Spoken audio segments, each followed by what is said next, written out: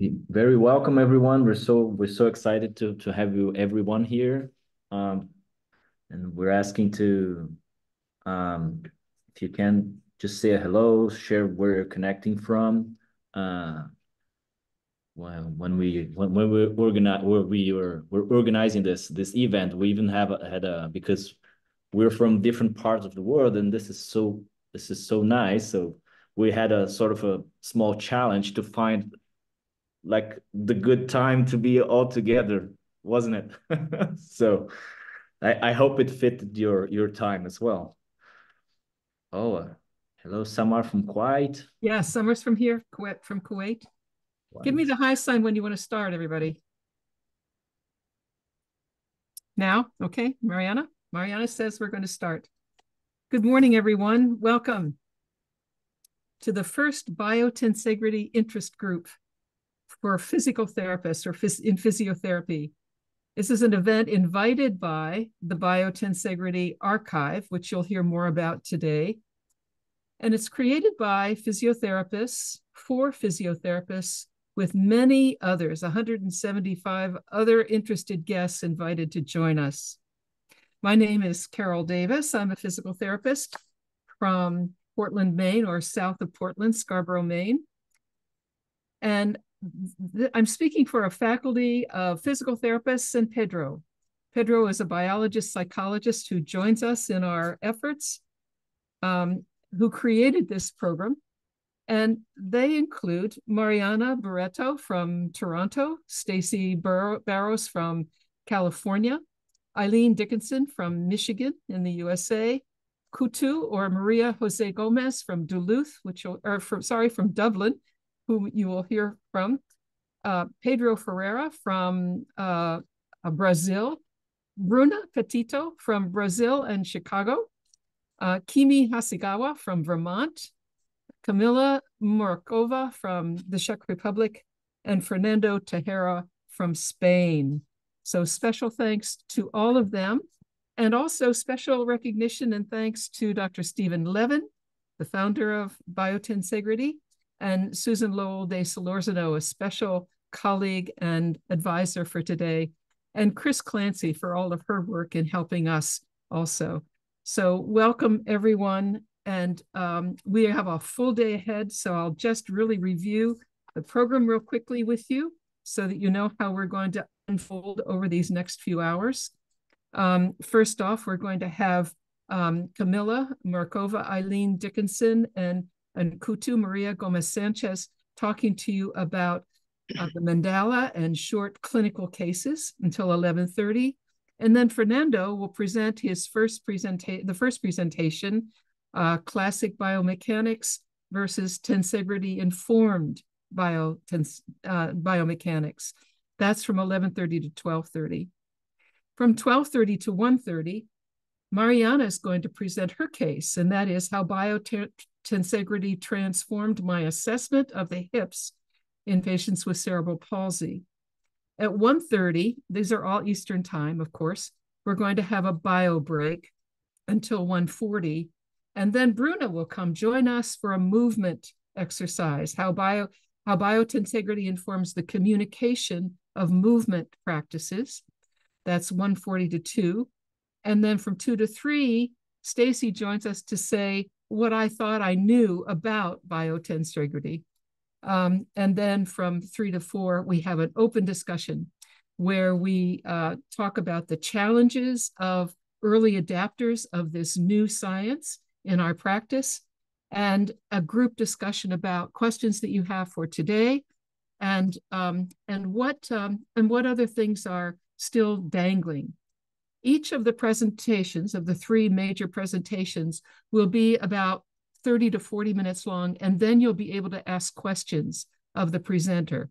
So um, please jot down your questions so that you can remember them, and we will open it up for discussion.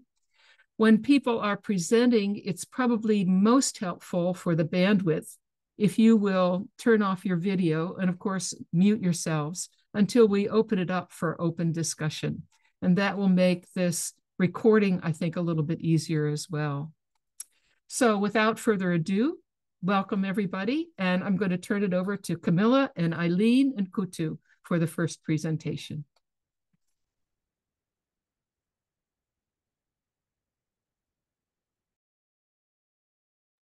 Kamila, would you like to come first and present what you what we will play?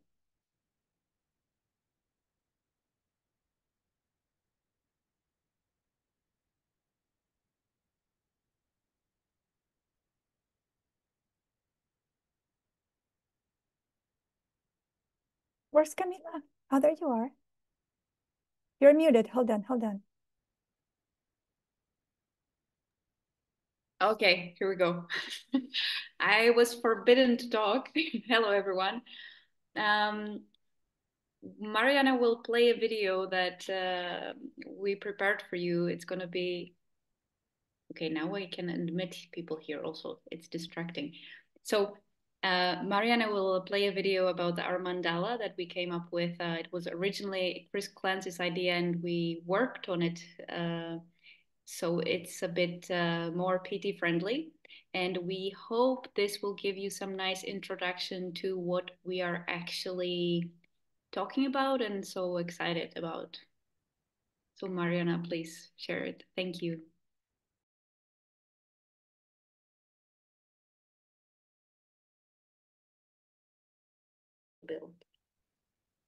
We have been using hard matter physics to build our homes Hello everyone. We have created this video to get a small and hopefully fun overview of what is going on when we talk about the paradigm shift. Maybe you can In order that... to see the bigger mm-hmm. picture of what we would like to share, we will use this mandala. The lower half stands for our base, for what we mostly learned in our training in biomechanics. The upper half stands for a different paradigm we may possibly get curious to explore some more later on biotensegrity. Now, let's have a look on the left side of the lower part of the mandala and talk a bit about the environment we grew up in and how we actually built it.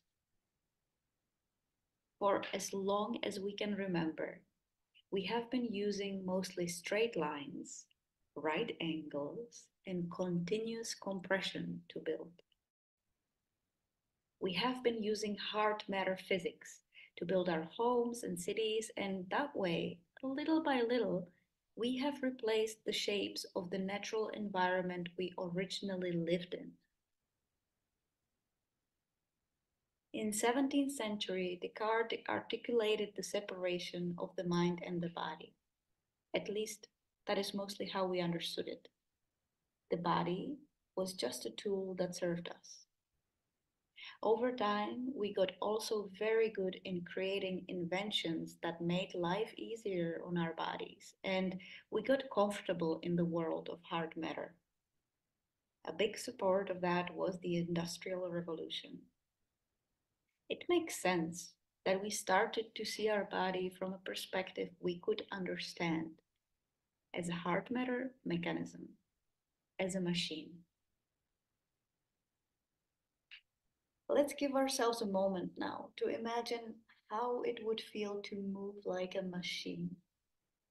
What is the quality of movement we need to find in order to move like a mechanism? Give yourself a couple of seconds and feel it in your body when you have this image in front of you, how you would move as a machine.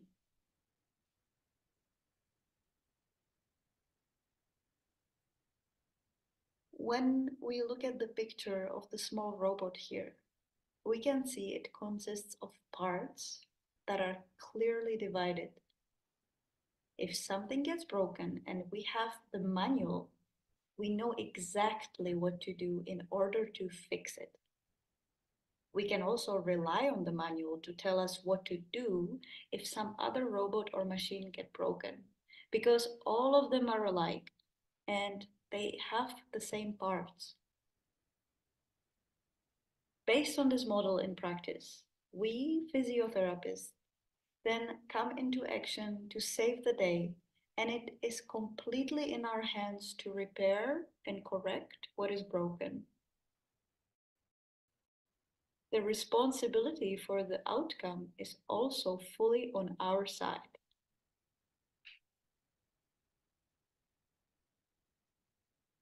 The way human dissections were done during centuries also supported us in understanding the body as a collection of parts and pieces.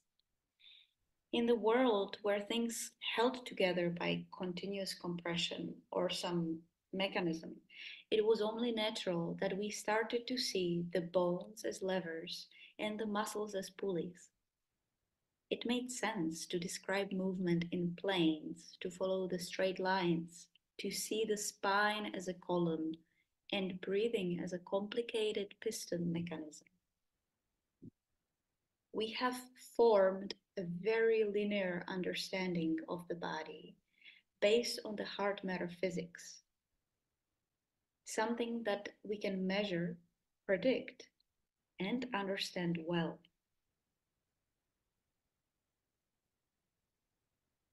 Can you actually think about what we need to do with a person's body in order to measure a range of movement of a joint in one specific plane? What we need to do in order to place our goniometer to measure that angle? And how can our approach change if we consider human body as a living organism Before we move on to the other half of the mandala, I would like to ask you to open your mind. Susan Lowell de Solorzano talks beautifully about the importance of beginner's mind. In order to be able to absorb something new, we first need to let go of our current ideas and opinions of what we know already. To keep ourselves open to new possibilities, we need to become curious. Moving further on, I invite us to put our knowledge to the side for a little while and let's continue from a perspective of not knowing.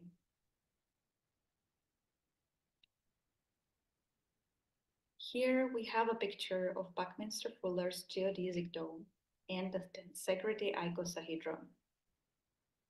This way of building uses different principles. These structures don't depend on gravity to keep their shape. They hold together because of the forces of push and pull, the continuous tension, and discontinuous compression. The struts are held in their place thanks to the tensional webbing they float in the sea of tension. In order to understand what tensegrity has to offer, it is crucial to make a model. Then you can feel with your hands how the tension distribution influences the shape and buoyancy of the structure. How when one thing moves, everything moves. Tensegrity allows us to study the whole So when we understand the science of how these principles work, can it help us understand what we experience in our clinical practice? Like what happens when we touch a patient or how we can see changes in a different area of the body than the one we are touching or moving? Or why the cause of a symptom is usually somewhere far from the symptom? Can these principles give us an explanation of how trees hold their long, heavy branches and stay bent or in a seemingly collapsed shape for years? Or how birds keep themselves up in the air? Biotensegrity can be applied to anything living. As Dr. Levin says, from viruses to vertebrates. Through this lens, we consider humans as nature. We are nature. And what is really amazing about nature is that it always does things in the most efficient way. Nature does not waste energy. It always has a very good reason for the way it behaves. So, what would change with our understanding of human body as nature? Is there something to be fixed or can we maybe approach it with a beginner's mind and instead of the need to know how to repair things, try to understand why it behaves the way it does? And how can that change our approach in therapy? How does that change our interaction with the human body, with the actual patient, or even with each other and ourselves?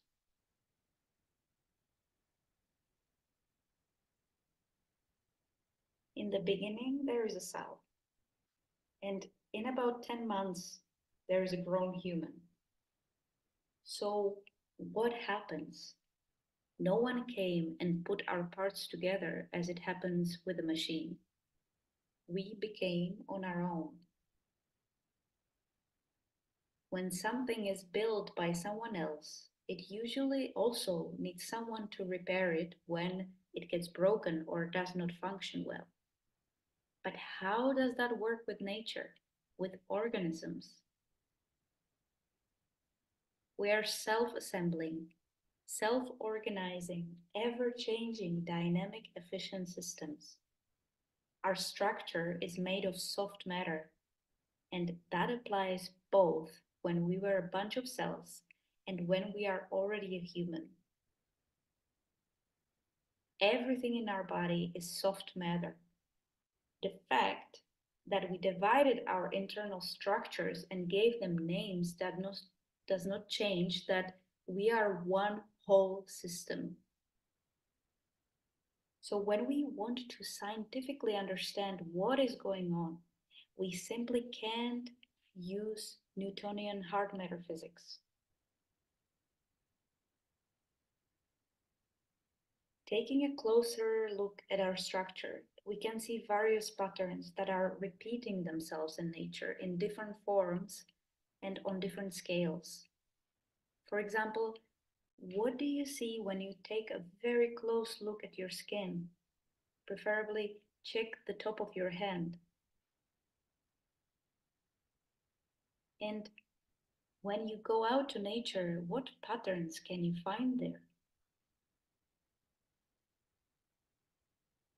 Obviously, we will not find a tensegrity model in our body. It only serves us to illustrate the principles, the behavior, the geometry, the forces distribution in the system. And that goes from the microscale, as within the cell nucleus, to the macro scale, as in larger shapes and structures. looking at the human body here, being all upside down in the gravity, biotensegrity can bring us some new understanding.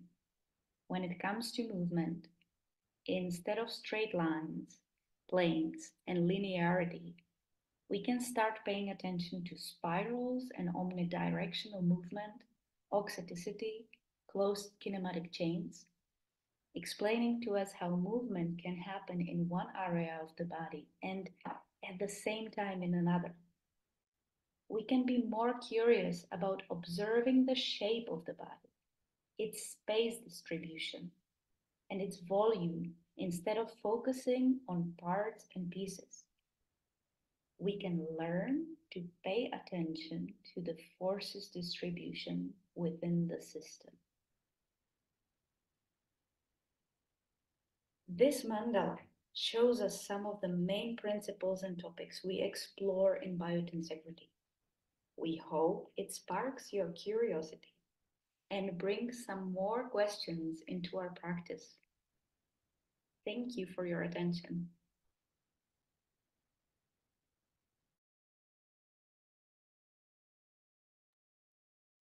Thank you, Kamila. That was beautiful, as always. Uh, my name is Eileen Dickinson. I'm a mostly retired uh, physical therapist who continues to see people um, of my own choosing and those who seek the unique uh, combination of my offerings. I have a private practice in Ann Arbor, Michigan, and have transitioned to being primarily a practitioner of Trager and an instructor in foundation training, as well as teaching science online to body workers. In my own personal as well as professional journey, I eventually reached a point where I was not willing to do isolated, specific exercises that were taken out of the context of the whole body. Practicing yoga is what first enlightened me in this regard 30 years ago, and more recently, foundation training, which is now my preferred whole body corrective exercise. And I'd like to share with you a case example um, of this.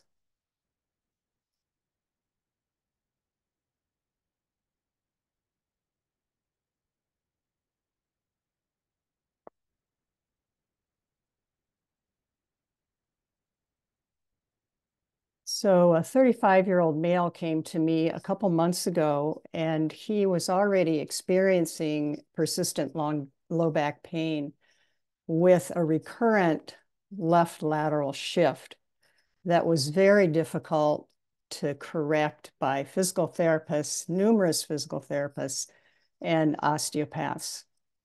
And he was never able to correct it on his own. He was very frustrated because he's a golfer and he works out uh, weightlifting with a personal trainer. And both of those activities were uh, no longer possible. Needless to say, he was quite motivated to change his situation. I should say that he doesn't sit much. He's he works remotely um, and uses a standing desk most of the time. So in my uh, pre-biotensegrity professional life, I would have intervened in the usual fixing mode that Kamila mentioned. I might have used traction if I was in a clinic or employed the McKenzie method or muscle energy technique. What else? You probably have a lot of things to add to that category. And maybe I would have given him a home program of correcting his shift at the wall but really, what is the long-term success of all this? He was uh, a living proof that there isn't long-term uh, success with these methods that are used in isolation of the whole body. So a biotensegrity informed approach to working with him would take a whole body perspective and working with the dysfunction, but only in the context of the whole.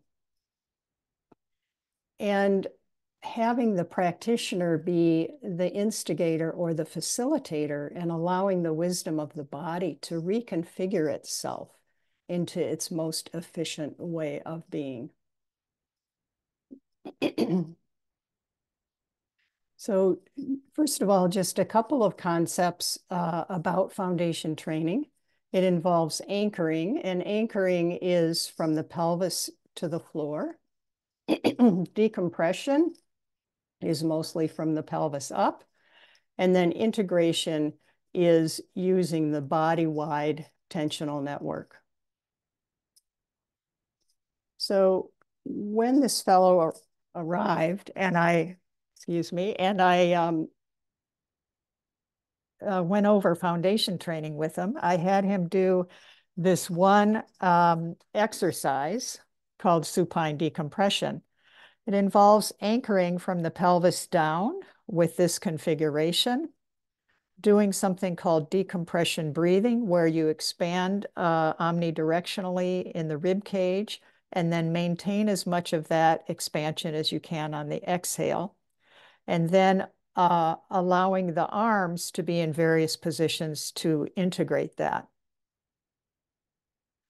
So he, um, let me go back here um, if I can. He did this particular exercise, repeating it or holding it for four big breaths. And then he stood up and his lateral shift was corrected. Just like that. He was flabbergasted, to say the least.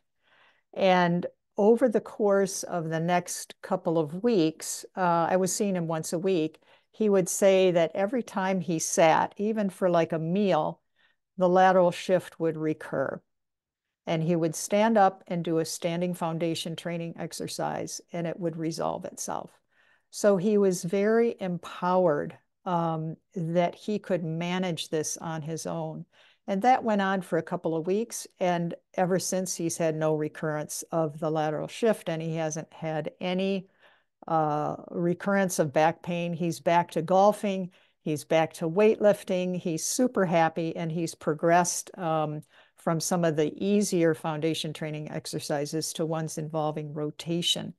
Uh, and he's very helpful or um, uh, uh, grateful for the improvements that he's had in his golf game. So how I see biotensegrity and foundation training intersecting or about biotensegrity is the reason foundation training works is that we're lengthening under tension. And that is something that I never knew about in physical therapy because um, tension was viewed as shortening the body, but this is lengthening under tension. It's omnidirectional expansion while under tension. It's actually feeling the forces of push and pull in the body for the client. It involves the whole body. It contributes to client self-efficacy. And it relieves me as the practitioner from being the fixer and making me the facilitator, which is a role I'm so much more comfortable with. It is so much easy, easier to let go of the fixing mode. And for additional information, if foundation training is new to you, I have a few um, resources here listed. Uh, Eric Goodman is the creator of this. I should mention that in his 20s, he he had uh, severe back pain.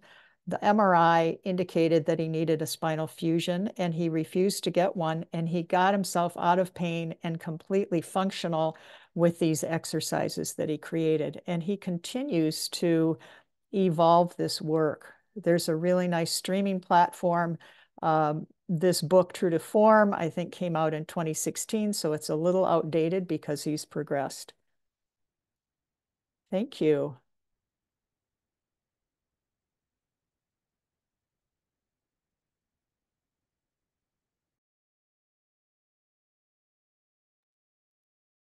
Thank you, Eileen. That was so so good. I, I think I should steal some of your slides for, for my presentation. it, it explains a lot. Uh, my name is Maria. I am a PT that works with animals also for my liking. Um, and I'm going to share with you um, a case that uh, taught me a lot um, about biotensegrity without knowing that that's what he was showing me, really. Um, so his name is uh, Poser. I have permission to, to, to say his name, which is great. Um, because I think he should get the credit here. Uh, he came to the referral hospital where I work um, after um, sorry after um, a, surgery, a laryngeal surgery that it's quite common in horses. But um, while he was recovering, he developed this um, this curvature uh, on his neck. Um, it was very very severe and um, I'm not sure if you can see it well there. Um, and um, so when he was referred to, to us, um, the surgical team and all the team um, decided to do the proper diagnosis and um, and they did the x-rays and they um, found out that he had a significant curvature of the facet joints on uh, CT C3 uh, sorry, C2, C3, C3, C4, C4, C5, which was very severe and extensive with a cyst-like lesion uh, visible in C4, C5 uh, with marked synovitis. So that um, consequently um, led um, to, these are his x-rays for the ones that can, can read it, um, led to this um, very abnormal head carriage. Uh, he was very, very stuck. He couldn't move his head for four days. Uh, so he had to be fed with bucket uh, close to his his head, um, his mouth, and and also uh, had to offer um, water regularly.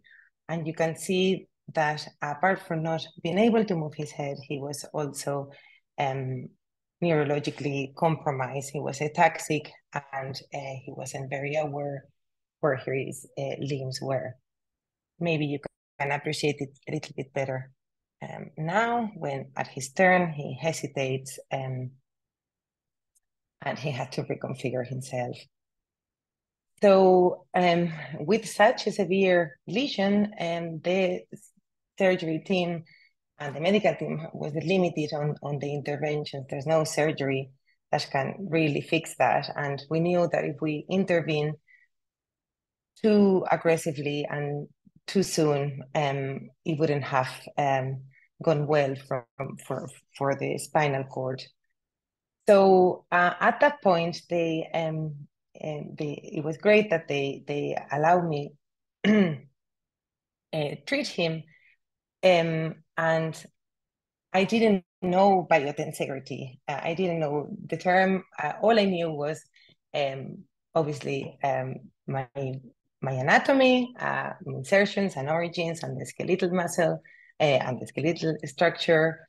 I knew about the fascia lines in a very two dimensional um, way, and I also started to know a little bit about the three dimensional ability of, of, of fascia.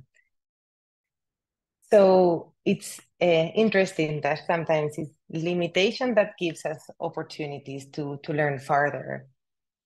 So I wasn't willing to go very close to the insult area with poser because I knew the risk was very high for further uh, cord in, in um, compression.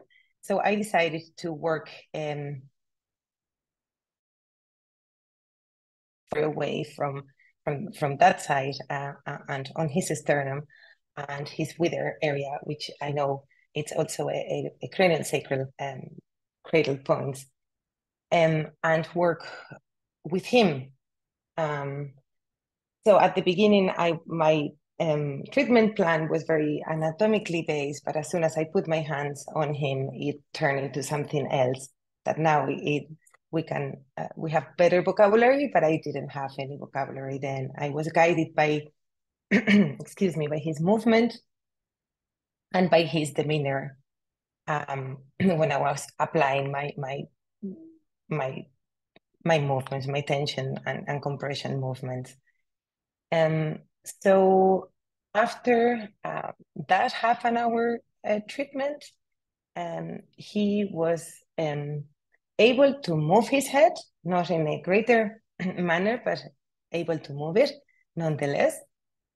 And he was able to lower his head enough to eat, which is a, a big deal in, in horses, um, obviously, because they have a, a big busy belly to, to look after. And without that, it, it wouldn't be viable for, for Poser um, to live. And so I thought that was amazing. Um, and so did the rest of the team, which was great uh, to have them on, on board. So I continued treating Poser, and these are his pictures before um, when on presentation and after four weeks when we visited it at, uh, visit him at home. And uh, this was him after three months um, able to to manage him himself um, and able to even afford afford a little trot. Um, so I think the main lesson um, for me with Poser is that and with all animals is that they don't have any placebo. Um, so they're, they're unlikely to be cheating. And they have no human language, so they can't really hear what we tell them and, you know, um, um, I suppose follow in instructions um, verbally. They have no agenda but to survive um, and I suppose live happy uh, or as happy as they can. They have no intellectual ego. So they, they're not interested in learning how it happened. Um, they do react to dangerous pain, showing aggression. So that's a very good, I suppose, landmark that it would be beneficial for us human physios to uh, to follow, and they give uh, honest feedback. So I think it animals serve a great opportunity for the human uh, physiotherapy so we can learn further. And that's me. Thank you so much.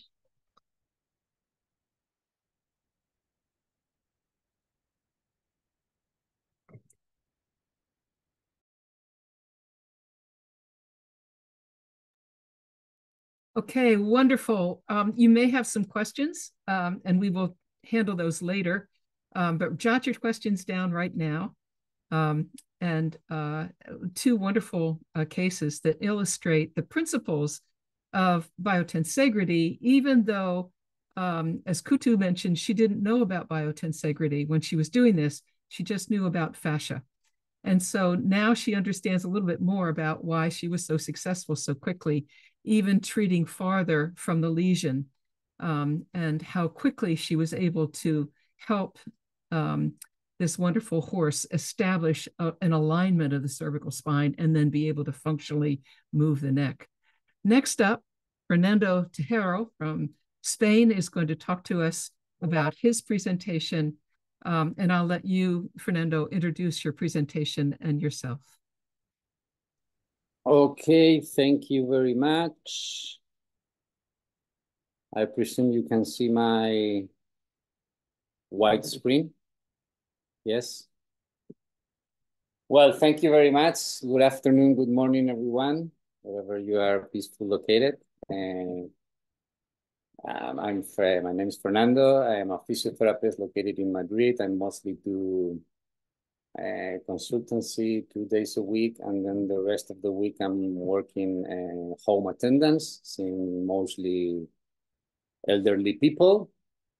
Um, I'd like to thank uh, to the organizers before I start for keep on pushing this kind of events on the uh, well uh, and better understanding and application of the biotensegrity and tensegrity concept. Also to the technical team and of course the rest of the lectures. And the attendees, without you, this would not have any any sense. So thank you very much all for being here today and paying the time and attention. Um, I'd like to talk to you about classic versus biotensegrity informed biomechanics, the difference biomechanics or the difference of understanding human movement under, under these two uh, uh, reasoning, so way of reasoning the human movement. So as we were seeing with the um, um, uh, paradigm shift, as Kamila was showing us, uh, we've been taught about anatomy uh, from the from the 17th and the 16th century knowledge, which was very interesting for that time. And also um, the biomechanics, uh, it's also from that time, is based, as you know, in the, these two um, planes of working, these two-dimensional uh, drawings where we are working under the levers and well, this is not like is it false, but this is an an incomplete, it's an incomplete understanding, and there is a better understanding to understand movement in the three-dimensional way, which is made easily through the tensegrity or biotensegrity lens. So for example, here, if we are focusing on the knee,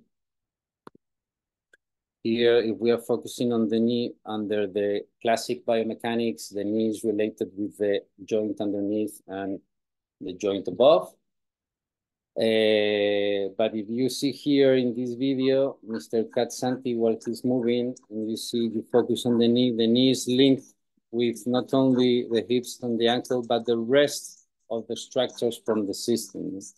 Because if this forces a compression and tension relationship dances that allowed us to create the different uh, shapes, you know, the different volumes, the different position, positions that uh, uh, this man is doing. Um, creating this uh, stable and dynamic system that we are and being easily for us to understand, manage, and, and, and treat our patients. We have this uh, new way of uh, view that allows us to see the whole picture in the three-dimensional uh, understanding. So for going ahead, I would like to talk just a bit of definition about tensegrity. I highlight here wherever I consider most important. Uh, tensegrity is the characteristic property of a stable three-dimensional structure that it has member under tension that are contiguous and members under compressors under compression that are not. It's also a design principle that creates an internal pre-stress that stabilizes the entire structure and apply it to musculoskeletal system is the property that I allowed some performs efficiently in producing a volume. I like to say um, explain tensegrity as the representation of compressive and tensile forces and elements and the way they are related that allows forms to be shaped, stabilized, and mobilized. So what are the forces and elements? Well, you know, compressive and tensile. Inside of the body, the forces could be positive, negative, attraction, repulsion, uh, acid, basics, you know, all these environments that it's very, they are very interesting for the uh, living. Uh, also, the elements, for example, applied to the skeletal, skeletal uh, musculoskeletal uh, system, the continuous tension members could be the um, myofascial web, and the discontinuous compression members elements will be uh, the bones. No, this is in the, uh, as I said, in the skeletal or uh, musculoskeletal view. And it's very important for me the way they are related, the way they are related between them, these compressive and tensile forces, between them and between or within the environment they are in. And all this allows the forms, the volumes to be shaped, stabilized, and mobilized. Let's see an example to better understand this, much easier and, an um, example to understand tensegrity is the pants or the trousers, no? Where can you find the tens tension and compression elements in the pants? Well, I can find easily the tension in the fabric. No, the fabric is working in a tensile environment and it's working as a tensile element. And I found the compression in at the bottom. And again, it's not only the bottom and the tension, but the way they are related. So this morning when I was wearing, when I was putting my pants, I need, it's not like I could just the fabric on top of the button. I need them to relate in a proper manner for them to work and to create again a volume, which is the size of the pants, which is stable in the proper wrist and is dynamic. Also, you can move it. No? Some of you could be thinking what happens with the pants that they are not uh, using a button, that they are using a, a rope. Well, the rope, when it's making the knot, um, it creates a stitch, the proper knot creates a knot that behaves as a compression element. We are not uh, talking here about anatomy, but about functionality.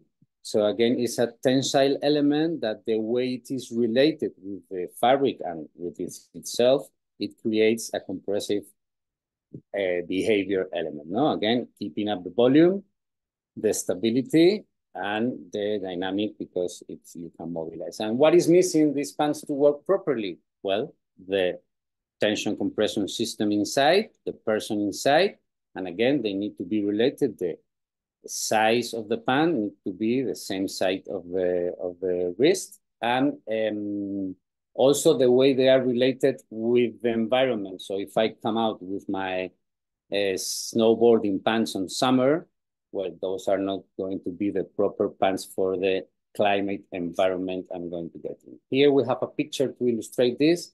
Here we have Iniesta, the football player dressed in blue, and he's in an environment, you see, and he wanted to do a task, which is putting this white ball inside of the, well, the net. So Iniesta is under a situation where he's having some uh, constrictors. Also, he's having some um, affordances that allows him to create a self-organizing and come up with a pop-up response that makes happy a full uh, country. Uh, this, you can find it also in the recently researched as the complex dynamic systems. And also is very easy to understand this kind of view, the complex dynamic systems, while you understand the tensegrity and biotensegrity uh, concept and applications.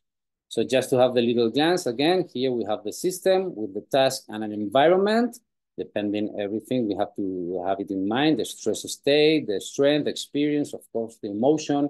Maybe these um, presentations is, is, is very physically, but the emotions are very important in the kind of systems we are treating. And uh, of course, the task and the environment, and again, is doing a self-organization, uh, following their, uh, their beliefs, and following um, having in mind also the movement experience, the previously movement experience, and it comes up with a pop-up response. Here we have a video, sorry. Here we have a video that illustrates this.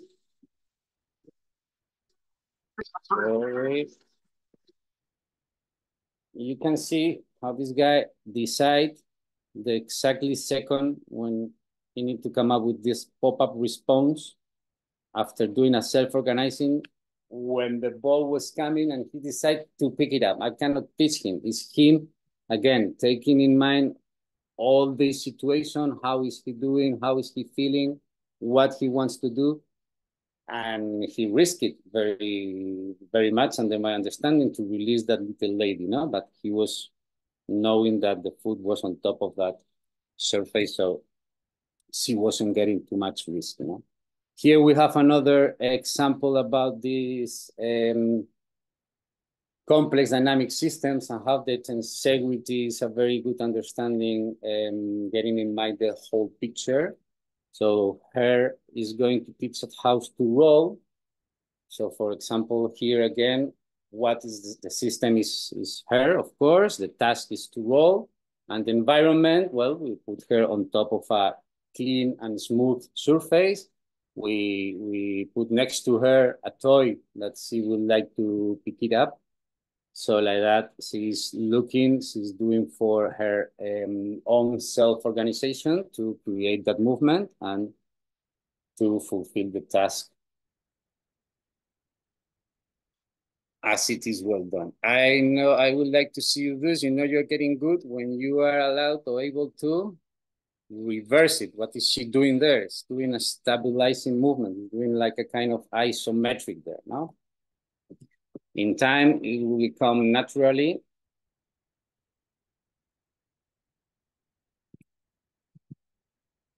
Even though I like to take a picture after it, no? Okay, I would like you to see also this part of the video. It's very important. Remember to give yourself little rests and as well explore with curiosity. So comparing what I learned at the university and comparing what tensegrity could teach us.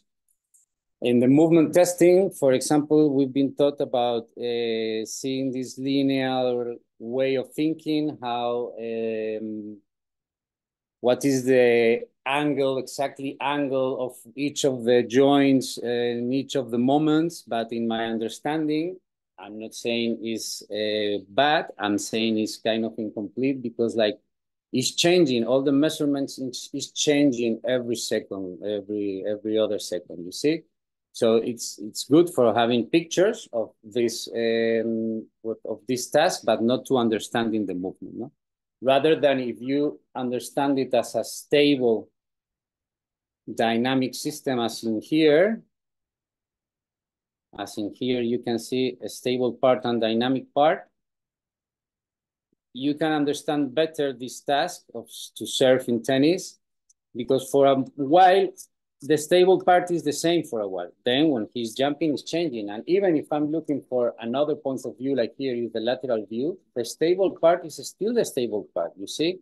So again, coming back to the classic understanding, here's this uh, linear uh, comprehension. And with this um, tensegrity understanding, we can see here the spirals, no? Because again, we see this stable and dynamic and um, behaving, behavioring all together at the same time, no?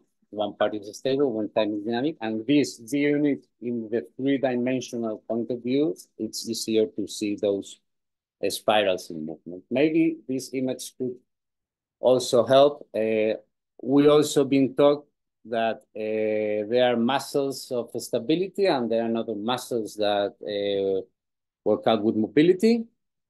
If you see here, this person, what I see is that he's stabilizing some parts, some segments, and then mobilizing some other segments, but it's not like some mobility and stability muscles, but rather than segments, no? So if you would like to see the video again with me, for example, in this moment, the stability is mostly on the arms, of course, and the rest of the spine. Now he's moving the shoulders. Now the he's changing over time the stability and the mobility point. For example, now he's moving the lumbar part, no? And you can see here easily the spirals again. Well, with the tensegrity understanding, maybe instead of, uh, again, going back to these stability and mobility muscles that allow us to keep the posture and, and movement, which is like understanding more like la longitudinal, um, how do you say, stability, like a longitudinal stability, the tensegrity understanding maybe allowed us to think that is a transversal understanding, no?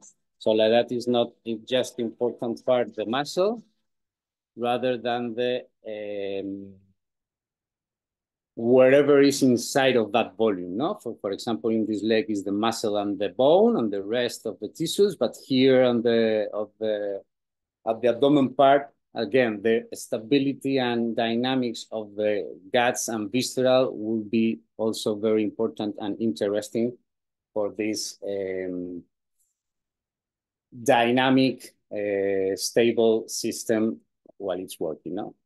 So for example, I am able to allow to not only thinking about muscles, but thinking on key parts to work. So here I put just ankle, foot, hips, thorax uh, and scapula, uh, spinal center alignment, and hamstring grips. You see, it's not just, just joints, rather than, uh, well, key parts or group of joints. Also, uh, knee and elbow, for uh, of course, I didn't, I did not want to forget, but with this systemic view, I can also consider important to work the girdle dissociation, so like that will be more efficiency to walk or run or whatever task uh, the person wants to develop. And why not? Uh, I would like to mention here the eye, no? So for example, why is the eye going to improve the movement? Well, because if the person is getting better information again from the environment she or he is moving in, well, then it's going to perform, it's going to do another self-organization, and then it's going to perform the movement differently, easily, but of course, uh, different. So, confronting finally biomechanics, uh, well, classic versus tensegrity informed biomechanics. The classic understanding, as we saw, is uh, based on the anatomy, and the tensegrity informed is of focus on the anatomy, and the tensegrity informed uh, biomechanics are focused on functionality. Classic understanding is from machines, and then we applied it to the body. We did that because it was the best science on that time, but nowadays we're doing like uh, watching and uh, observing the living and the not living nature in movement. The classic understanding uh, give us some calculations and measurements, and the tensegrity inform is uh, again more uh, concentrated on behavior of the system the classic is focused on the linear work and the linear path, and the tensegrity inform is uh, working on the exponential improvements, no? Instead of just working like I'm improving the flexion or the extension range of motion from my shoulder, with the tensegrity inform application, I am uh, improving um, the expansion and the increase of the volume in the three dimensional. That is why so it's exponential, no? For those of you that did not believe that the line is not the answer, I have this video here where we can see how the line is not the fastest or the shortest line. Uh, of course, it's not when we are in a gravita gravitational uh, environment. And again, the classic uh, understanding of biomechanics is like a kind of family recipe and the tensegrity informed biomechanics, they, it fits, it fit the questions. What questions? Well, again, these biologic interesting questions that are answered by tensegrity. Tensegrity is filling the three-dimensionality. Again, it's creating the, the volume. These uh, compression, tension elements relating each other is creating the volume, the three-dimensionality. We have sense of balance during movement and rest. Of course, the, the system knows if it's standing, if it's uh, lying, or if it's doing handstanding. And even we're doing handstanding, um, the head is not falling down, no? So this is about the stability of the system. And it's always moving in the maximum power, looking for the minimum effort is the efficiency low, no? This is again, when it's going to be a dynamic, uh, when it's going to do a movement, is all the time um, stable dynamic or dynamically stable. Um, it's looking for the best movement for wasting the less effort or the less uh, energy. And it's, uh, there's still one question, how can the shape resist gravity? Well, I have here this picture on the left. You can see this ant holding 100 times its weight. And here you can see this tensegrity model. Uh, also, uh, is not 100 times its weight because the tensegrity model weighs 167 grams and it's holding 16,000 grams. Okay, so it's something like 97. That is not bad. And some of you could be thinking, yeah, but Fernando, but you can hold this weight with three sticks to the floor and that's it. You're having the same with even less sticks. Yeah, but this structure, tensegrity structure, is holding the weight and still you can move it. You can move some of the um, struts and you can see how it expands and compresses all together. No? I have this video also I would like to ask you which one is better to explain the human movement, which column, which spines is better, there are just four, to explain human movement. The first one was rigid, the first, second one was elastic, this is the third one is mixed, like with a hard landing. And the last one is mixed with a soft landing. So I'm asking again, which one is better to explain movement? What do you think? For example, if I'm falling to the floor, I would like to have this one. So that it's getting stiff and protects the interior, no? If I'm playing basketball, I rather prefer this one so that I am rebounding and jumping again to grab the ball. No? Maybe this third one is to explain if I was having a tray and someone hits me on the back and I just make this movement so that I don't lose my tray. And the last one for me maybe could be like the best one because it's like the most rounded one. But again, my favorite answer is it depends on the task. It depends on the environment. I would like all of them depending on the task that I'm doing. So again, the tensegrity understanding is a very good view to make a better comprehension and application about human movement. So how does this change in approach to movement? I'm focusing more in the hands-off applications, in the exercise applications, okay? So um, in the classic approach to movement, well, sorry, remember that even if we have this kind of modern drawing with these circles and all these beautiful things, this way of thinking is from the 17th century, don't forget this. Having a better and a newer, and it's, not because it's newer, it's because it's better explained, as I tried to explain. Uh, the difference in approach between the two of them is that the classic approach prioritizes mobility, while the tensegrity prioritizes stability. In the classic approach, we move through anatomic movements, and in the tensegrity informed, we are, or me, with the elderly people looking for the daily life activities and tasks. In the classic approach, we are working by repetitions and series. In the tensegrity form, we're working by times and demands. Classic approach is um, working mostly uh, under weight or um, to be to strengthen the, the muscle and the system. And the tensegrity informed approach is um, giving more importance to control and stability work. In the classic approach, we are mostly working in open kinematic chain work, and in the tensegrity form, we are prioritizing the closed kinematic, kinetic survey and kinematic chain work. And in the classic approach, we are thinking on muscles, are they working in concentric and an eccentric uh, labor, and in the tensegrity form maybe allows us to think more in isometric and isokinetic movement. So um,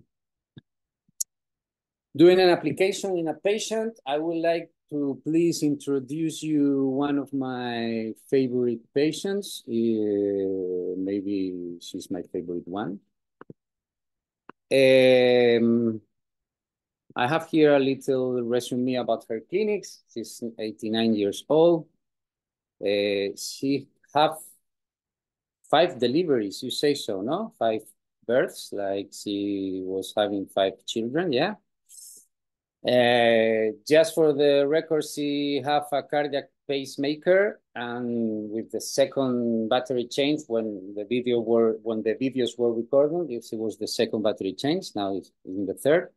And the motivation for the consultancy, she called me because after falling on his back while going upstairs, she fissure up, uh, fissure right scapular and uh, scapula, sorry, no scapula, uh, the bone, and she fissured also three ribs.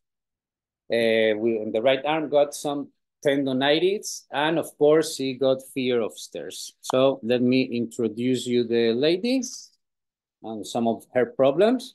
She had some problems opening the outdoors, like the one from the this is the one from the house, and but it was worse the one from the lift. I couldn't I couldn't record it, but it was worse the one from the lift. Yeah. So again, um, it's missing some strength. It's missing some. Uh, if we analyze properly, this is a tensional movement for the elbow, for the shoulder. Well, yeah, for the shoulder, and now it's pushing the door. So again, it's pulling, pushing environment all the time, even doing regular tasks. Yeah.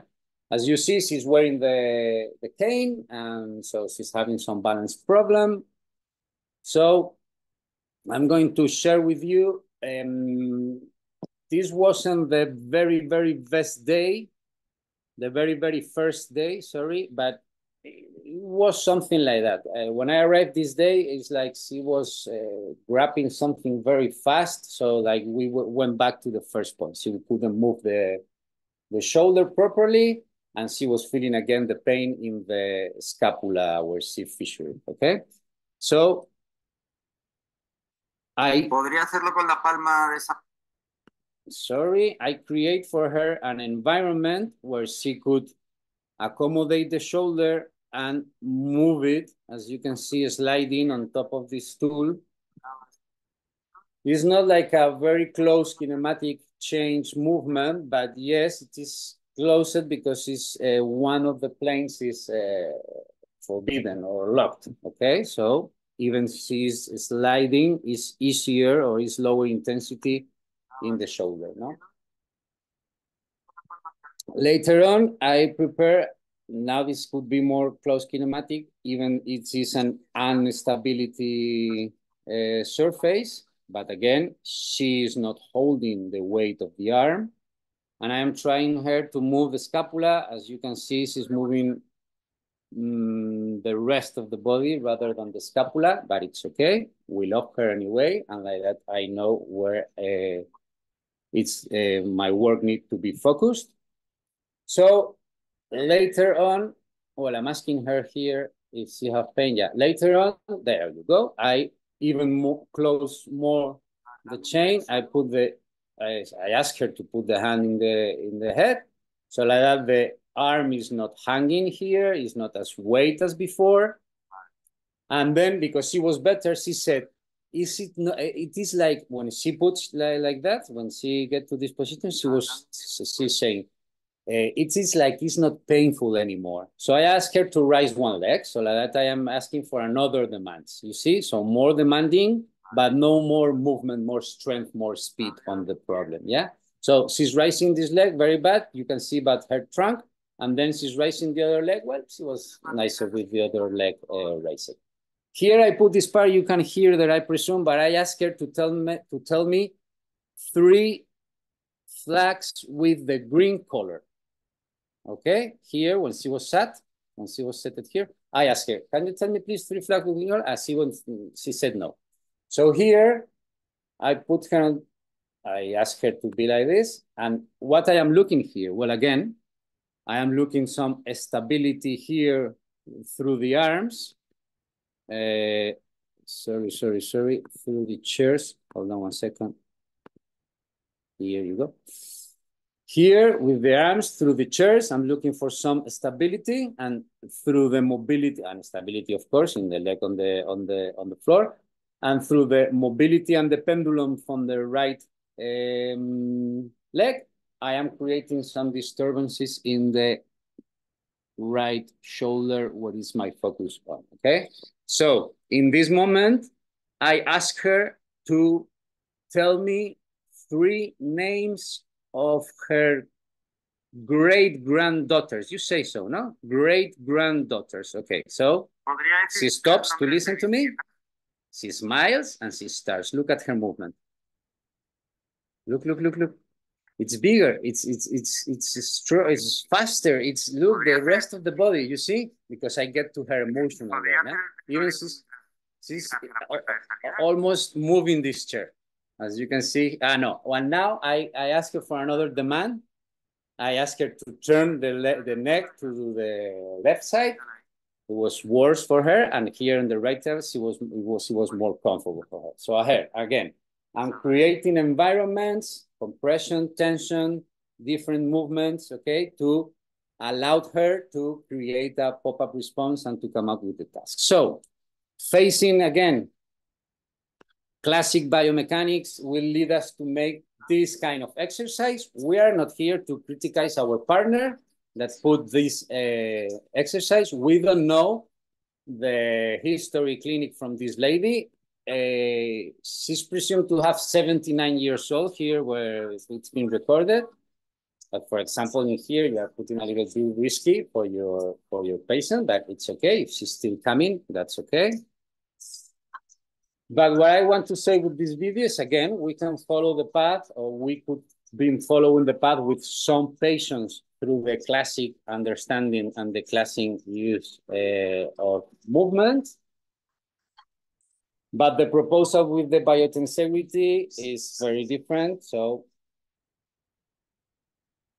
as we were talking about, we're looking for lower demanding, close kinematic chains, looking for time doing things. So here at the beginning, I just let her explore, just move her around the this peanut.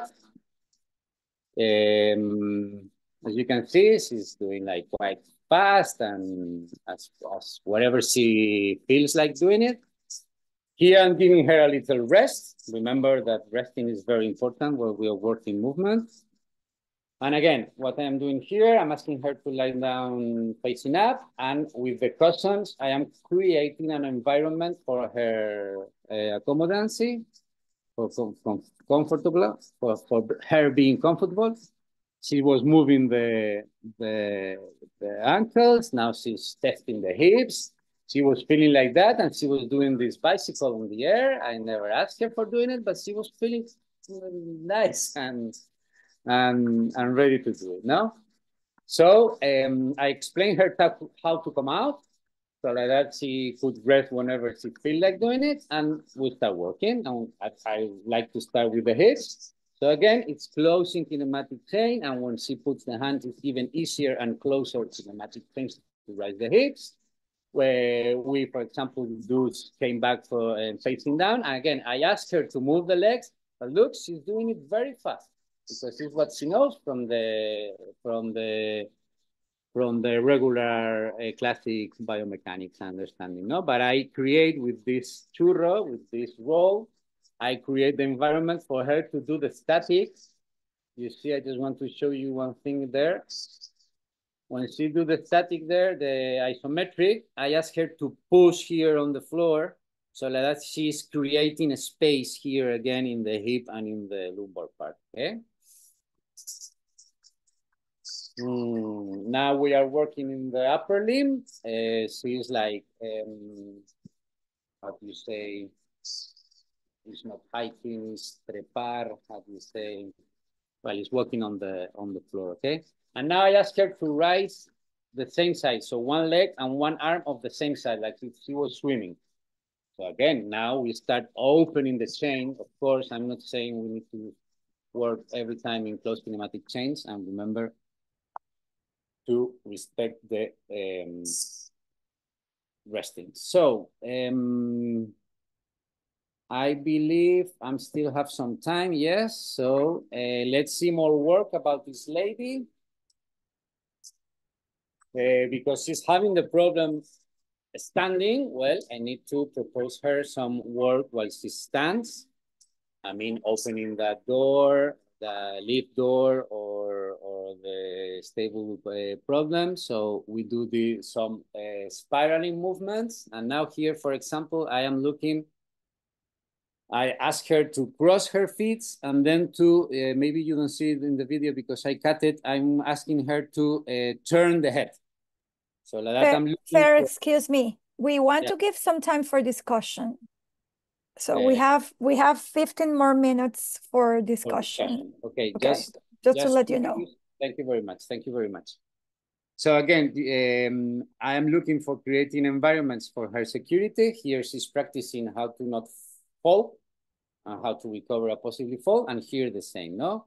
We are uh, raising the hands, the uh, arms, because they were the tendonitis was better. So we are raising it, we close the chain, and then I can ask for another demand like raising the uh, hips just the last video from this lady, and then we go to conclusions and discussion. Of course, I asked her to throw and get in. Um, I presume you don't have the volume. Uh, she was celebrating the first one because she, she's getting in. And then she keeps on throwing, she keeps on throwing. I'm going to go straight to the point. It's here. So again, mobility, stability, you see? She needed to create and perform her own self-organization for in that moment in time, she felt, and it's her who needs to do it. She needs to feel that it's falling. She needs to look up for the better uh, response to uh, hold the situation. We have here plenty of videos that we are not seeing. Remember, again, the conclusions under my understanding is again well the proposal from different approach between the classic and the tensegrity informed uh, understanding. And uh, just talking about movement if this equidistant cloud represents the movement which is infinitive possibilities wherever you know for example yoga pilates will give us the chance to create and imagine the movement in another manners. But when you really understand tensegrity, it allows you to take your patient to wherever level they want to. And if I do properly my job, now you are understanding this little cat perfectly well how to create environment, which part is the stability part from the cat, the mobility one, and how her owner or um, partner is um, getting the relation with, with, with it. So thank you very much for your attention. And now is the time, please. What are your questions? Outstanding, Fernando. Thank you so much. That that really uh, starts us off beautifully with understanding the the contrast between how we were taught in school and straight planes and uh, traditional biomechanics versus your wonderful explanation of how biotensegrity comes into your patient care. So now we're going to open it up for questions. And what I'd like you to do is go to the bottom of the screen and you can see um, the reactions um, um, uh, button. And if you press that, the bottom bar said raise hand. And that will put you up in the queue as Alyssa is right now and we can take questions one at a time for about 15 minutes. So Alyssa, will you start us out with, uh, you, will you unmute yourself and, um, or will somebody unmute her? Good, okay. I'm unmuted, so great. Um, Fernando, thank you so much. This was incredible to watch your uh, um, videos. Well, now, if we if we get involved in the um, um, biotensegrity with physios and we learn techniques? Are we learning things that you showed us? Uh, sorry, sorry, can you repeat me the question? So is the therapy that you're doing with your clients, your patients, something that we learn if we dive deeper into biotensegrity uh, for physios? Okay, okay, okay. Uh, I believe you will understand and um, and learn how to create, for example, taking this example, the exercise for the client to improve through a biotensegrity lens. So that they have more security and they have a, a how do you say, um, an regular improvement. I think too, yeah. Fernando, the, the the the point that you're trying to make, if, if I may, is this this understanding biotensegrity helps you to shift your lens as you said uh-huh. so that you see the patient differently and you see the demand on your patient differently than we were taught in school with the traditional uh, straight plane kind of uh, perspective um, and uh, alyssa if you stay with us we're going to talk more about a little bit about the course that we provide online for physical therapists to learn about biotensegrity and in that course, um, we have cases uh, with every class where we demonstrate how those perspectives that we're learning that day in the course now can be applied to patient care examples, very much like Fernando showed us. So yes, yes, yes, Carol, thank you very much. Yes, Alyssa, uh, the same as Carol. I wanted to say that what Carol says, and uh, yes, because you are having the whole picture, the view from the whole picture. So it's not only the exercise, but um, rather recommend her to sit in another chair than the one she's using or having the whole picture of her, her whole day so that you can give her some advices to um, make some difference during the day so that she she she she's stable in her in her clinic you see? Yeah it's not only movements or exercise that you learn. No no you learn it's not recipes that you learn. It's not, you, you learn how to cook. When I arrive to the house, I don't have material. Just go with a little bag with some balls and some uh, uh, rubber bands and some, not rubber bands, non-elastic bands and some other things. And that's it, we just create. Great. Pedro. Thank you, Alyssa, for uh, for your uh, your questions and be very welcome. Um, I want to say that perhaps if you can keep your question for and, and bring it on again in the last segment of our meeting when we'll talk about how we can create support in this community. I think it it might be very nice. In fact, I'm remembering what Eileen presented uh, earlier today, and um, I felt that she somehow used this lenses, you know, this new paradigm, this new understanding of how things work, and she kind of created. She pulled from things that she knew, techniques and methods she knew, something that would fit what she what she uh, wanted to bring to the to her to her patient. So it's not really a new method, but something that you can see in a different way, and then you can use the things that you that you're familiar with, or or as Fernando said, create new things using the ingredients that you have. So um, maybe you can bring this question again, and Eileen can uh, can comment on the last segment. Um, I have a question for Fernando, but uh, I just want to see if someone else uh, has uh, has a question before me. Because some people are putting questions in the in the chat, and oh, I was going to say that questions and oh. comments in the chat as well. So I don't know if you want to address them too.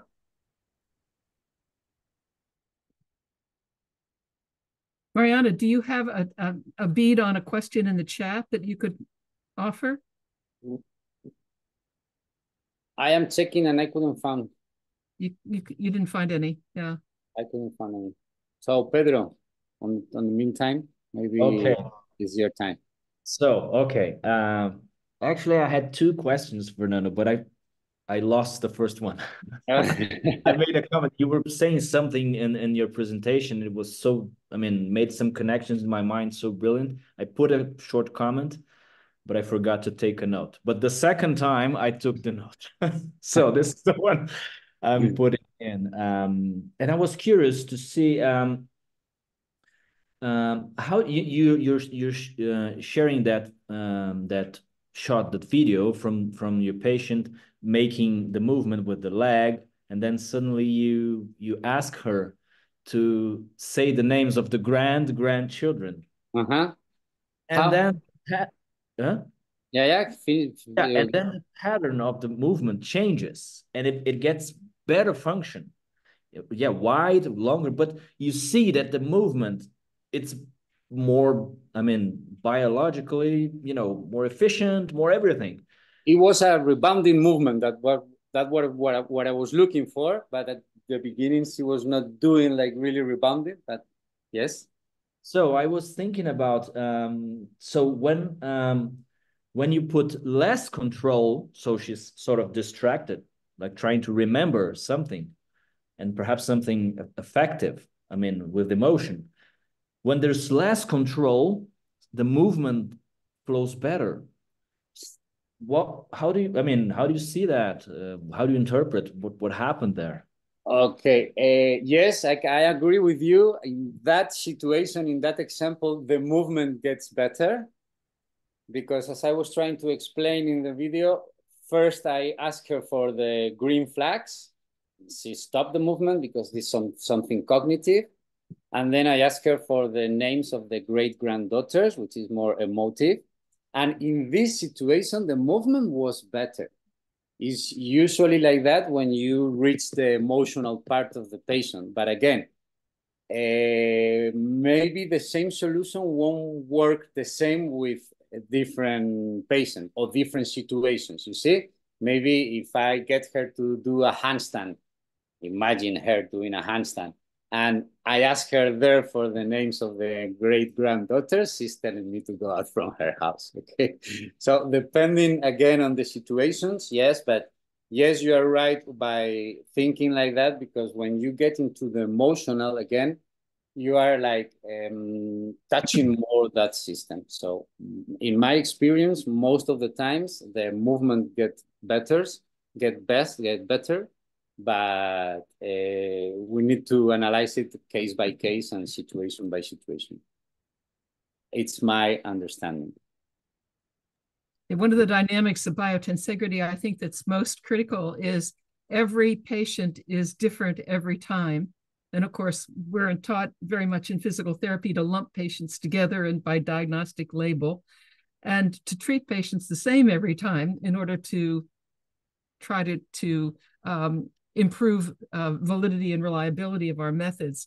And it never works. People are always different. And, and you'll say to one person, tell me the names of your great grandchildren and they will emote and and be very much smoother in in, in their movement another one will stop and say oh, well I, and they'll they'll have to remember and and it will it won't be the same so you have to be present in the moment with the person and know that person a little bit to try to get the outcome that you want um, and this is part of also what we teach about the relationship with the patient is so critical. Fiona, would you like to give your question, please?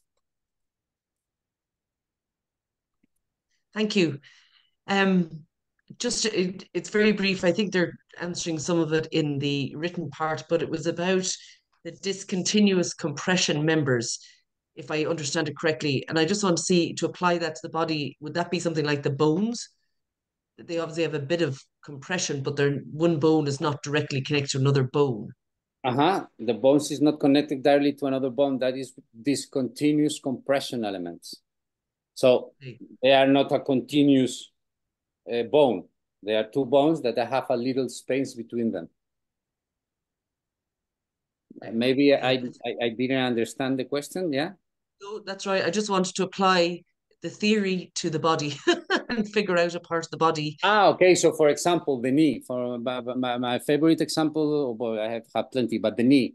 The knee needs to hold my 80 kilos, 80 something kilos where I am standing with the femur on top of the tibia, and also needs to raise my 85 kilos where I am raising a step or something, you see? And again, never, no time is touching one to the other, and it's giving me the stability to hold my weight and the stability and mobility environment to raise my weight. So then the, the fascia around the muscles and all the soft tissue, they that tenses That's, in a way to hold the joint apart. To depend, manage it, manage. Yeah, depending on the environment, yeah, it's tending to hold the joint apart. Yes, yes, of course. All, but not only the tensional web, but the relationship between the tensional web, the compression elements. I think for physios, it's it's that switch from the more linear approach to this, which it's that tension change which allows the movement. The ch tension changes allow the movement, but you mean that shorten it and and lengthen of the muscles? You mean? Yeah, but it that's more a change in the tension, not really shorter and longer. Uh, there is a mm. length change, but it's more due to the tension. We were always taught to get rid of the tension, but actually, it's very important. well, we have to get rid of the tension until one point. We need some tension to hold. If I get rid of my tension, I just follow like this. Exactly. like this. And too much tension, like looking for the strength and the high tone, is not uh, rather as good. So exactly. we look yeah. yeah, for okay. the proper tension, but the tension is not only come, the tension of the system, it not only coming from the tensional members, the tension is coming from the tension created between the tensional members and the and the compression members. And, and what Stephen Levin teaches us is that depending on the um, the task at hand, there are times when the bones are the tensional elements rather than compressional elements. Yeah, this is very interesting also. I have an example with the bone arrow. I have time, Mariana, to explain, um, or maybe we'll wait for later, yeah? For example, bow and arrow. If we, Mariana, Caro, Fiona, have a bow to throw an arrow, you say bow is the element, no? And I throw, who is throwing the arrow? The, arrow. the archery, the string, or the bow? Throwing the row, throwing the bow. The arrow, I think. The arrow. I think he means the bow and arrow. Arrow, so arrow is the thing that flies, no? Arrow? The arrow. arrow. The arrow. Arrow. Sorry. Arrow. arrow. arrow. is the okay. thing that flies, no? Okay. Yeah. Yeah. So yes. who's throwing the arrow? The archery, the string, or the bow? Right. Yeah, Under yeah. this question, my best answer is the system of the three because I am physiotherapist and I don't want to right. get wet, so I throw it in the middle. Then the system of the three. Okay.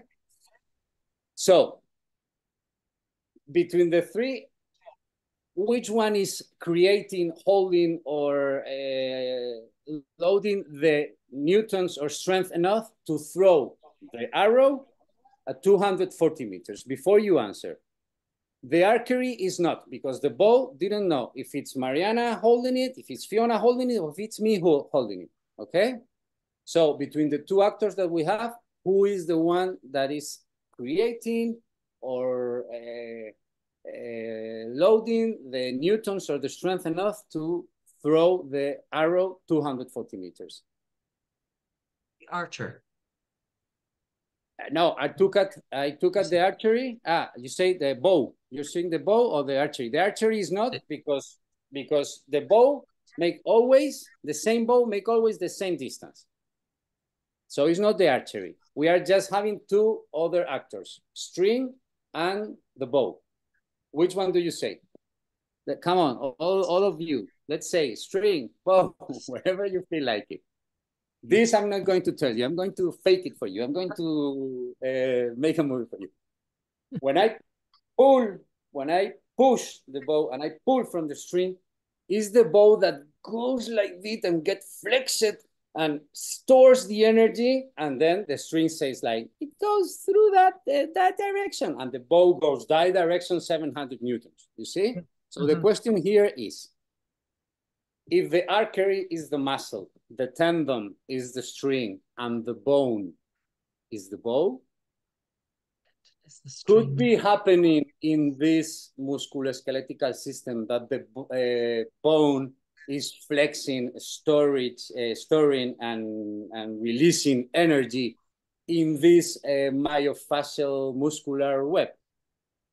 It's not possible. It's 2,100% for real because all the materials in this uh, planet bend under the properly uh, strength.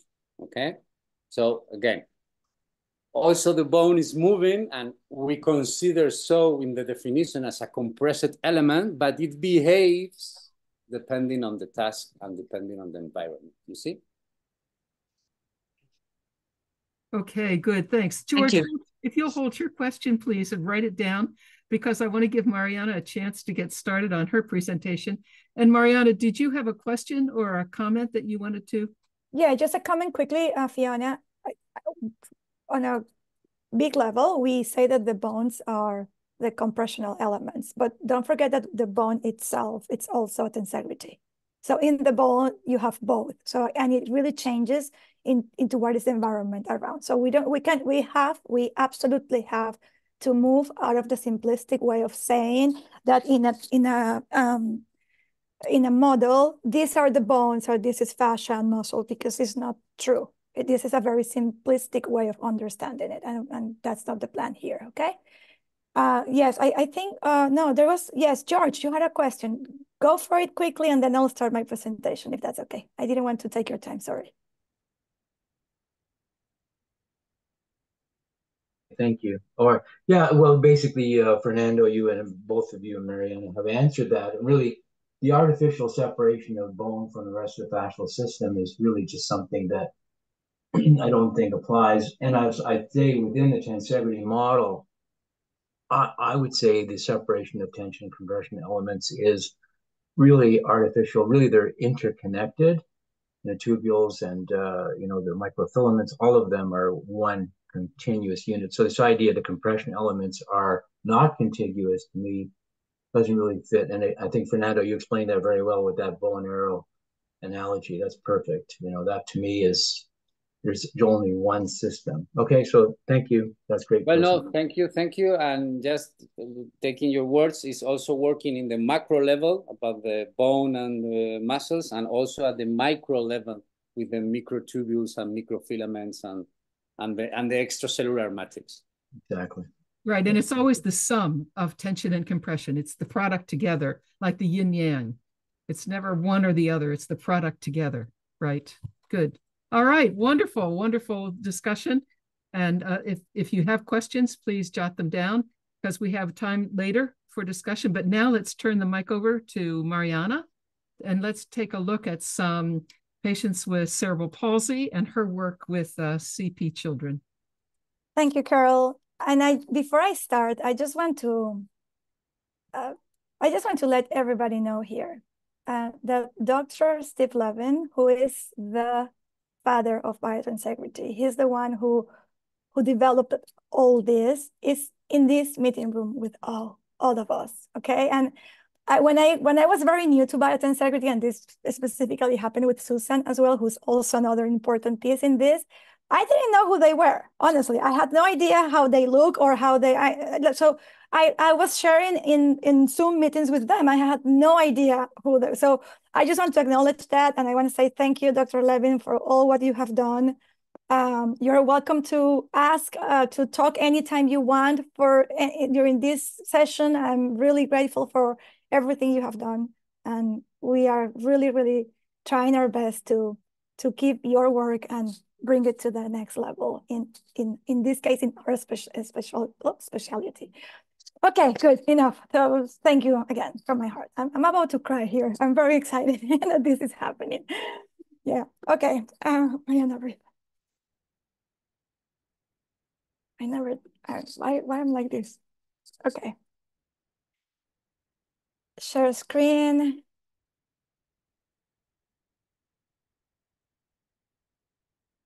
Can you see my screen?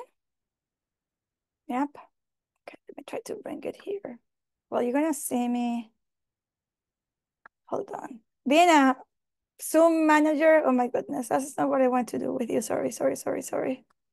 Oh my goodness. Okay, stop sharing, Mariana. You're spoiling it. Hold on. Too fast. yeah, sorry, sorry, sorry. Hold on. Let me go back. Sorry about it. So you see, Stacy, I told you that it's okay that we're humans. We were practicing how to do this before, and it didn't work for me.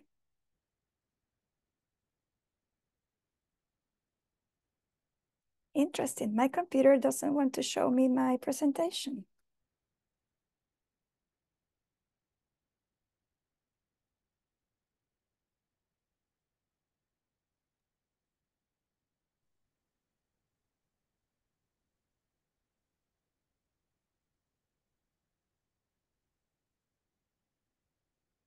So while Mariana fixes her her uh, presentation, I if I would like I have a second question for for Fernando. If while we you fix it, is that all right, Mariana? If I if yeah, I... it doesn't want to go in presentation mode.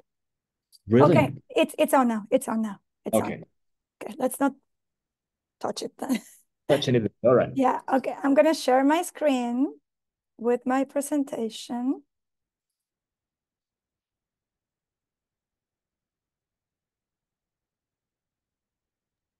And are you seeing me with a ugly face there? Okay, good. So mm-hmm. the thing is that uh, now I have all my, and do you see this the black things from Zoom or you're good? No, no. No, okay, good. Good. Alrighty. Okay, so um, this is, uh, today I'm gonna talk to you about how biotensegrity transformed, in this case, my assessment of the hip in kids with cerebral palsy. But I have to say that it it's, it's not just that, it transformed my my assessment, my treatment, my approach, how I talk about them, how I interact with the families, and it actually transformed most of the things that I do in my life today. So my, I would say that my life is a before and after biotensegrity. I'm Mariana, I'm originally from Venezuela, and I live in Canada, in Toronto, and I, I work with kids with CP, okay? And what I want to uh, share with you in this, um, in this conversation is my face there and I'm not sure if that face is me saying, oh my gosh, she's doing it all wrong, or me saying, how come I never thought about this before? And I'm going to tell you the story of you know how I uh, how I got there and what happened after, and hopefully share with you, um, you know, how beautiful this journey has been. Uh, just briefly, cerebral palsy, as the, I found this description in the CP Foundation, uh, describes a group of permanent disor disorders of development and of movement and posture, causing activity limitations attributed to a non-progressive disturbance that occur in the developmental developing fetal or infant brain. So there's a brain injury that it's set is non-progressive that creates a bunch of issues afterwards, okay? Uh, the motor disorders of cerebral palsy are often accompanied by disturbances of sensation, perception, cognition, communication, and behavior, epilepsy, um, and by secondary musculoskeletal problems. It's, it is known that we have we are uh, classifying these kids according to the gross motor function classification scale in five levels. Being level one, the mildest one, the kids, these kids can walk uh, independently, and level five, where they're fully independent, uh, dependent, sorry, for every activity in their life. And I'm gonna bring this uh, because, uh, you know, since I studied physiotherapy and, and I was very involved within cerebral palsy from the very beginning, the one thing they tell you at school is okay cp you know motor spasticity they have all these developmental issues uh, be careful with the hips because they're going to be subluxed and be careful with scoliosis and be, be careful with contract contractures right so from the very beginning you have this chip in your head okay i have to prevent hip subluxation and it is so true that this is from the, the American Academy of Cerebral Palsy and Developmental Medicine. They this is the surveillance that they do for the for the hips.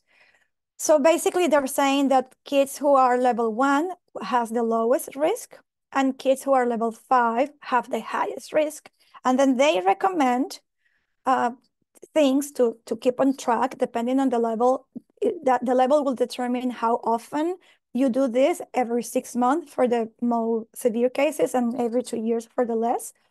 Um, and basically they're telling us you have to change, you have to uh, check passive range of motion, tone, special tests, asymmetries, and you know check how everything is in terms of, of care, weight bearing, and uh, the ability to walk. Okay. And the reason why I'm bringing this because we all learn how to change, how to check range of motion, right? And I'm, I'm bringing some examples here. This is how I learned it in Spanish. Of course, this is in English now, but you need, we learn how to use goniometers. We learn how to put them in the axis of the movement. We know how, we learn how to, what was the testing position? What was the stabilization needed? So if I'm gonna test hip flexion, I should stabilize or at least make sure that the body, the torso is stabilized so I can actually measure properly the hip flexion, okay? And the same goes with hip extension, hip abduction, um, abduction, all the, all the tests, we know that. And I consider myself um, a very good hip tester, should I say. I work uh, for some years at the the um, an uh, Gait laboratory. This was the first laboratory in in South America actually, and I was testing hips every day. Like there were a bunch of things that we have to measure the the anteversal femoral um, angle. We had to measure all the all the tests for the hips, for the legs. I mean for everything. And we have to take those measure measurements and give it to the engineer so he could plug that into the computer to um, to to to have the kits being tested with the cameras and all that. And then these were the graph that were coming out of the machine, right? And based on those graphs, uh, the doctors were, and, and ourselves too, the therapists were there part of that conversation. We were, uh, they were deciding what surgeries to do, okay? Um, and that was part of my of my practice. The next, the rest of the day, I was also doing therapy with these kids, mainly NDT oriented. Uh, and I was using everything I needed that, that I have learned to prevent hip subluxation. So I was doing the standing, the stretching, the activation, the strengthening. I was doing everything what I have learned to prevent uh, hip subluxation.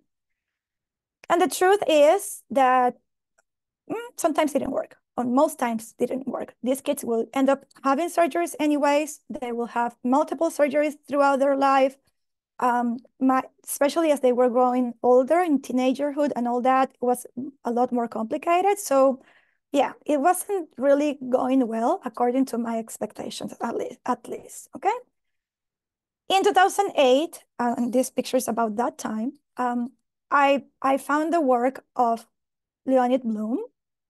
And it took me two years to get a little bit understanding. It was very hard for me to understand. It was two years of, I don't get this, but it sounds interesting. So let me, so it was like a little bit of a fight in my head. And finally in 2010, I convinced uh, some of my families that I they were working with me to go to Florida and take one of his uh, training for families, right? So this is the picture of that day. This is one of my girl, um, and um, and then this is the lady that worked with Leonid back then, um, and she was she's testing the hip and she's explaining what is what she's seeing. So in my head, I'm I'm both judging and kind of regretting how come I didn't think about this myself. And then uh, this is another of my kids, and, and you see it's the same face. It, I didn't change my face throughout the whole thing. I'm I'm like, what is she doing? There's something not. I mean, you shouldn't do this, that like that. That's basically what I'm saying in my head. And I'm also talking to my. She's an OT that also went with us. Like we are kind of judging in a way. Okay, I'm really glad I have those pictures from there. So what what I was missing was fascia and biotensegrity, but especially biotensegrity, because I already knew a little bit about fascia, but what made sense in the end to me was the whole concept of biotensegrity. And I've been lucky enough uh, for the last, I don't know how many years now, 14 probably, um, to be very close to the ones who are developing this, right? Especially Dr. Levin and Leonid Blooms, uh, Chris Clancy is there, Susan uh, you are there too, but we haven't met ever in person. Uh, Graham Scarr as well, and many, John Sharkey, like Dr. Brad, uh, Will, like so many good people that I've been so fortunate enough to be in contact and to, to learn directly from them. What I want to say here, and I'm going to try to keep this super brief, um, is that we are we're talking about models, okay? This is a model. This is a way to explain what whatever we want to explain. And the model that we have in our head is going to influence everything we do, right? If we're coming, as the, as the mandala that Kamila showed at the beginning, if we're coming from a mechanical model, that's what we're going to see or do. If we're coming from a more like a different model, like the tensegrity model, then that's going to inform what we do differently, right? When we translate those models into the body, then we're talking about biomechanics and biotensegrity, okay? And I'm gonna read this from uh, Graham Scarr uh, book. Biotensegrity is a structural design principle that describes a relationship between every part of an organism and the mechanical system that integrates them into a complete functional unit. So it's a design principle, right? It's not it's not the truth or the way. It's a way of seeing it. And that model explains the forces that organize the living organism from micro, from we just talked about that with Fernando, going deep and zooming in or zooming out in the body. And um, these are the lessons that I take from biotensegrity that mostly inform what I'm doing in the assessment. The shape of that organism is going to rise from the balance between tension and compression. A tent is not a full tensegrity structure because it's anchored on the ground, but this is a good illustration of what a good balance between tension and compression can do to a shape. Okay, so if I'm thinking about cerebral palsy and the distortions that we see in their bodies, I, I absolutely have to think about this relationship for the shape. Muscles are the tensors in that tensional system. That's an important one for me because I explain muscle tone and spasticity based on this principle. So when I see a muscle that is tight, I'm thinking that muscle is helping bringing the tension in the system. Why? Why that muscle has to work harder or tighter to, to create tension? What is, what is going on there, right? And this is another super important one because the organism is always performing in its most energy efficient way. So that has helped me to, um, to um, hold on, sorry, I got a call here. That has helped me to, to say, even when my child is very, very affected and the movement is very, like it's not functional, that that and maybe he has so many deformities and so many contractures and so many things that is his most efficient energy efficient way of performing. There's nothing wrong there. It's just that he's showing me where he's most balanced and this is i'm, I'm going to come to this later as well okay this Leonid told me once our patients are the best teachers we can possibly have because if we take that, our time to observe, they will let us appreciate what we usually take for granted. And this is also so true because unless you have a massive brain damage, you won't appreciate the things that we take for granted, like the collapse that we, we shouldn't have. We only experience that when something is really, really, really affected. Okay. So when we take the time to to observe that and to, to learn from that, then they are our best teachers. The same way as the horse is the best teacher for couture, right? This is the example of what I what I give to the parents when I'm describing the way I see CP um, with from this perspective. Okay, uh, if the if the jello with the fruits is is that organism that has compressional and tensional elements in it, and here we could be very simplistic saying, oh, the fruits are the body parts and then the jello is the fascia. That could be a way of saying this. Then when we don't have that right balance between tension compression or when we don't have the, the right the amount of time in the fridge to, to be firm, then we have the distortions. So when I see a child with cerebral palsy, I'm always thinking about my collapsed jello.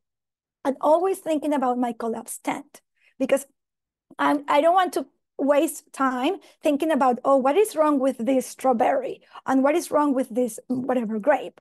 I want to understand the full system and what's the relationship between the parts.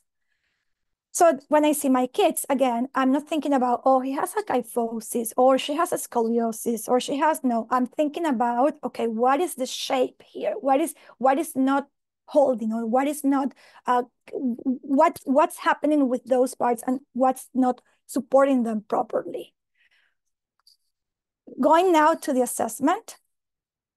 This is a child, a neurotypical child, and I'm doing a hip, um, I'm gonna, I'm about to do a hip flexion test the way I learned how to do it now. Okay, so you will say, Mariana, you're supposed to stabilize the torso. And I will say, okay, but his torso is pretty much stable. So why the torso is, is stable? Because the tensional balance in his system is good enough to keep the pelvis where it should be, to keep the abdomen where it should go, to keep the torso in that segment, to keep the neck there.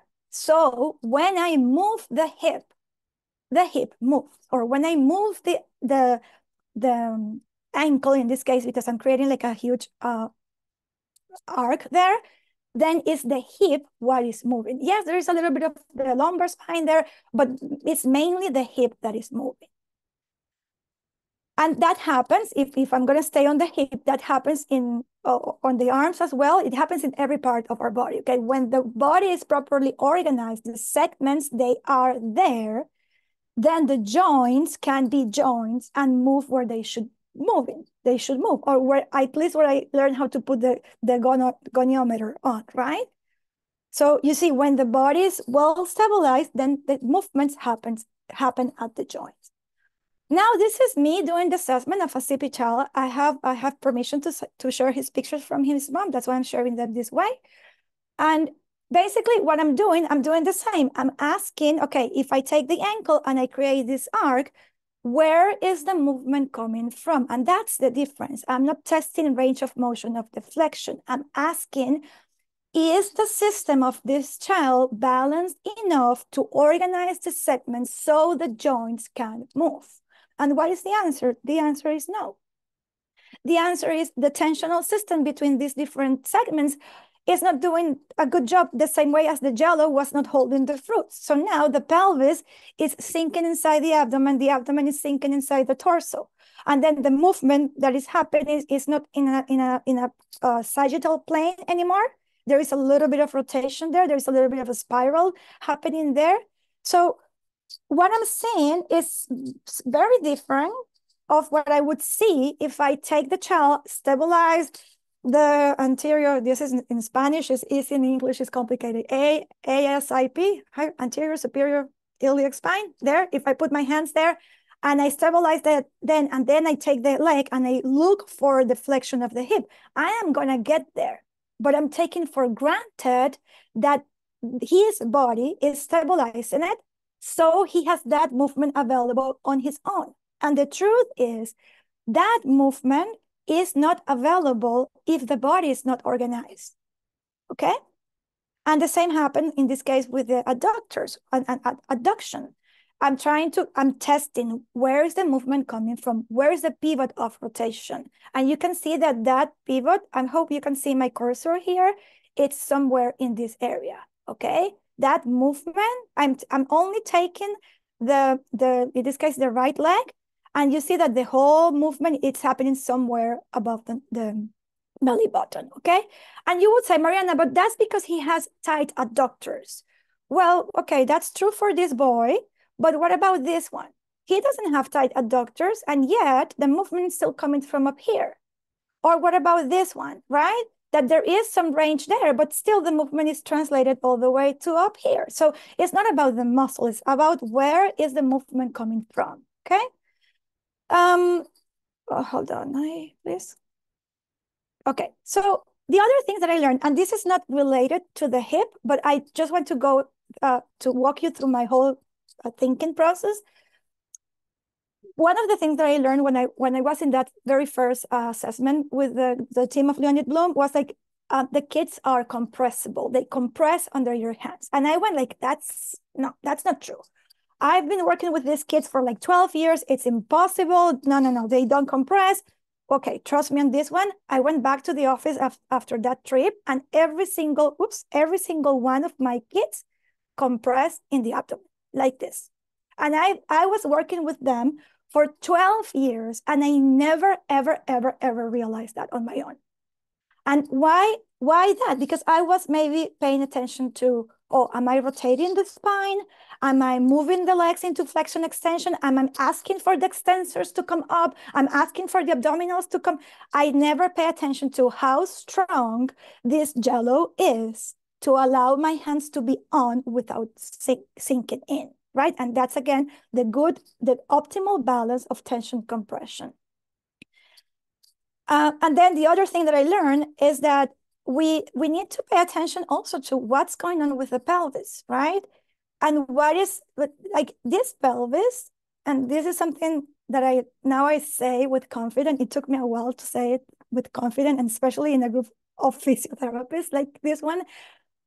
If I if I tell you, um, if let's say that your sister had a baby and you go to visit her and she has her month a month old baby and she's practicing standing with the baby, what would you say? You would say, don't do that.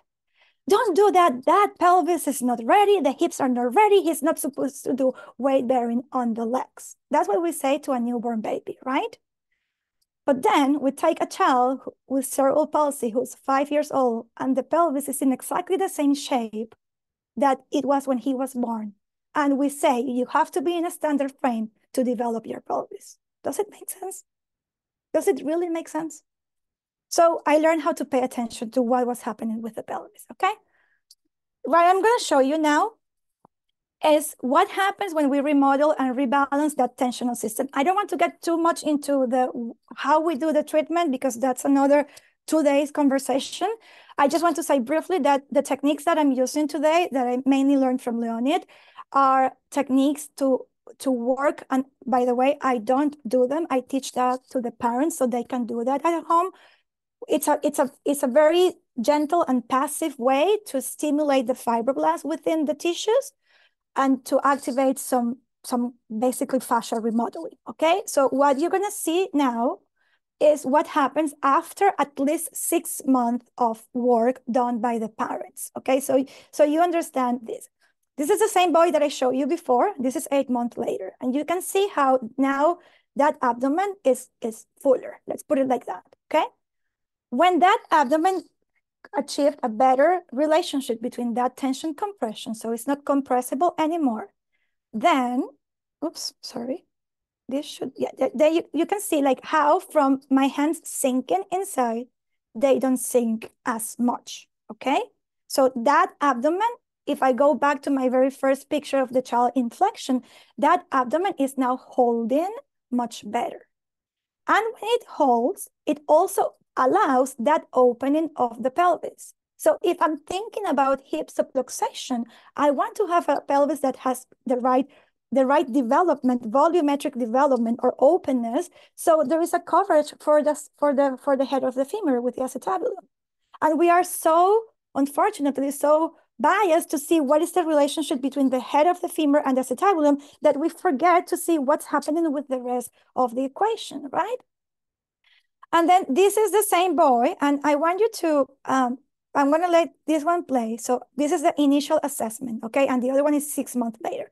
So you see, I'm just testing, where is the movement coming from? And sometimes I go with my hands and I see how, how deep I can get in into that sinking.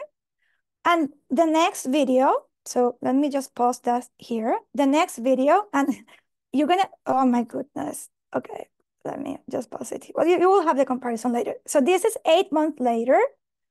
If you see up here, my face is gonna show a little bit. So pay attention to my smile because I was really happy, okay? So this is six, uh, eight months later. Mom worked with the techniques to remodel the whole, the whole thing to create that st strength from, from within.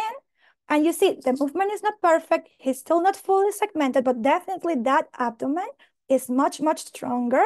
So it's not sinking, right? So here you have the, um, the comparison of the pictures. You see the difference between what was happening at the beginning and what is happening uh, after, after this. And the same for the adductors, for, for this test. Again, we cannot claim, oh, he's perfect. Now he can, you know, no, there's there's a lot more to do. But what I want, and this this might be a little bit harder for you to see, there is a that that pivot of rotation is now lower.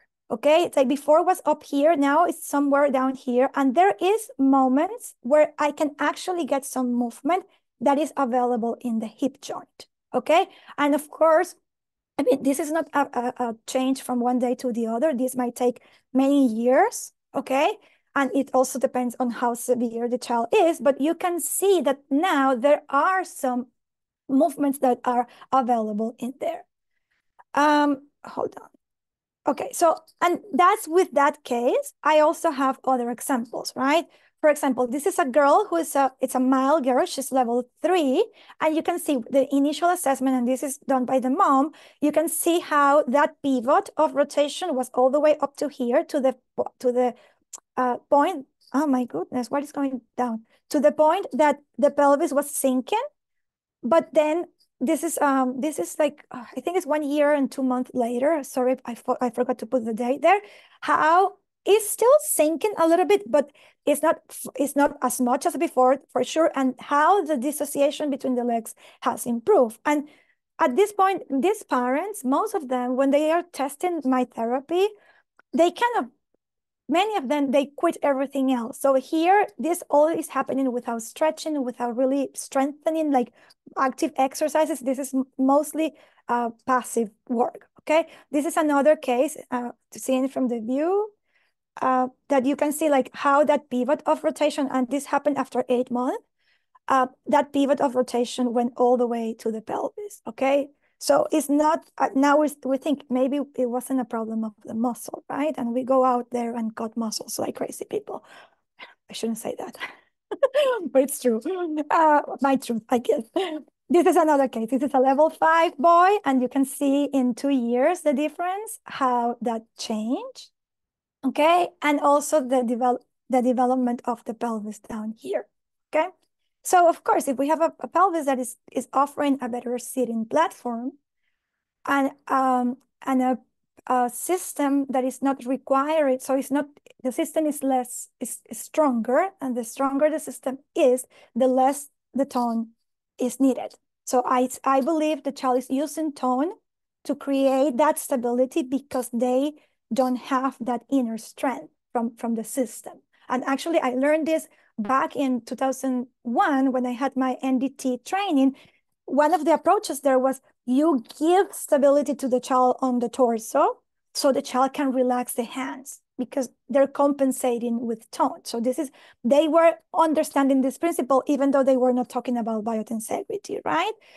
And uh, again, more and more examples, like when we get that, that organization from the system, then the movement, even though there's still work to do a little bit down here on the legs, you can see how that is actually much, much stronger, okay, more stronger.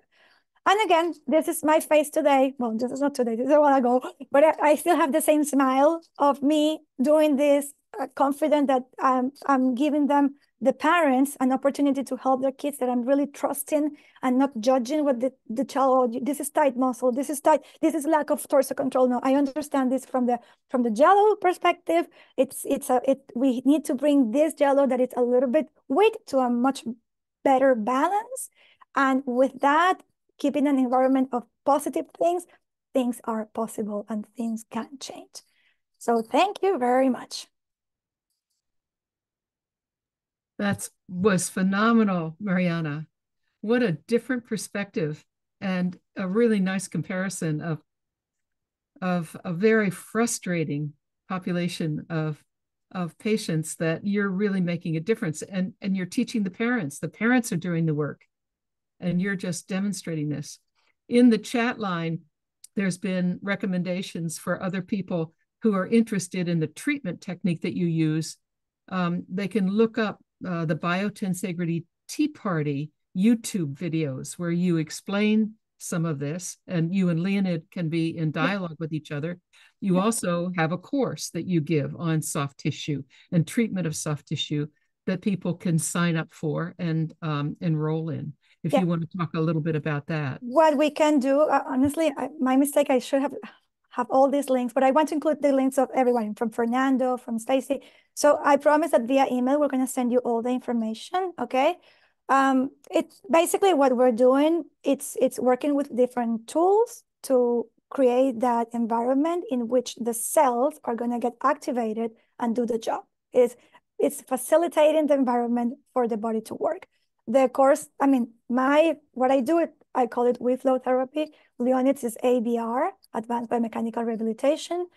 And what we did together for professionals is called tensegrity assisted therapy, which is putting all this concept of using semi-deflated balls to work on the on the tissue, but not for cerebral palsy, for whatever percentage uh, type of, of patient. Okay, but again, this is not about those courses. This is about how biotensegrity informed my assessment, and I, I'm really hoping to get some feedback, comments. Um, right, I'm, that's why I'm, I'm, I'm, glad that you said that, and I'm glad that Trish Houston's still here, Trish, because this is they're working with the fibroblasts. They're working to change structure, and Trish's research is on on what's happening at the cellular level in fascia um, uh, under different conditions. And um, and I was so excited that she was going to come um, and is still here and could see your work. So now it's time for questions. Sure. Would somebody like to step up and ask a question?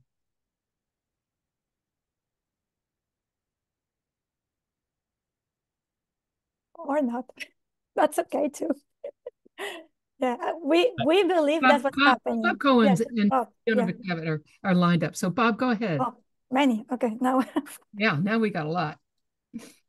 You're muted. Hold on. There you go.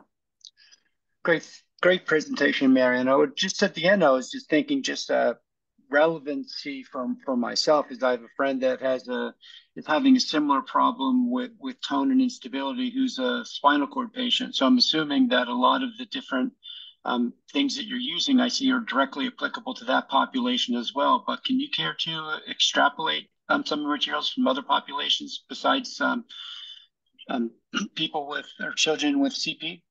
Yeah, the the um, honestly, this is this is the extreme and it's easy to see, right?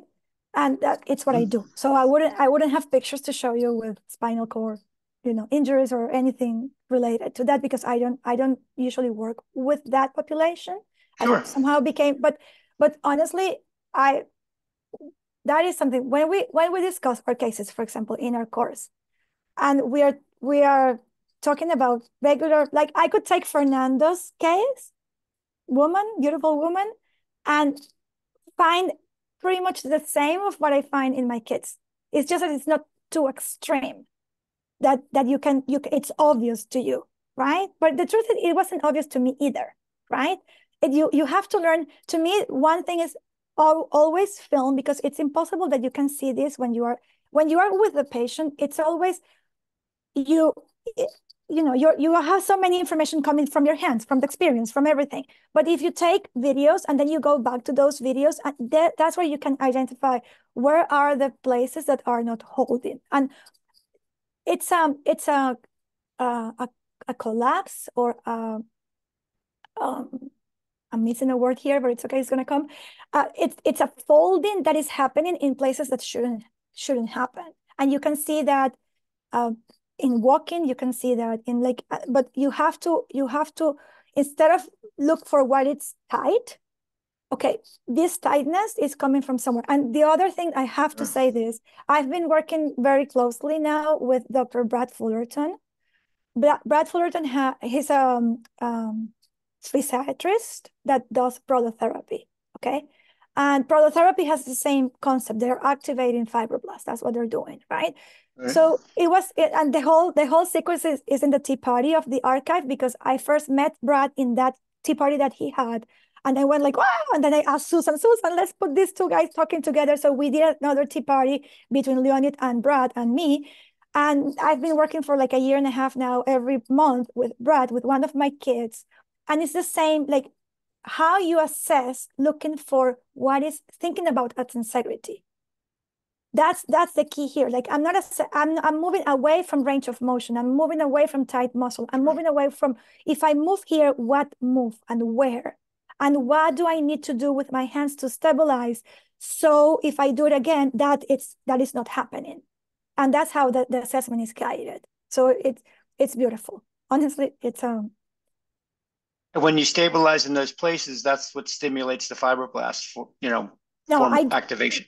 I do it. I do it just to test the the active the whole activation. It's a lot longer process. Like these kids, their parents are working two or three hours per day on a very specific way with soft tools to to get this. It we are talking about mechanotransduction here. That's what we think. That's what we believe. Right. We are uh, through mechanotransduction and fluids flow, we're waking up those fibroblasts that might be dormant somehow. That's what we believe. Great, thank you. Uh, Fiona.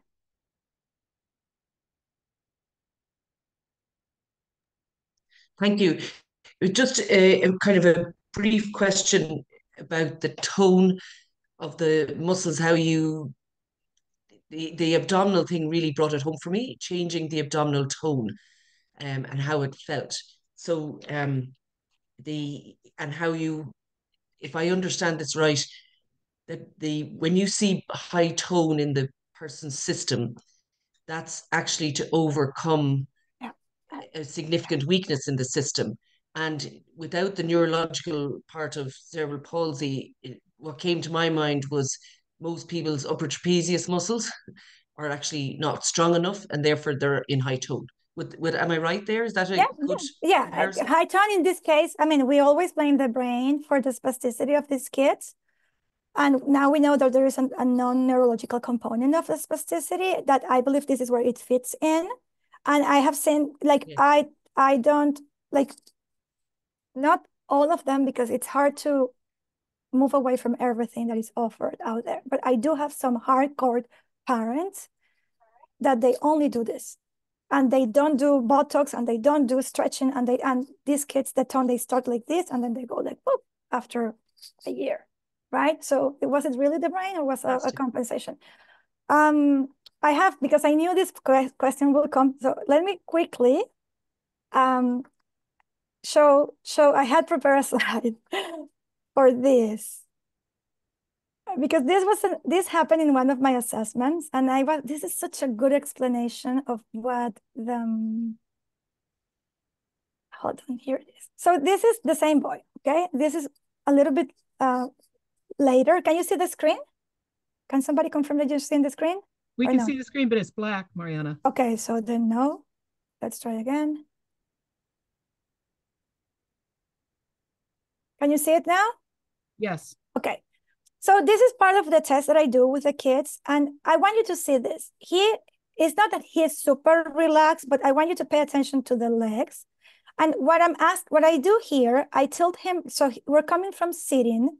I tilt him to the left, and then I'm asking him to come up. Okay. So I want you to see. Oh no. Sorry. Never mind. Oh, so sorry. It's not playing the video. Okay. Listen, I'm gonna do it for you, but trust me, that's what happened, okay?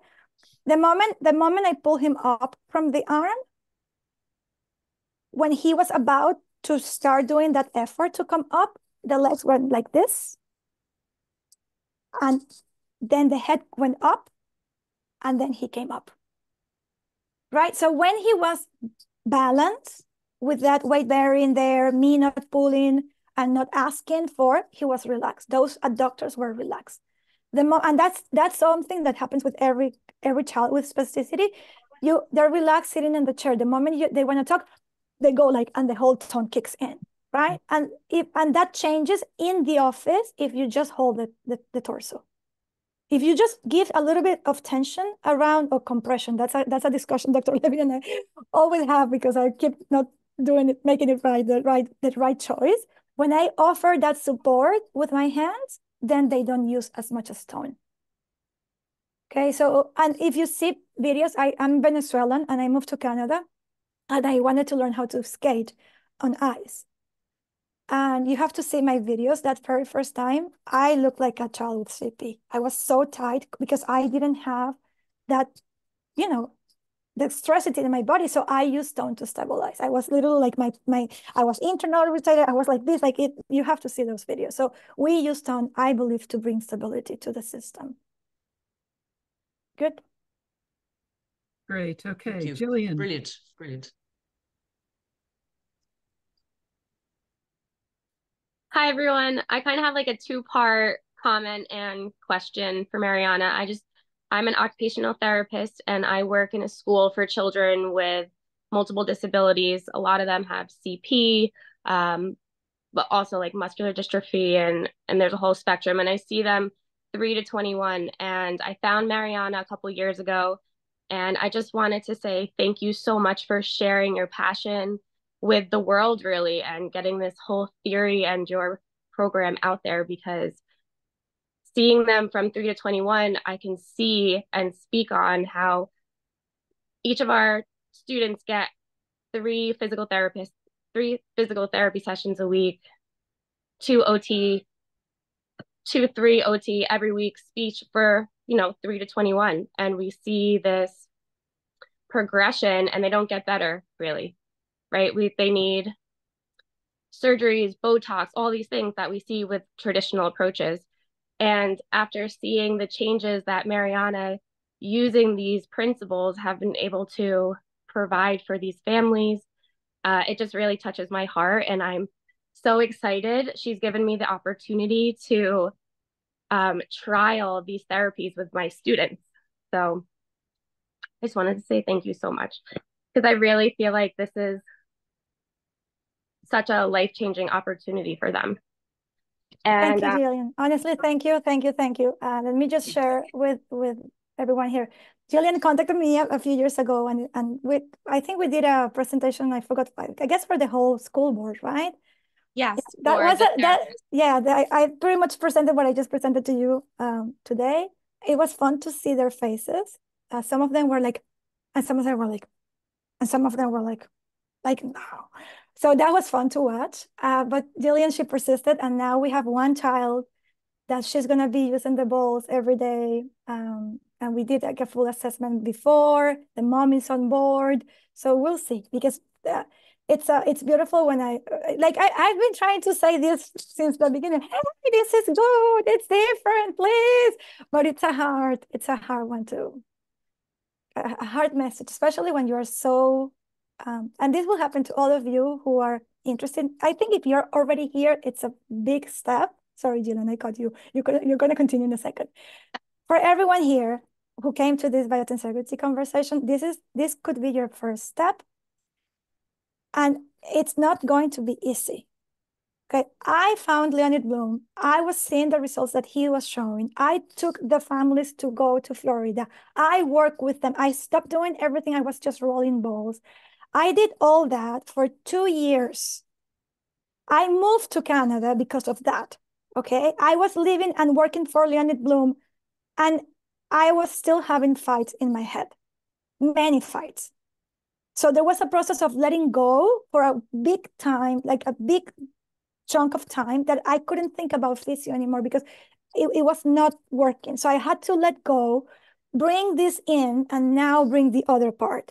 And now I feel like I have a much better understanding of everything. Okay. So those of you who are just starting today, take it easy.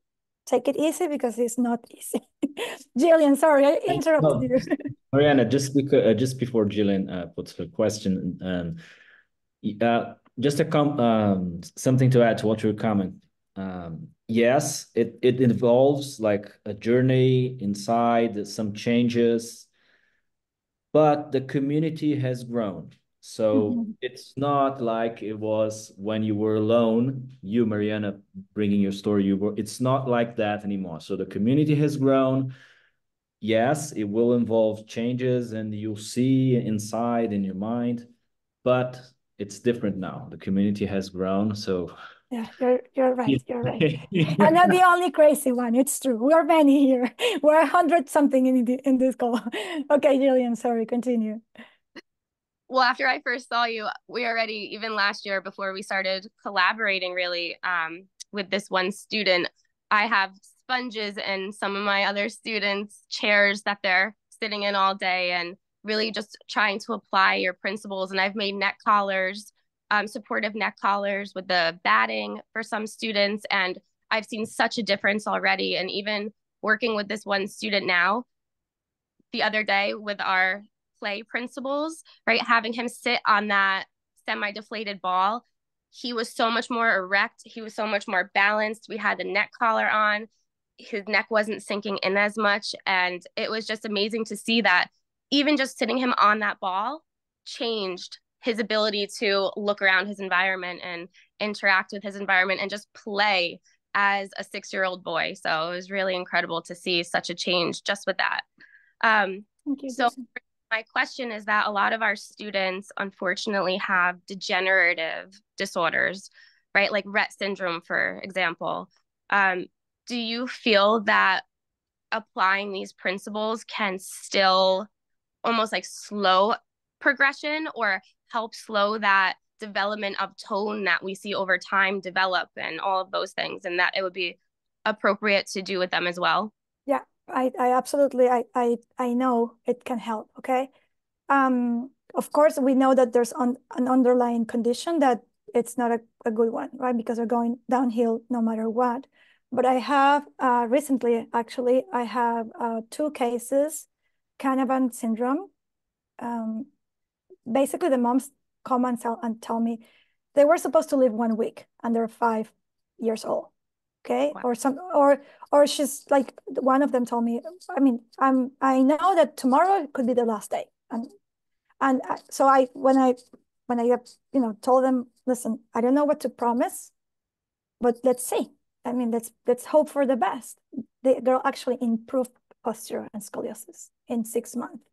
And she's like, she had many uh, um, respiratory complications always. Every call, she would go to the hospital. And now she hasn't been to the hospital in months now. So it's always like, this is the part that we have to understand. It's a system, right? And basically what we're doing, we're bringing this mechanical homeostasis to the system.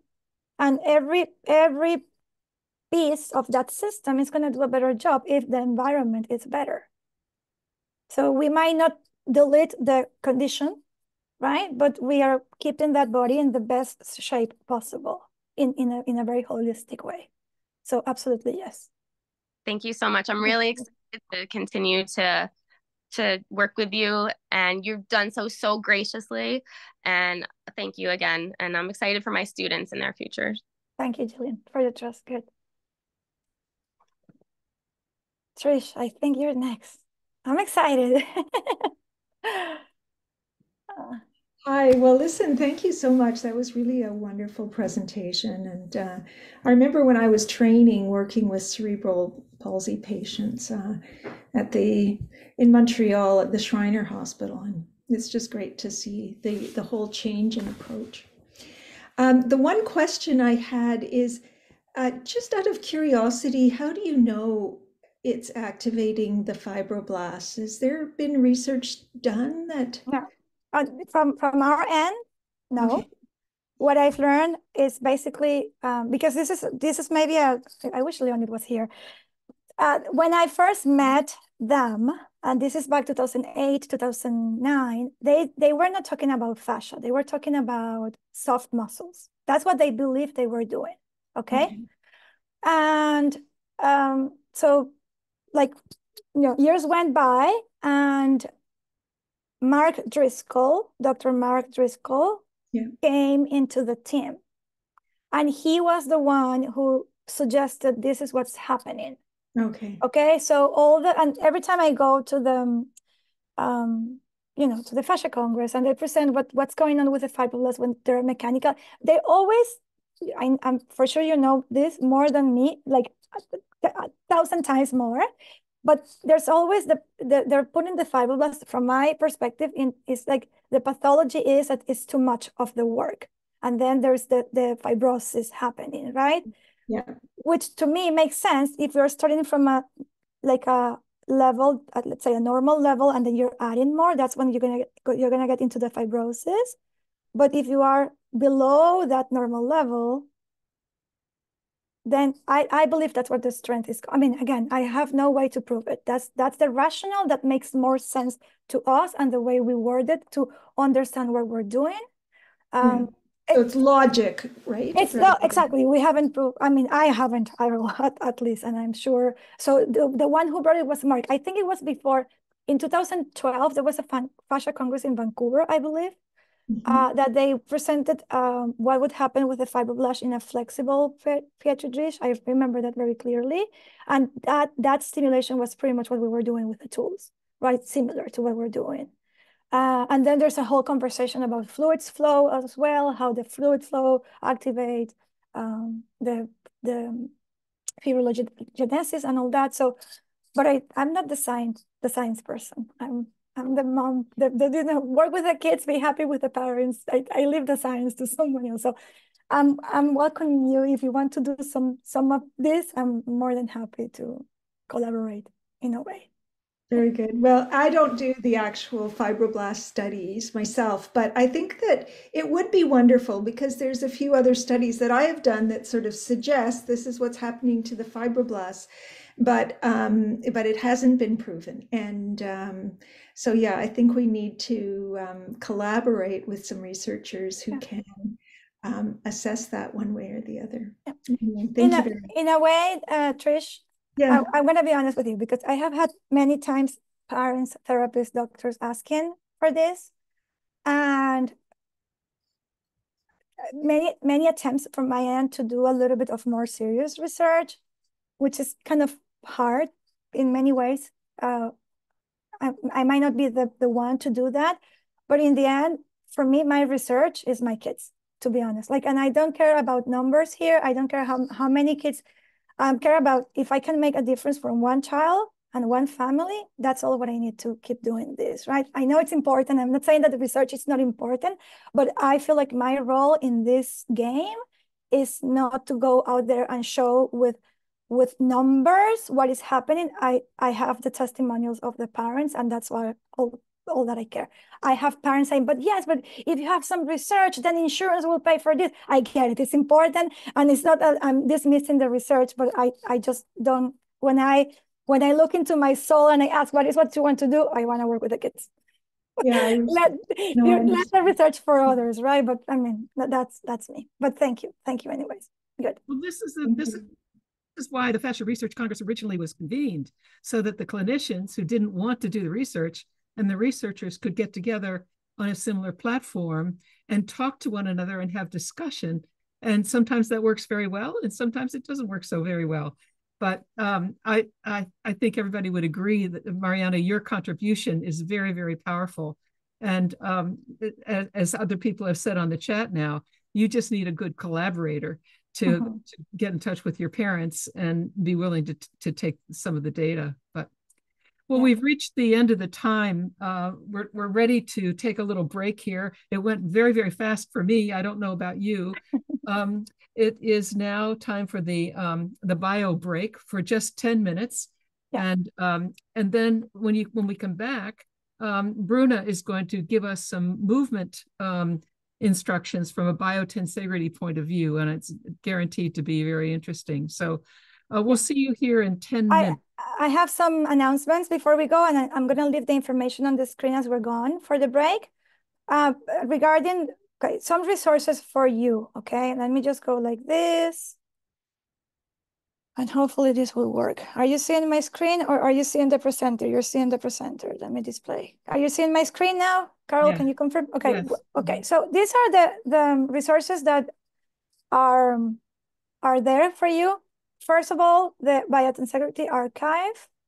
And Stephen Levin Biotensegrity Archive is a beautiful um, place to to be in contact with, to find the, all the what is published there. These the, they are the ones who do the tea parties, and the YouTube channel is full of videos that you can watch and watch and watch for hours and hours and hours. So that is there too. I, I sorry I I missed the link here. I'll I'll I put all this in the chat as well. Okay. Embodied Biotensegrity is a platform that Chris Clancy runs, and this is a beautiful place as well to learn. It's, it's open to every professional or experience or artist, whoever wants to learn about biotensegrity, this is a beautiful place to be. We PTs, and when I say we, it's um, Kutu, Carol, Eileen, Kimmy, Kamila, Pedro. Who else am missing? Me? We're eight Bruna, in total. Bruna, uh, Bruna, Bruna, sorry, I'm Bruna. We we had this group that we were talking about biotensegrity for fun, and then we decided to do something useful with this. So last year, we launched the first cohort of the course for physiotherapists, and this year in April, we're opening a second um, a second group. So you're welcome to join us if you want. And of course, the books here that we have as reference always in our desk is Everything Moves by Susan Lourdes Biotensegrity, the Structural Basis of Life from Graham, who is also here. Thank you, Graham, for being here. Maren Diehl, she, this book is one of the, for my, for my, when I was having this fight in my head between biotensegrity and the rest, coming to a horse book was such a good move because I couldn't relate anything to horses because I didn't know anything about horses. So it was a very easy way for me to get into biotensegrity without, without having that fight in my head. So I truly recommend this one. And of course, Danièle-Claude uh, Martin, Living Biotensegrity is another good one. Okay, so I'll leave these resources here. I'll put the links in the chat and we have 10 minutes before we come back. Okay? Great. And let me just mention one real quickly that we're opening the course, uh, the next opening of the course is in April, April 19th for OTs and PTs this time and OTAs and PTAs. Yeah. Okay, good. See you in 10 minutes.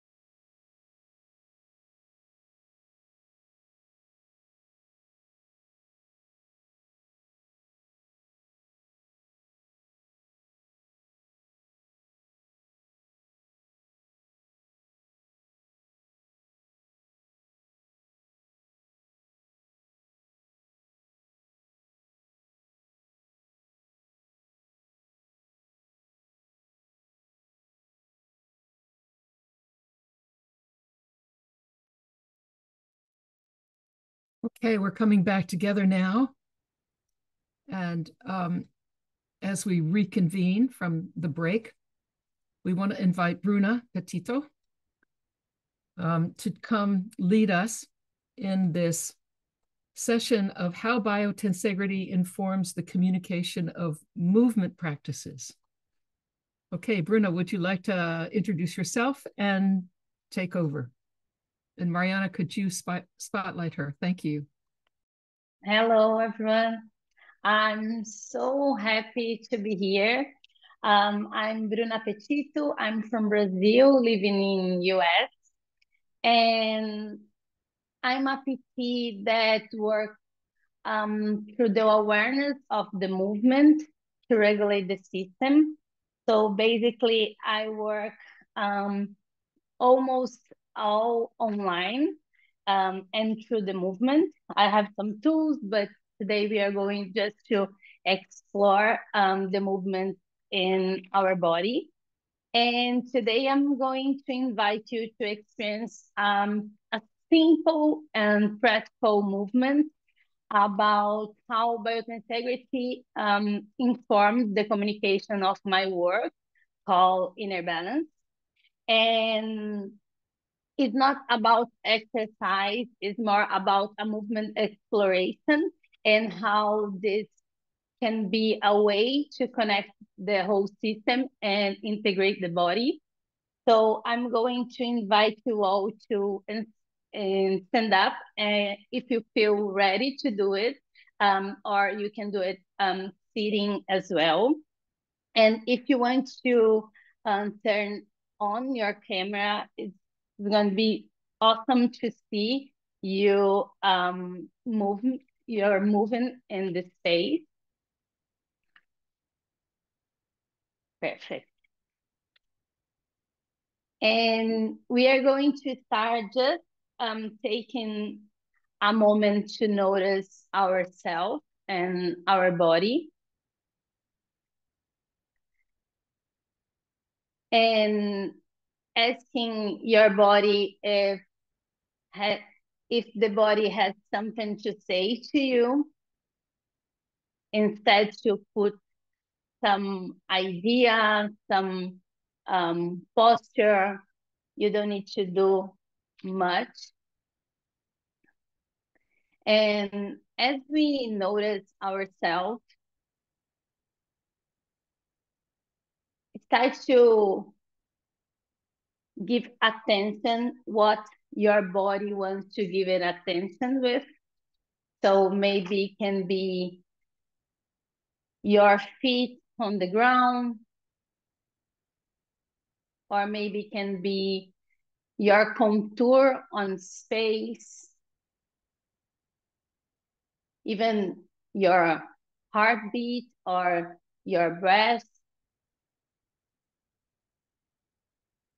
or maybe one feeling or one emotion.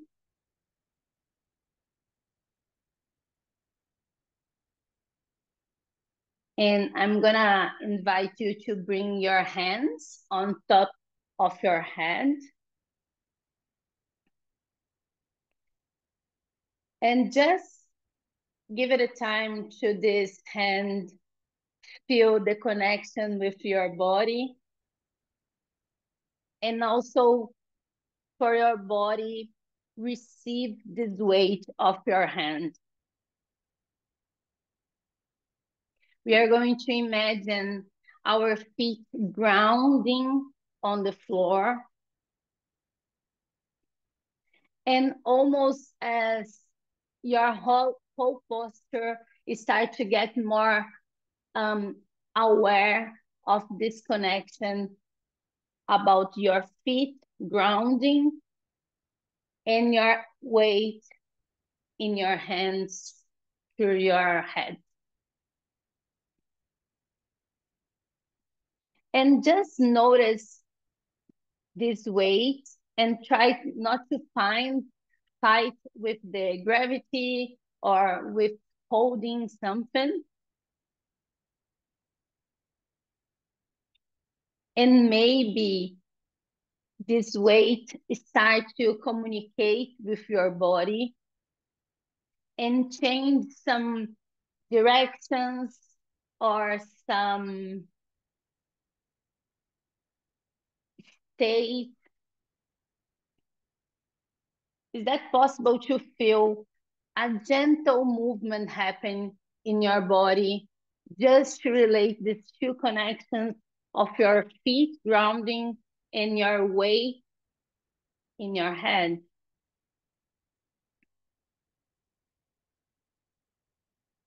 And we are going to start to notice our breath.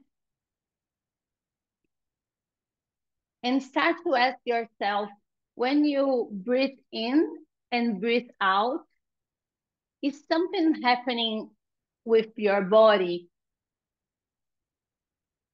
Or can allow your body to gentle condense and expand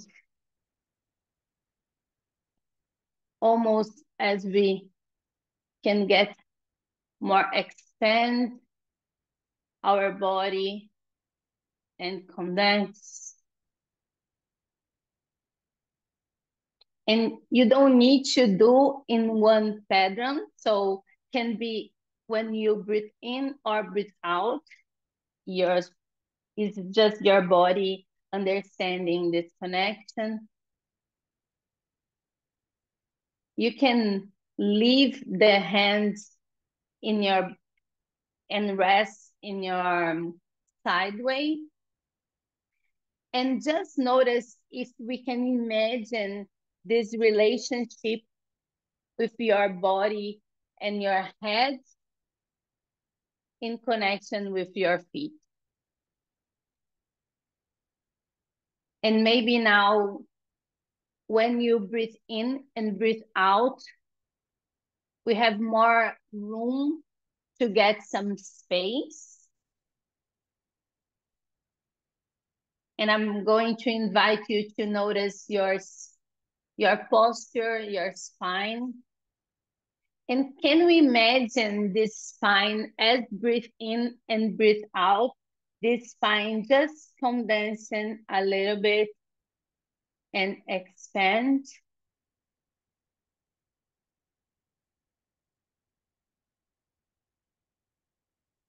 And maybe can allow this movement in your spine go through your feet and feel the same idea with two little springs on your feet condensing and expand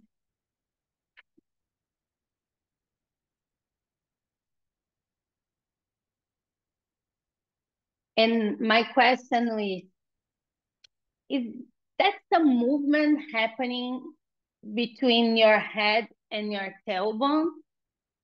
Maybe a gentle nod with your hand, with your head, or maybe a gentle movement in your pelvis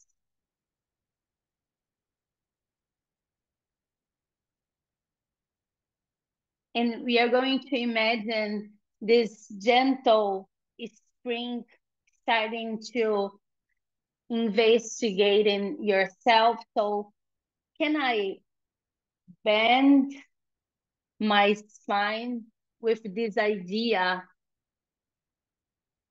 in relationship our head and our pelvis, our tailbone, can be side to side or can be front and back. That is not linear movement. So explore and try to understand what your body needs.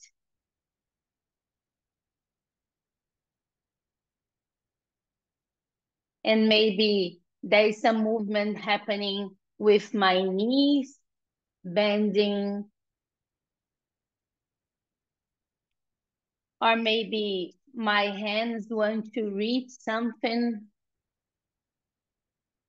or not.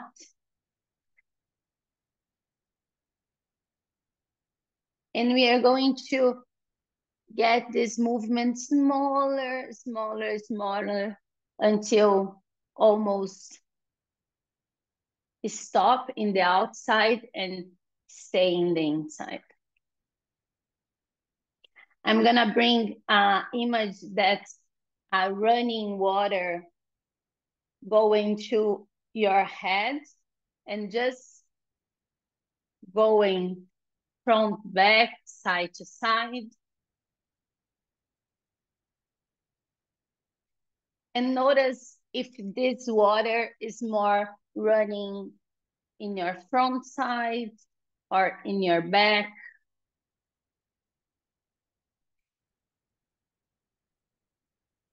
And if if you are noticing something different, notice if your posture changes to notice this water in your body.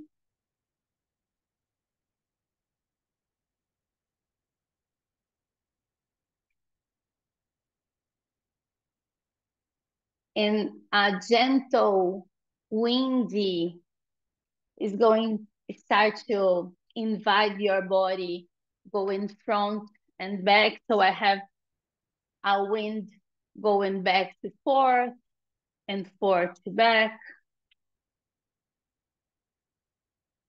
And can we imagine this relationship between your head and your feet reaching front and back. And my question is, what is holding your body? Or is that possible to allow ourselves to adapt and go into one step ahead and come back? So I sway front and back and there is a time that suddenly I step with one foot and come back. And then I come back to the sway, and this sway go more than I expected, and I step from and come back. And give it a chance for your body, find a rhythm to go for and back. And notice if this front and back, your body is just going to one side or if there is a possibility to find a gentle spiral in your body. If your foot, there is a changing of weight and give it a chance to press the ground and change your relationship with your body.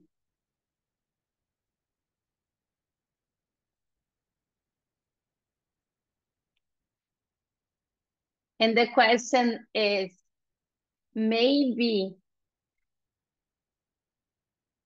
it's more about adapt our body in the environment than hold ourselves in one position. And if you feel that time, I'm going to invite you to just walk in your space. Even this space is little, that's fine. Just start to walk just a little bit. And as you walk, Notice if there is one foot to allow your body to change your direction and your position. And if this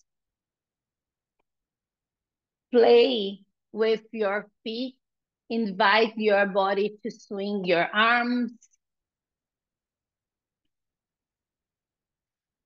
We can remember the feeling about the spine every time I put my front feet, foot, sorry, on the ground.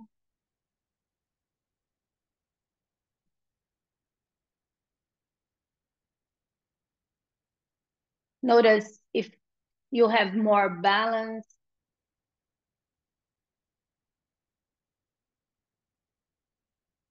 And we are going to make a pause. And just come back to notice what our body has to say for us. If there's some difference in the position of your feet,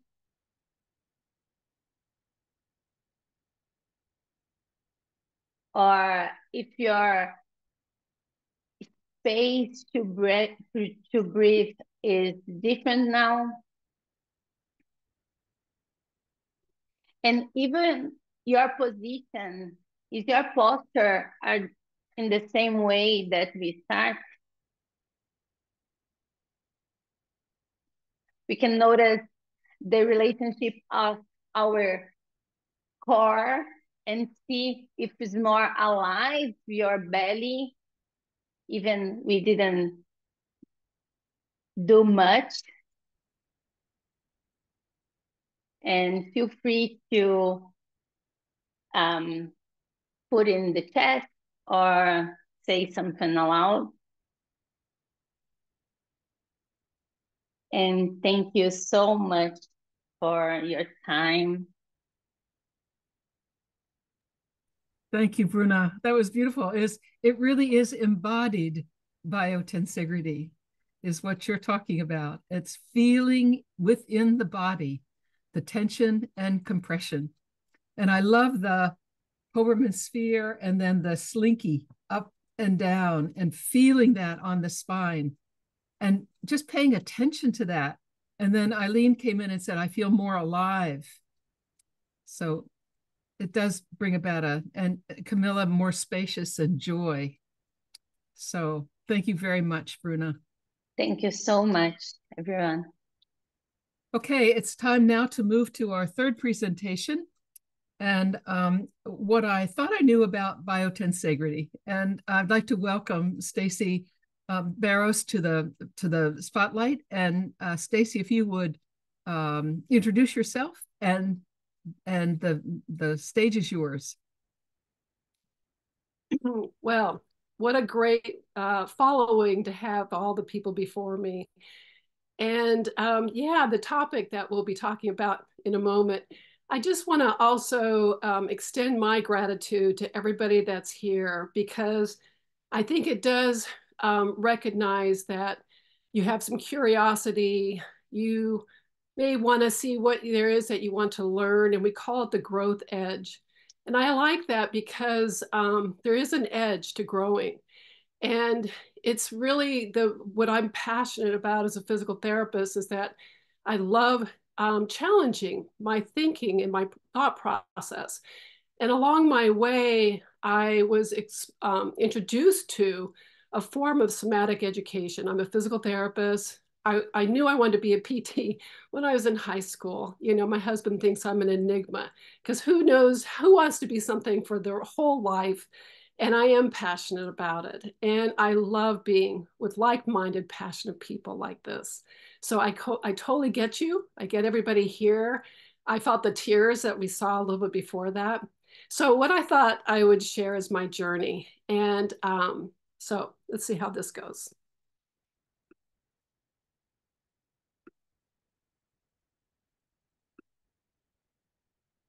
Okay. So um, what I thought I knew about biotensegrity, I, I love this, this vision because I think I narrowed it down. I, I was so lucky to be introduced um, way back when, 2011. And I, this wonderful woman, Maureen McGew, who's a Feldenkrais practitioner, who introduced me to it. And I love that I reached out to her after all this time and said, Hey, guess what? I'm working with this group. I'm so excited. And, and she goes, well, I thought I'd share with you that Stephen Shafarman, I hope I pronounced his name right, um, was who introduced her. So I see him here and I want to give a hats out off to you. And uh, he's got a fabulous book, Awareness Heals. I refer to it all the time. So, so anyway, so that was kind of my beginnings. But what I really want to show is this very goofy timeline.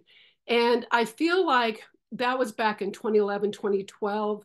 And I I just kind of was floating along, you know, trying to, and I'll come into what was happening in between that time. But I happened to catch this beautiful woman right here you recognize, Dr. Carol Davis. And she spoke at our California chapter for the Physical Therapy Association. And she was passionate. She talked about her journey, her background with um, with John Barnes, with fascia, with with just her growth and her and it, and it just moved me so much. And obviously, she talked about biotensegrity and um, I just and she, you know, we chatted later, and she mentioned you might be interested in this physio group, and I, I just thought, yeah, okay, yeah, whatever. So then, um, but but that aligned me to want to reach out to um, to, to see if they're interested to hear about the Feldenkrais method in somatic education. And I'm this is not to take it in that direction. That's for another talk. But um, it was along that way that I thought, well, I better you know, if I'm going to mention biotensegrity, I better make sure I'm, I'm, I have a better understanding. So I reached out to Dr. Stephen Levin, who is beyond gracious and generous with him, with his knowledge. And he pointed me to Mariano, Mar Mariana. And Mariana, again, what they all did is they didn't give me simple answers to my questions. And that was where the candle or the flame lit up. And that's that jump in the curve. And if you look at the curve, it goes on. So what I thought I knew is an oversimplification, I believe. And I thought I had a really good embodied understanding of functional anatomy. Um, but I hadn't let go of old school anatomy. I, it, it comes to, I come to find out.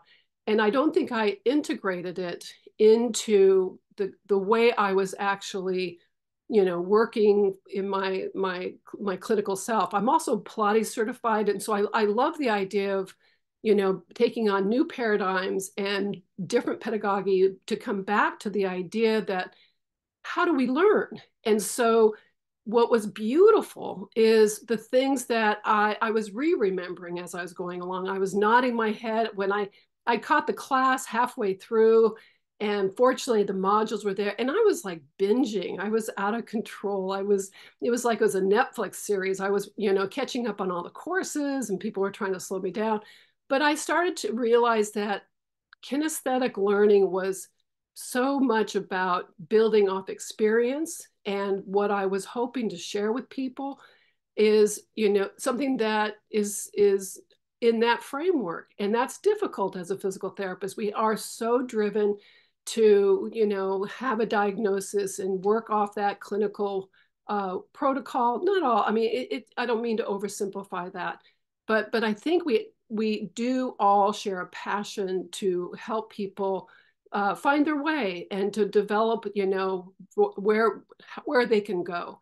And I think we can't step into everybody's experience, but we have to know what a beginner's mind and how that is for each person and that we are self-organizing systems. This is a beautiful woman, Susan Harper, who takes her thinking into a, a whole different way with, with continuum. And that's all about the, the tensegrity and, and the relationship to the, our biotensegral cells. We're just not machines, we're dynamic. And we have a real, you know, really good way of developing that thinking. So here's a beautiful picture. And again, you know, it I think this is what we're offering here for you all today is that and this has been mentioned through multiple talks is that we're here to help support this growth, this learning that has started by this wonderful uh, orthopedic surgeon. But the other thing is that we come from a, a variety of background. Uh, we are somatic teachers. We are, um, you know, Barnes uh, pr practitioners. We're uh, Trager practitioners. We have so much that we, what I like about that is that we can all come together and discuss the science together. We can have different applications, but we can do these things together, but we're curious. And, and the challenge is sitting with the not knowing. And that is, you know, the Feldenkrais background is very Eastern influence, and it's really about the path is the goal. And I want to really give a nod also to Susan Lowell de Solorzano, sorry, um, because the path is the goal. And one of my favorite teachers, Dr. Ruthy Alon, re she references biologic optimism. And that is the that's the key. That's the thing. I, I walk into each each situation with somebody realizing that I have something that they can optimize. They have something, and I can't presuppose I know what it is. So I have to team with that person. I have to make sure that I am within the system with them. I am not trying to do something to them because then the emergent properties that may be found may not necessarily come from within.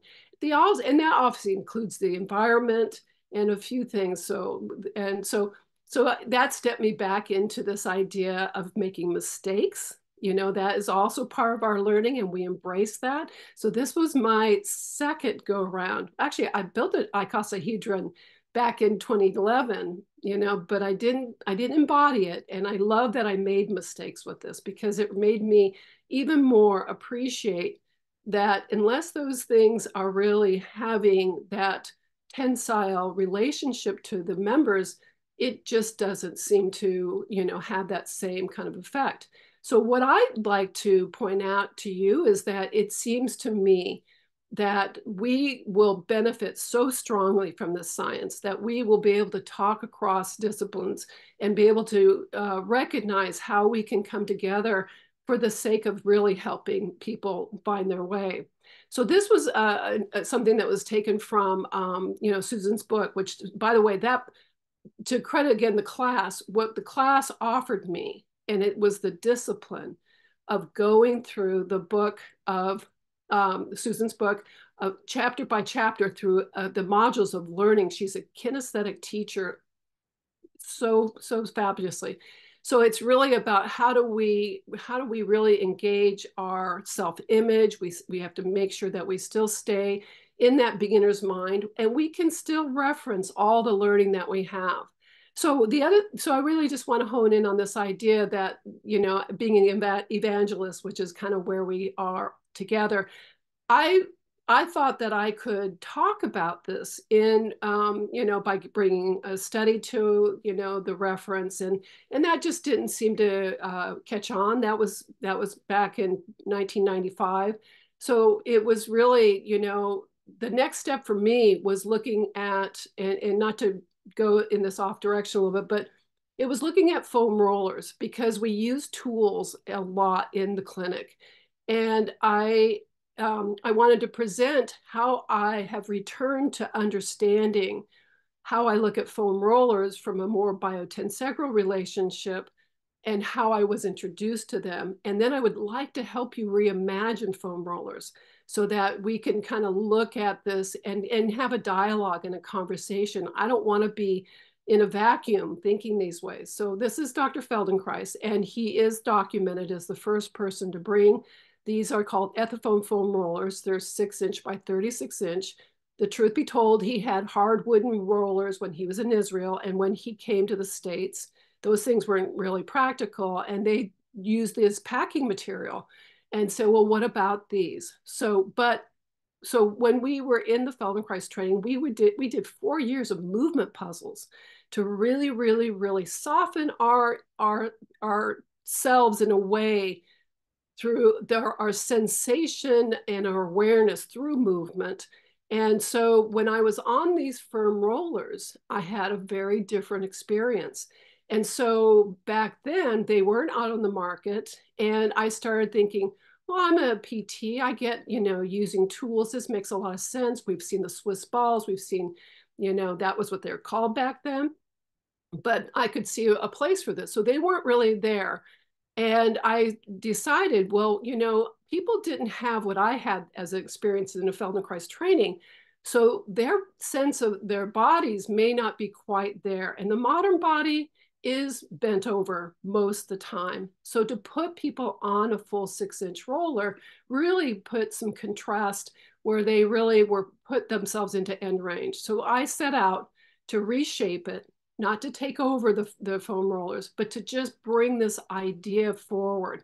And there is this yin yang approach. So I kept the shape and I just, I just kept playing with it. I um, literally kept, my husband would carve it each time and I would lie on it and I would lie on it to the point where I could see, we, we kept the, the same arch so that it had the manifestation. So you had a choice, one or the other, but we shaped it where I didn't want to compromise breathing.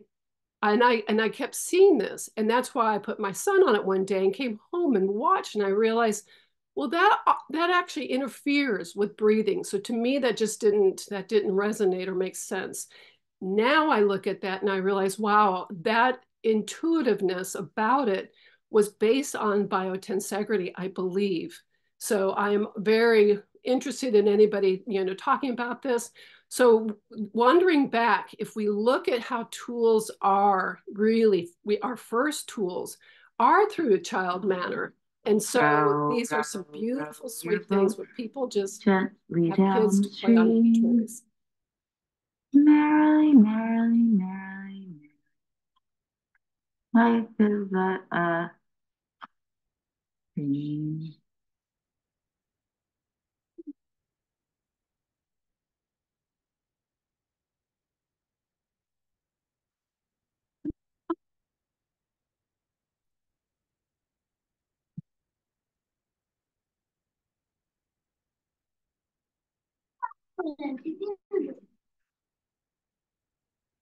So I'm excited that we saw Baby live in the earlier presentation.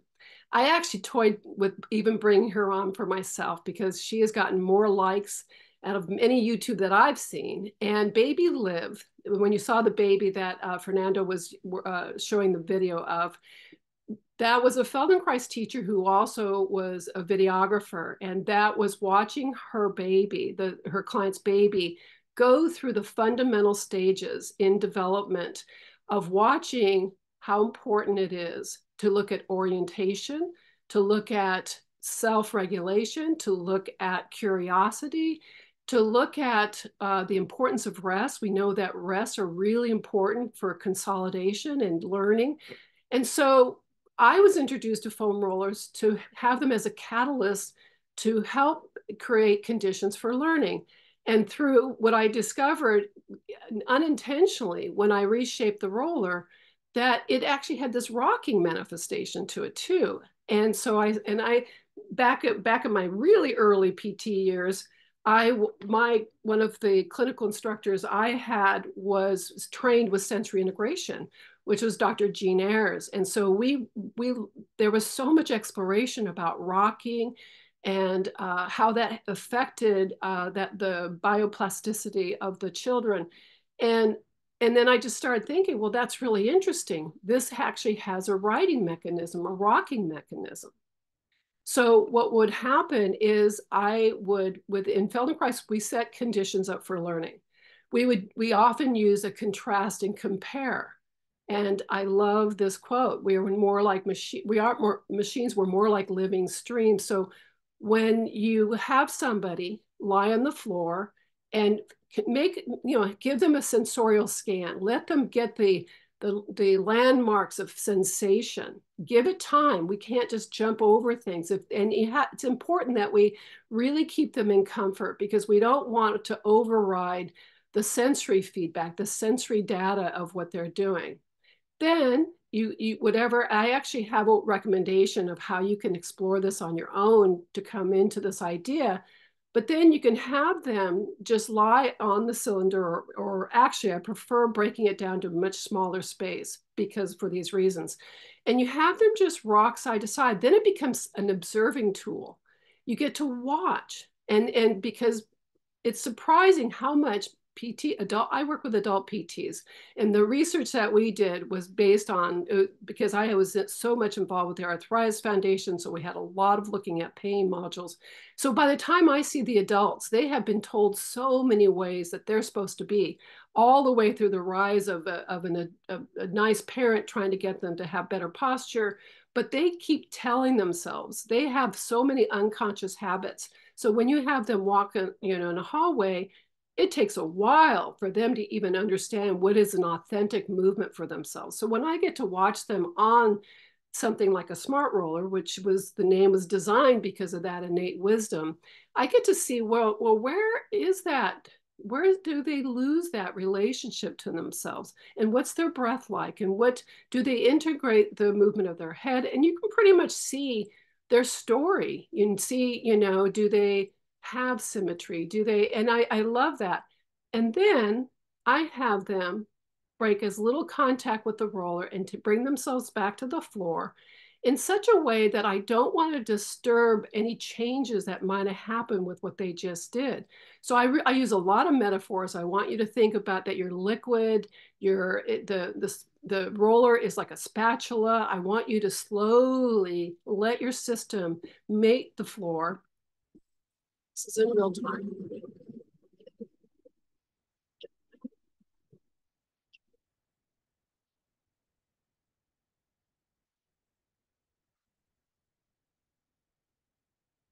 And then I ask the same questions.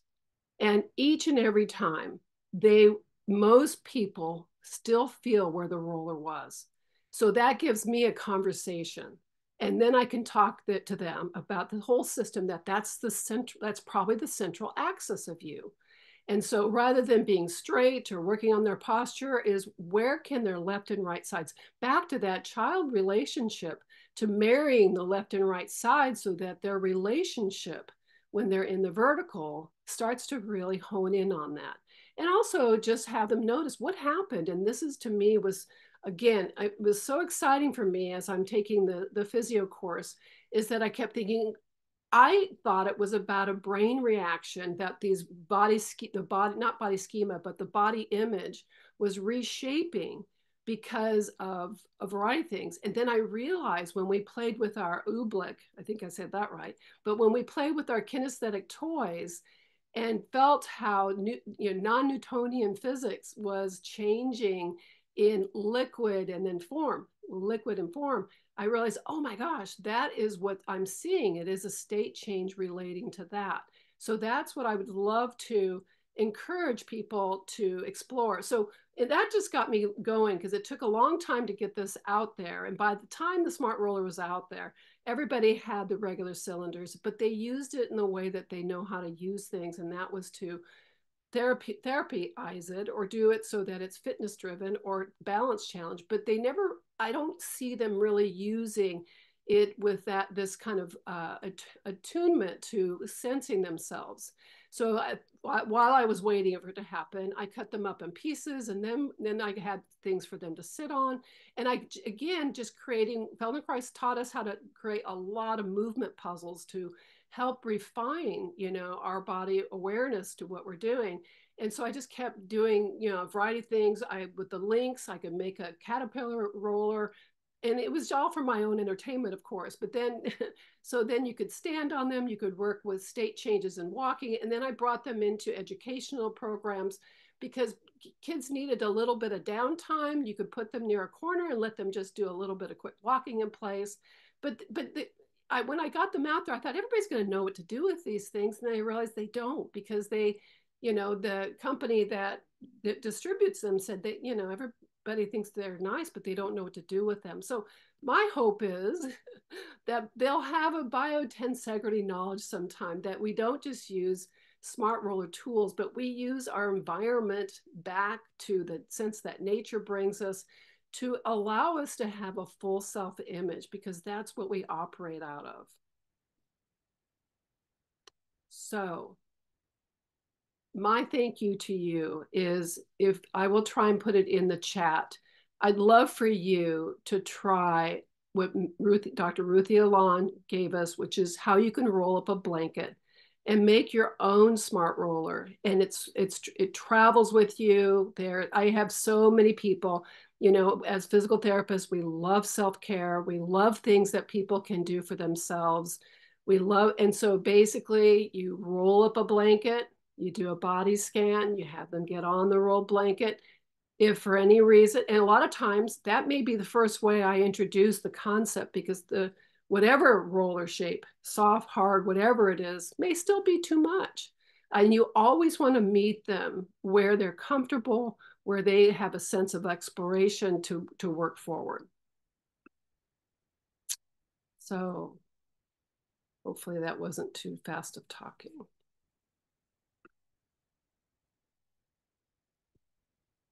Thank you, Stacy. So now, what would you say about what you used to think about biotensegrity and what you know now is true? Thank you. That, that was what was missing right there was the summary.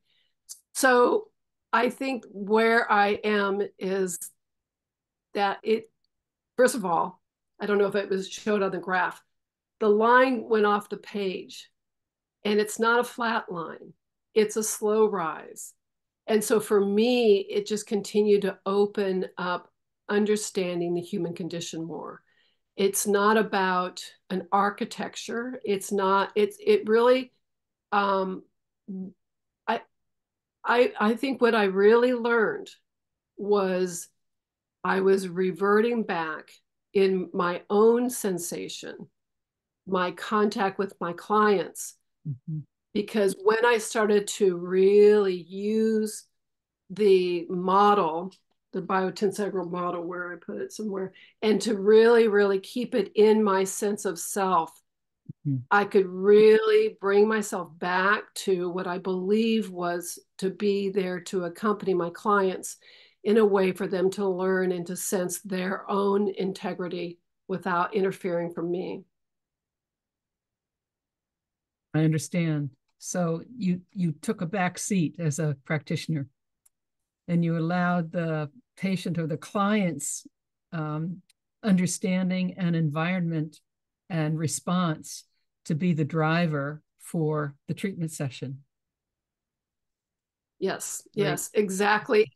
And I I just want to point out that like Mariana, my journey's been long, but the excitement is always comes out when I can learn something I don't necessarily I didn't know before, and I I it, it's hard to sit with that, but but we can appreciate that if we're here for this opportunity to have something which I believe is the ultimate cutting edge of understanding human anatomy, movement, and all the above it's it's definitely I I couldn't be more excited to be a part of this and to to see it grow will be exciting for all of us. It it also strikes me that you approached this um, idea of wanting to understand this different science better from your functional from your um, functional awareness background in Feldenkrais and so, what you were mm-hmm. looking for was more of an understanding of what happens in embodied biotensegrity, in the inner kind of awareness of the of the model mm-hmm. of of continuous tension with intermittent compression, and how that's manifesting itself in what patients then report to us is happening. Is that true? Yes, and and I think um, in truth you know, it, my my background actually prior to being a PT was a competitive athlete, and I, I with the Feldenkrais method, I was humbled to realize how much I didn't know in my own body.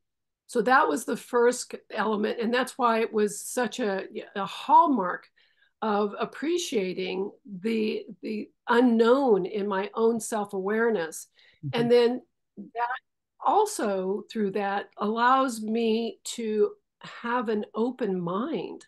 And I really think that growing edge uh, it is so important to have that open mind and having a way. And so, so what, what you know, I tended to be considered out there, you know, with my PT colleagues because it mm-hmm. was, I understood their confusion and I understood them well just give me what did you do for this patient? And and when i see how we've kind of paced this to explain that i didn't look at them that way. And so it, it it's been a hard you know path. So when i stepped into this group and i realized this is this is the way to talk about it. Even you know my husband who's had to live alongside me all this time said this is going to help you talk about what you've been talking about. And he's absolutely right. And I, I feel it. I feel it in the integrity of working with clients. I, I can sense it because I think I, I didn't want to give up on PT, but I needed a new paradigm. There's no doubt. And so this fulfilled that for me. And I really believe you know, we're going to watch a lot of other types of practitioners grab this faster if we don't get on the train. We have to get on this train. Well, it really is the science, isn't it, that's catching up to all of us from wherever our framework is that we find ourselves when we make a discovery. And some of us yeah. start with it from manual therapy, and some of it start with from movement therapy um, uh, orientation. Um, but but what I'm reminded of is the the stark difference between be like a curious cat, which is what John Barnes taught me a long time ago. When you go in to see your patient, be like a curious cat. Whereas in physical therapy, what I learned was read read the patient's chart, um, go through all the systems and, and, that you can see in the chart, and then take a really in-depth history and put together an analysis and then through your left brain um, and what the research tells you to do then you do that. And you and you look to see if there's a, a result if the if there's an outcome that the research um, showed you probably would happen if you did it correctly and if you followed these rules.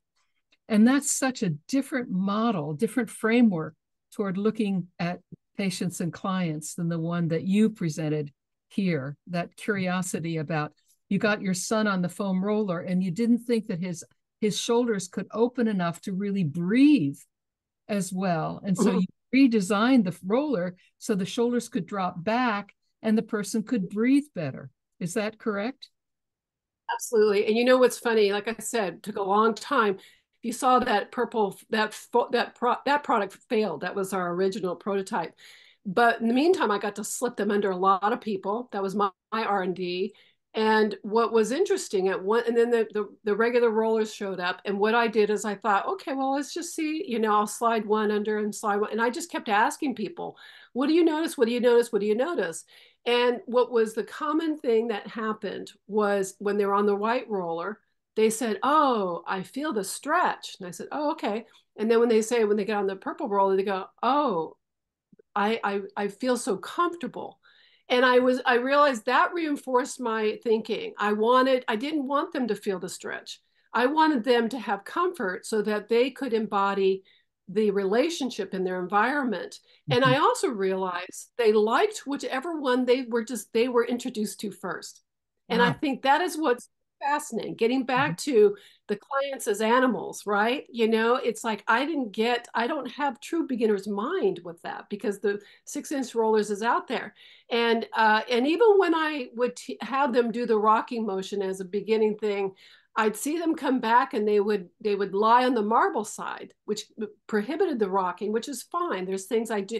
It's it's not meant to be a fix it thing. It's meant to just discover things. Sensory awareness. So I movement. Yeah. Yeah. yeah. Mm-hmm. So I, I would say, what do you notice? You know, why why did you choose that side? You mm-hmm. know, and it was interesting because they that you know more is better in their thinking, their feedback at least that that prominent protrusion was something they wanted and i said okay well let's mm-hmm. let's go there. we could talk about that. We could we could see you know what that relationship letting go of the outcome. Right. Yeah. Great. Yes.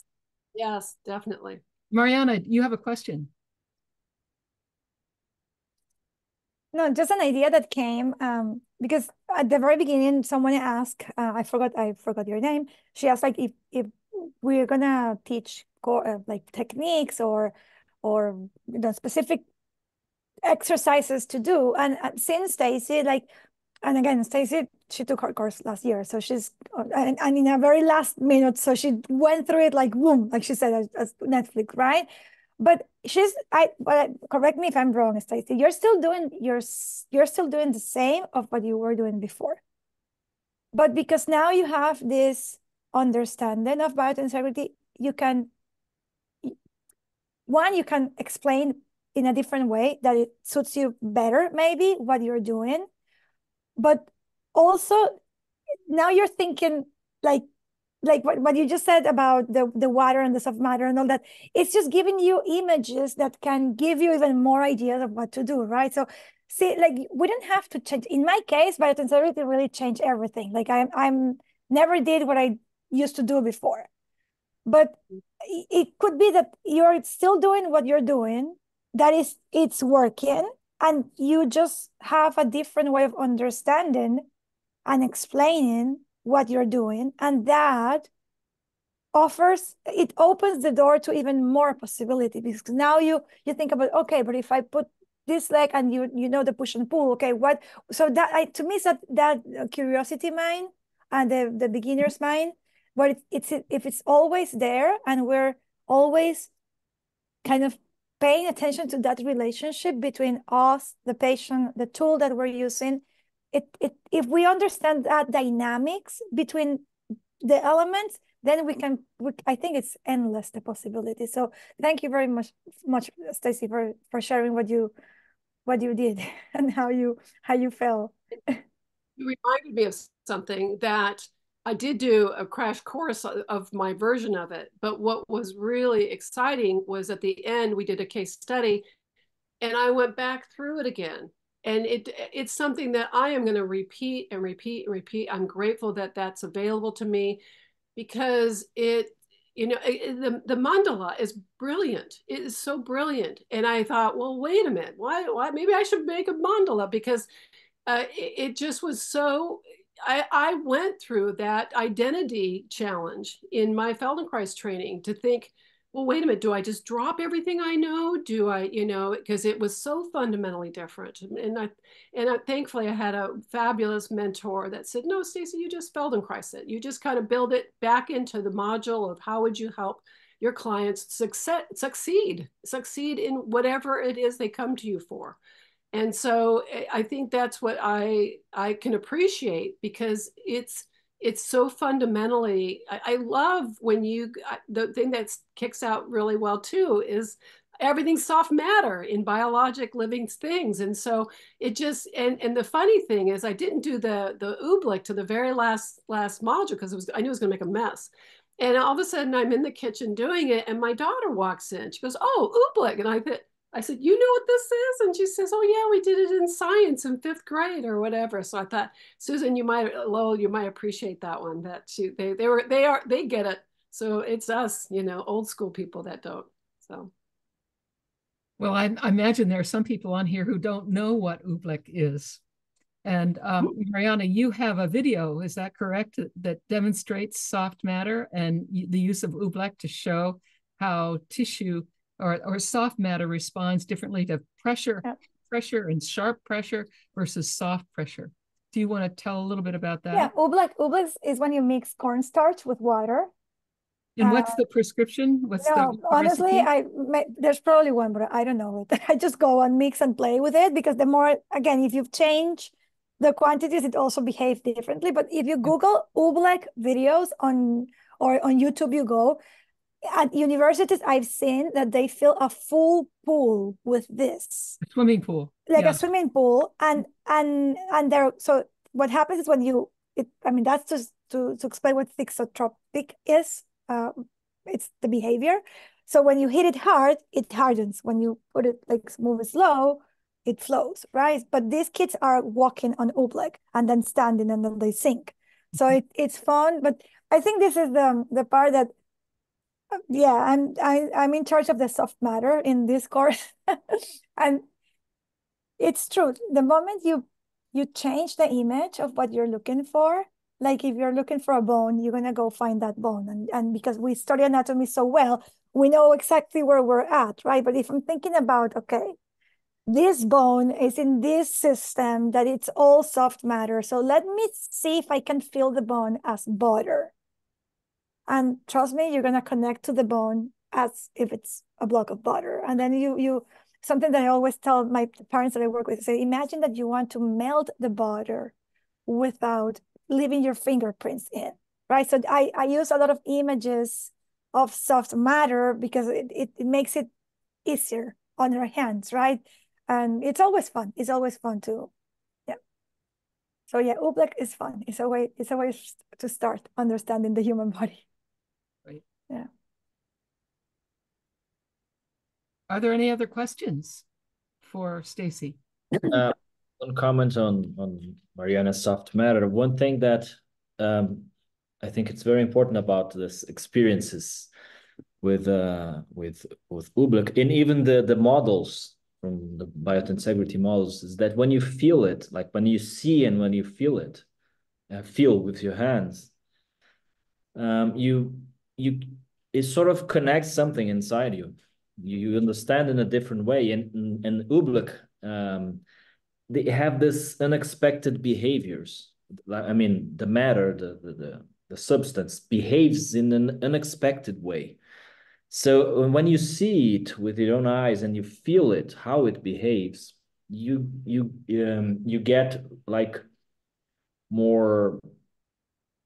How do you explain this? I mean, your mind can well, it can behaves differently. These things can work in a different way, and you know because biological and body are more much more close to this kind of materials, soft matter.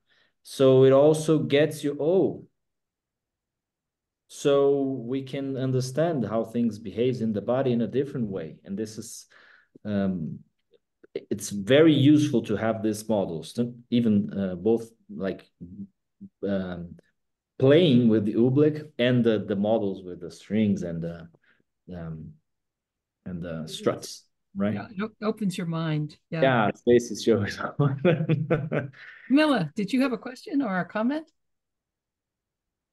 Yes, thank you, Carol. Uh, I don't see myself, so I hope I cannot here. check. I see you.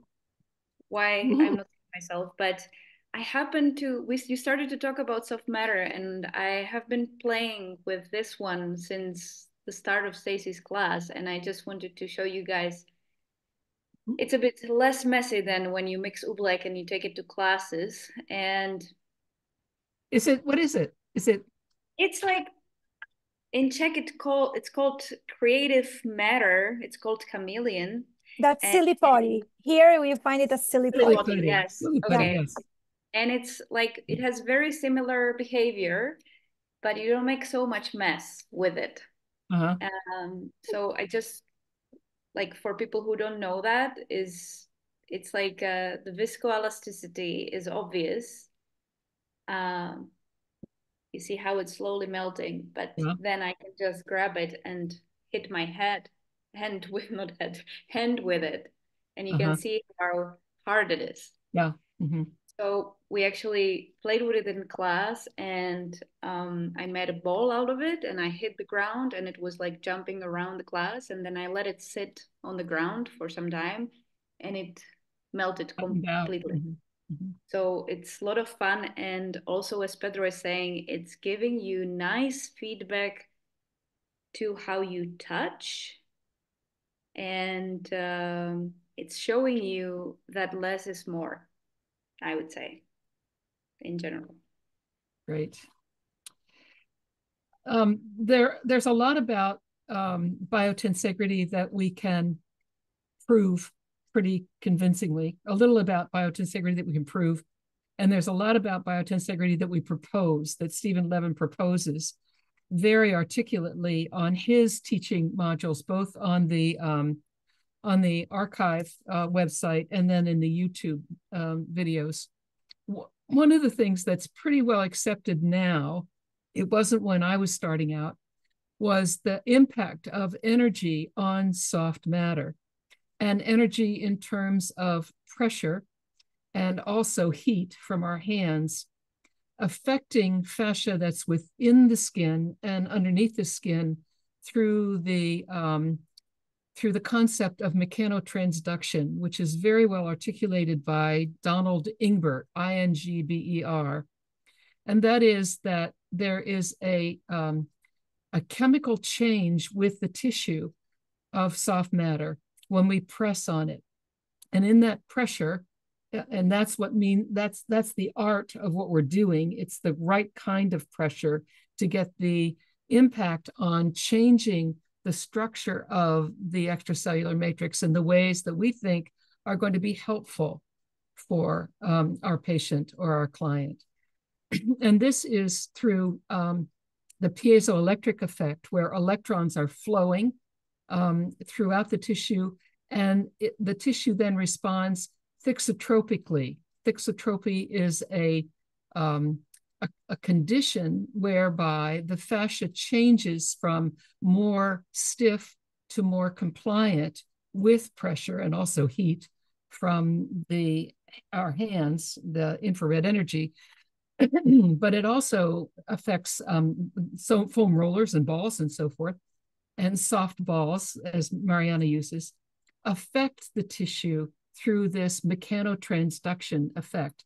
So if you're interested in what is pretty well accepted science, I want to give a shout out to James Oschman's book, Energy Medicine, The Scientific Basis, where he reviews a lot of the scientific protocols and, and research that shows that this, this living crystal web of fascia um, and um, is very much influenced by um, manual and movement therapy in these ways.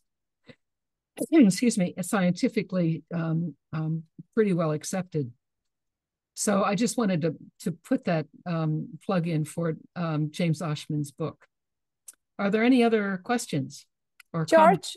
George, do you want to come up and talk a little bit about, we, we just put in the, I don't want to put you in the spot, but if you are, please come. uh, he said in the, in the chat that there's also significant bioelectric and photonic effects, laser, microcurrent. So all that is Fernando. But I need to be on mute. You are. Ah. You're, you're on mute. Sorry, thank you very much. Uh, well, thank you, thank you, Stacy, um, for for your lecture. I just want to say that uh, I was working with the great grand uh, lady, okay, with the great grand. The woman, the great grandmother. For the woman that I saw, thank you very much in the videos. For three years until the day I saw her the foam rolling okay i wasn't i was like kind of scared because i didn't get all the biotensegrity knowledge with me. So one day i took not the smart roller but another kind of foamy material. Uh, the way i do it is uh, kind of with uh, bruna's um, uh, uh, dynamics that we were doing, like feeling your body and all this. So she's just falling, uh, lying down on top of the of the of the roll, I do once, then she sets, we talk about it, how is she feeling in it, and then we do it again, then she sets, when we talk again, and then she said to me, this should have been our first, very, very first class. not, not the movement, not the exercise. No. She felt in love with the role as soon as she, as soon as she tried. So it's a very nice tool also. And of course, it's happening what Carol's just described and uh, George uh, wrote. I believe George want to say something, so. Yes, George, go oh, ahead. Hi, I'm out shopping, so uh, thank you. Um, what I wanted to say was I want you to uh, consider like the bioelectric when you use microcurrent and frequency specific microcurrent and laser effect because piezoelectricity has two sides to that coin. Okay. You can apply an induction field, which we do with matrix repatterning, and manual pressure, which creates a piezoelectric effect. Both of them can influence changes in the matrix, right? So this is what uh, the Oschman, uh, who wrote the foreword to my book on matrix repatterning, verifies, you know, and that uh, that's something that you know, uh, we're doing a lot of that in physical therapy, and we're doing that, you know, with the work that we're doing as well. But you have to realize that, you know, that's why they work. The infrared, the new, new studies on near infrared, and the effects of that, and the, even things like uh, ultraviolet on the on the pineal gland and so on. These are powerful influences on the entire fascial system, the nervous system. Okay, so that's what I was I was alluding to. Okay, does that help? Great. Yes. Thanks, George, very much. Okay. All right. And this this is what happens when we do our biotensegrity tea parties too. People chime in with what their understanding is of the of the science and what science they're using. Um, Mariana talked about her um, meeting up with Brad Fullerton and his work, um, and and and coming together with different ideas about how to look at the system from this biotensegral point of view and how to see what the system's asking for, so to speak, in terms of what appears to be imbalance. Uh, you know, sometimes we're wrong. Sometimes we think, oh well, because somebody's not aligned right, they're in, uh, they're not balanced right, so we want to straighten them up and, and and line them up. That's the old PT way. And Mariana, I think, did a very good job describing to us that that's not always the case. Really, what we really do need is change our lenses about this that that fascia and the system is always working with the maximum efficiency in any one moment that it can give to us for support and that we need to appreciate that and honor that and understand that and then work within that system in such a way that we might be able to help rather than interfere with what the system is doing in order to support. Jillian, did you have another question? Hi. Um, I found when Mariana and I were reviewing um, the student who we're working with, um, his video and looking at what his body was doing and about the tensional system, Mariana used the analogy of looking at those compartments within our torso as drums. And I just thought that that was so helpful and was wondering if Mariana, if you agree, if maybe explaining that um, and how, um, you know, when we don't have those collapses, right, we have that natural tension system that's always occurring within us. And when we see this collapse, what that is doing with those drums, I just felt like it was such a simple way to view things too, with that tension and how we're looking at all the systems like with our diaphragm and our pelvic floor and how that's creating that tension every time we breathe in and out and kind of just pulls everything together. So I just wanted to kind of ask her or yeah, I can do it. I can do it. It's a I mean, remember, please, please, everybody. My my everyday life is with parents, right? So mm, I'm always talking about the sponges, the the the butter and the jello. I I never talk anything uh, fancy because they they don't understand me. And when I have parents who are doctors or uh, medical doctors or their therapists with them, even if I try to go and explain biotensegrity, they don't understand me either. So I have to always go back to like simple examples and images so the message can go through. So what I told, like in, in this case, this boy, it was very clear how, like literally, like his neck was inside his upper upper aperture, right? It was completely, it was like this, like my shirt going up like this. And then the same was happening with the abdomen and the same was happening with the pelvis. So the example that I used to explain this, but again, this is not, this is not as simple as this. The way I, explain this is imagine that you have a cylinder with a with a leather like a drum that has that leather on top that and that that leather is tense properly tense so you can actually um, play the drum properly right? And then you put another drum on top another cylinder on top and that could be the pelvis the abdomen the chest and then another one smaller which is the neck so if I loosen all the, the fabrics or the leathers of the of those drums, the drums will sink one inside the other, right?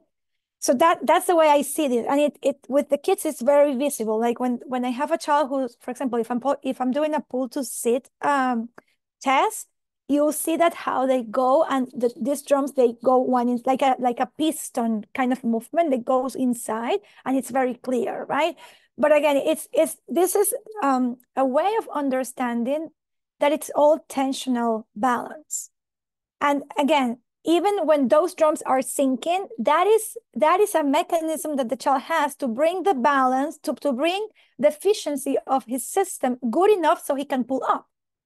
So it's not wrong either. That that's a, that's something that we also it, we, we have to be careful when we're using uh, the the word tensegrity and that's another we, there is a tea party about this if you want to watch it. Um, because the tensegrity is the mod is the the explanation of this of of of, of that that how you call that that event or that whatever is happening i can use biotensegrity as the model to explain that phenomenon. That was the word i was looking for okay uh, but it is it is wrong to say that the biotensegrity is bad. The biotensegrity is not balanced. The biotensegrity, it's wrong to say that because the mathematical calculations cannot be, like the mathematics is not bad. The, the, the way I'm using that to explain could be different, right? Or the calculus that I'm doing, it's different. It's it's it's good or or it's bad. But the, the, the science itself, the mathematics is not is not bad, cannot be bad. I don't know if I make it myself clear here, right? When we talk about biotensegrity, that is that is the model that we're using to explain something. And what is what is good or bad is that balance inside or that relationship that might be different or not optimal, right? But it's not that we are. Uh, uh, sometimes I, I I always make the same mistake saying, "Oh, it's not balanced enough." It's always balanced it's always balanced. It, because that that's a that's a, a characteristic of of the structure itself. Okay? Like if i cut one of this string immediately this model is going to find balance again. Right? And that's that's the property of our body as well. They want to even if we are sick we are still our body's always finding that that um less energy way of working most efficient way. Most efficient. Thank you, Carlos. Thank you, Carlos. So yes, yeah, so that's that's the example of the drums. I don't know how we how we landed on the drums, so it's good. it's good. Thank you, Julia. Yeah. Pedro. Pedro, what's up? Uh, I see that May uh, wants to. I, I want to um, give my space to to May. Okay. Who... May Kessler has joined us. May, welcome.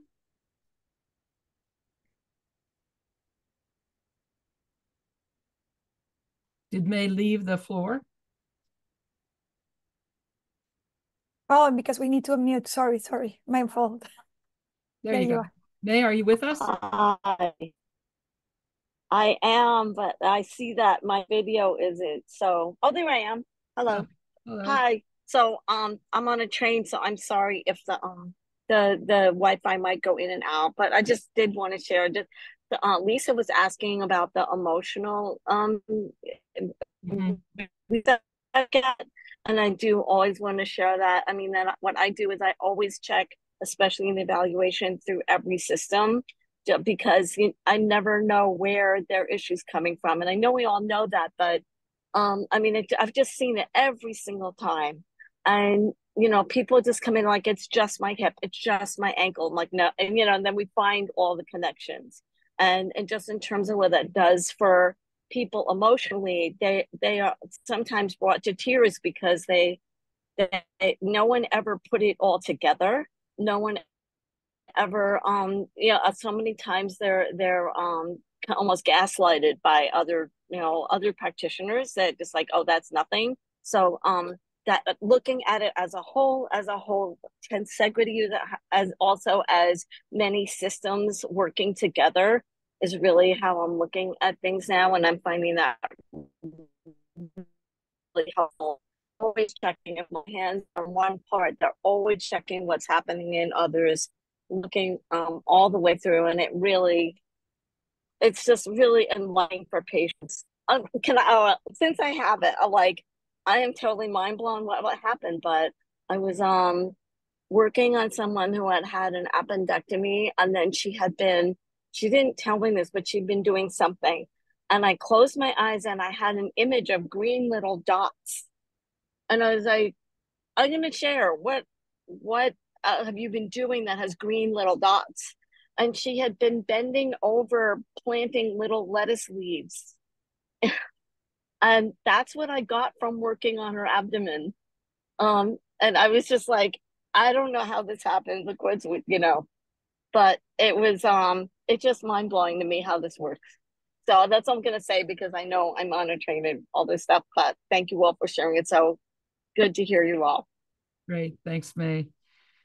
Okay, well, we've come now to the place in our program where we want to open up for um, the challenges of biotensegrity and early and early adopters, a group discussion. And I'm going to invite um, Kamila to join us and introduce this particular section. So Kamila, let's let's unmute her. Thank you, Carol. So this will be, hopefully I will make it because I'm very grateful that so many of you stayed with us for so long. Thank you for that. I'm very surprised. And also the time went passed by very fast. So that's another surprise for me here. Um, I will have another slide with the small drawings uh, to kind of wrap up the day. Uh, but before I do that, I would like to share a little bit about how um, our, our group actually got together. A little bit of our story uh, to give the context to what we are doing now. Uh, it was, I believe it was 2019 or 20, early 20, when we were taking deep dive to Susan's book, Everything Moves, through her course. And for me, it was very uh, rich experience, and I would even say life-changing experience because not just about biotensegrity, but also because of the community that I got to meet, where I learned that um, it is okay not to know some things, uh, that there's much more that we don't know that then we actually do know. And it kind of shifted uh, what I was experiencing through the process of learning that I was always taught that I have to know, that I have to have the answers. And uh, I could see that through years of my practice, it kind of took me to to places where I saw myself that I'm not having so much fun. So this was a huge thing to experience the group that was curious about what each of us has to say, even though um, it's someone who is a beginner in in this topic or it's someone who wrote the books. And uh, let me just say thank you to all the mentors and all the authors of the books that mariana shared that they are always willing to help us and give us give us um, uh, support when we don't understand something or when we just want to be sure if we are sharing it in the right way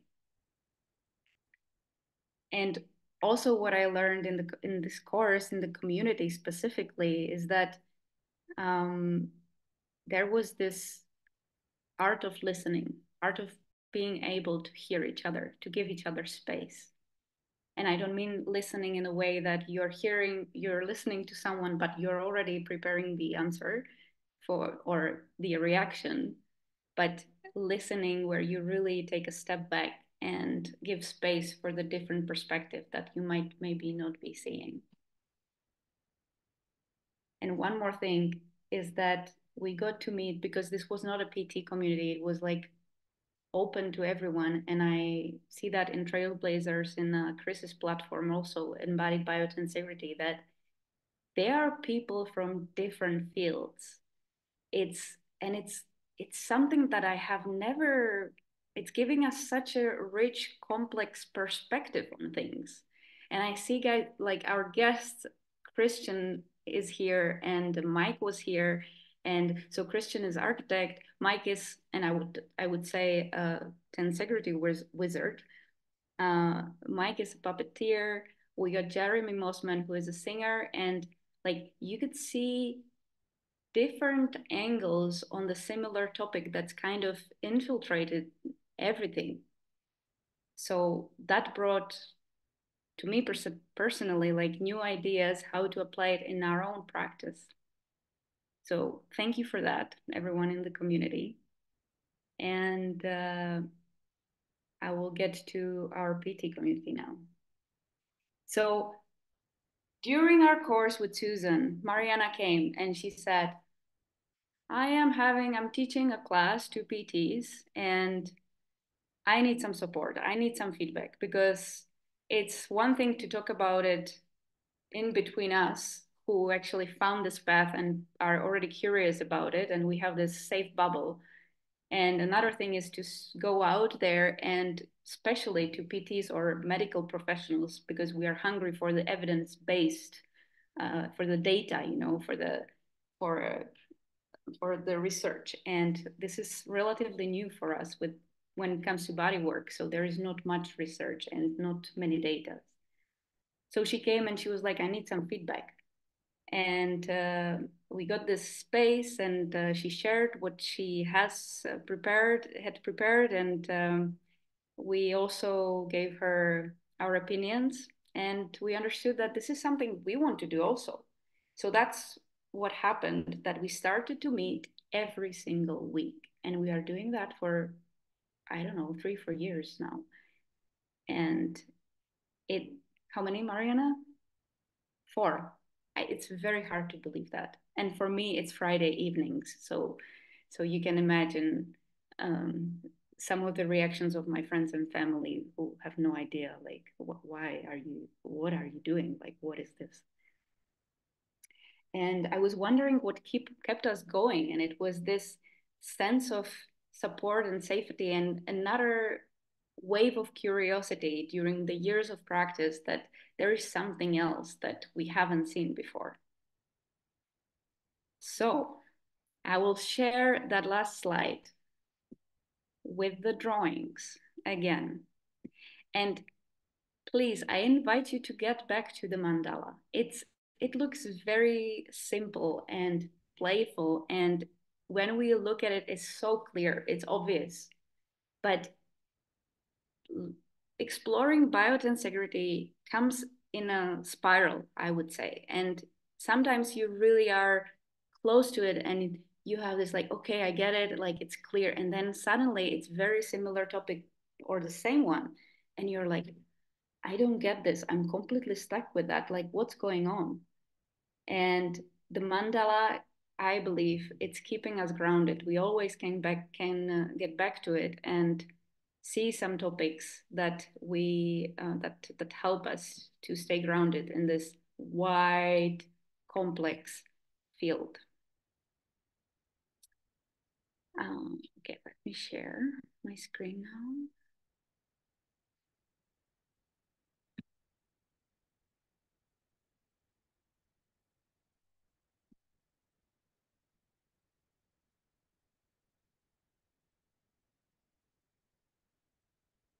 everyone, I don't see you actually, but can someone give me thumbs up that, yeah, thanks. Good.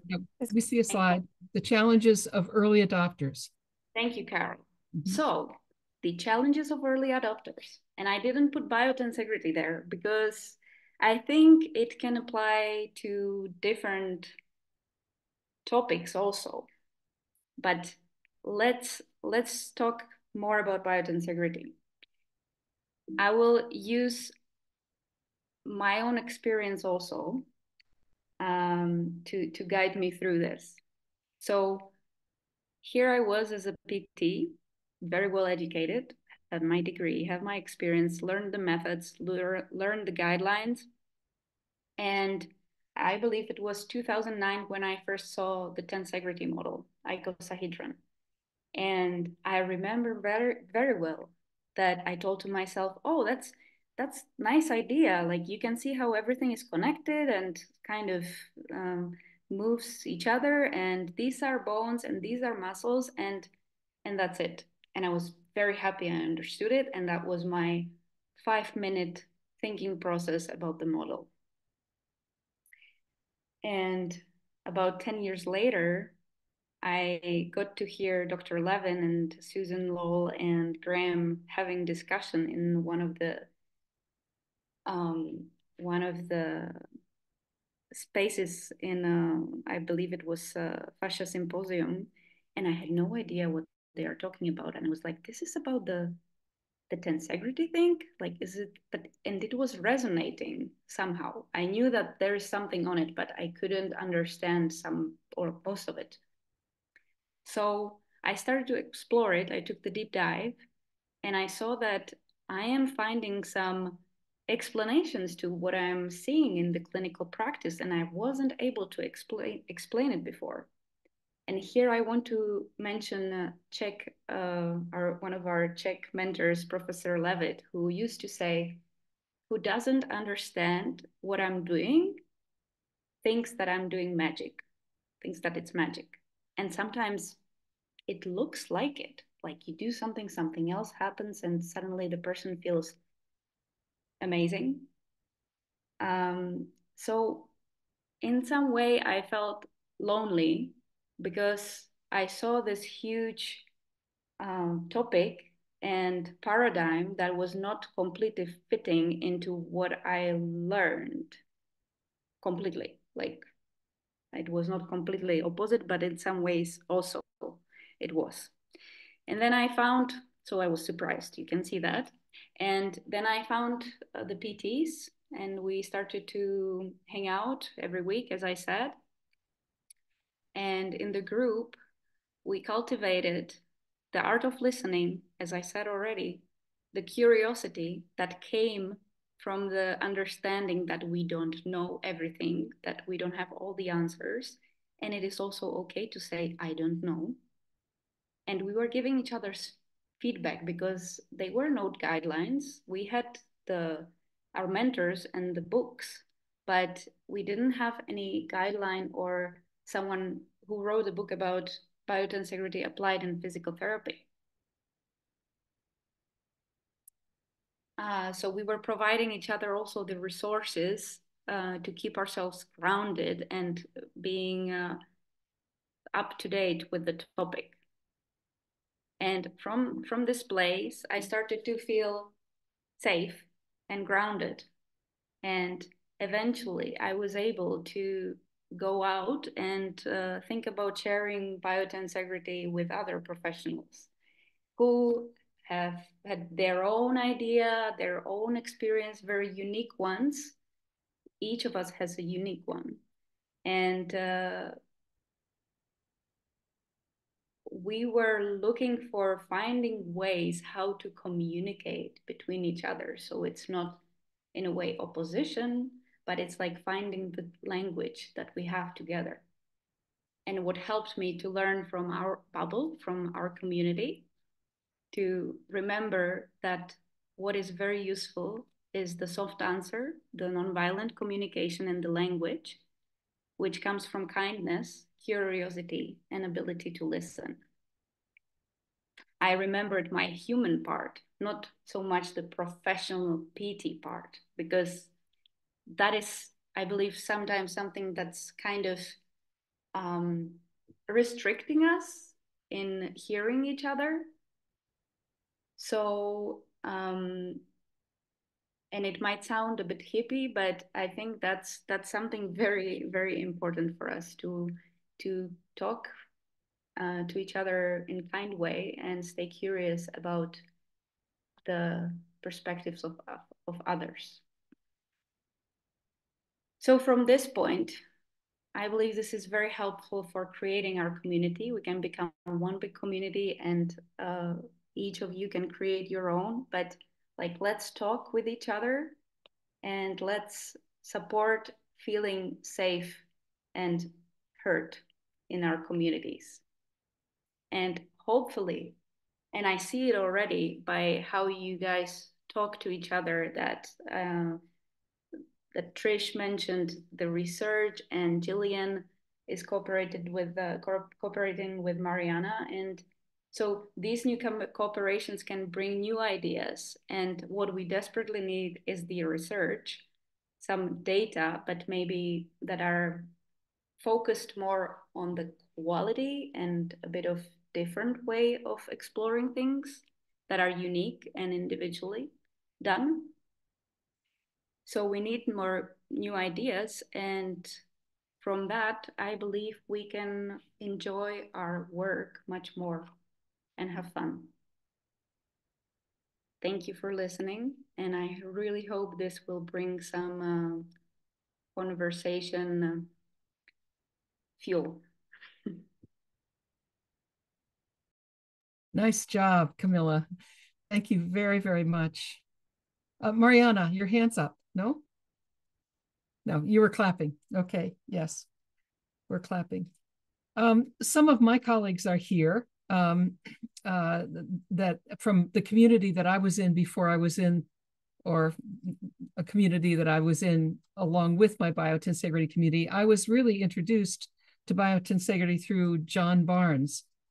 And John didn't talk too much about the, didn't say the word biotensegrity, but he did offer a chapter in his book by Steve Levin, who talked about biotensegrity.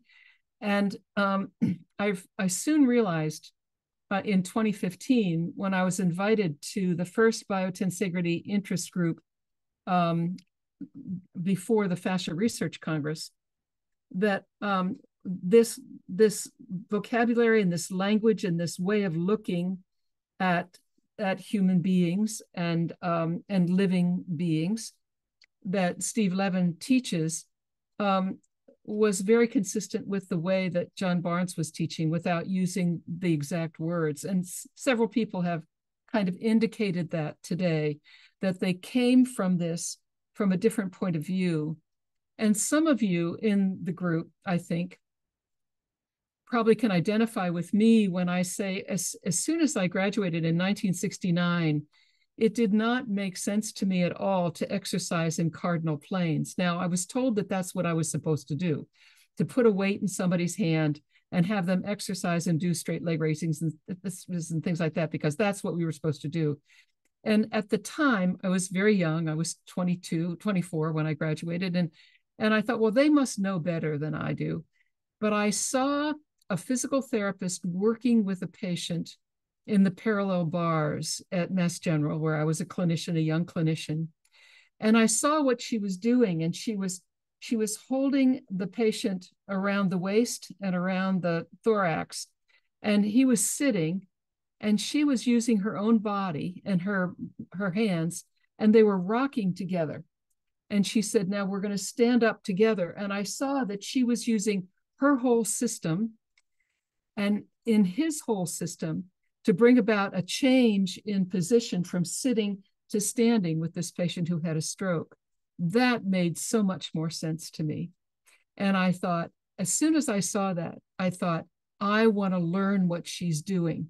And I suspect that some of you who are Feldenkrais practitioners, Pilates practitioners, somatic movement practitioners, other kind of practitioners here, and, and certainly Barnes um, and Trager and, and Bowen and whatever else you saw something that sparked you. And then when you did a deeper dive into what's really going on here, you recognized the principles of this new science, biotensegrity, that were coming into place as a scientific way of guiding an under, a different understanding of human beings based on systems theory and based on um, there are no straight lines and spirals. And based on all the things that we teach in the course, we teach about the therapeutic relationship that the patient listen to the patient, let the patient guide you. Um, what language are you using? So much has been said today about using metaphor, working with pa parents. You don't use scientific language.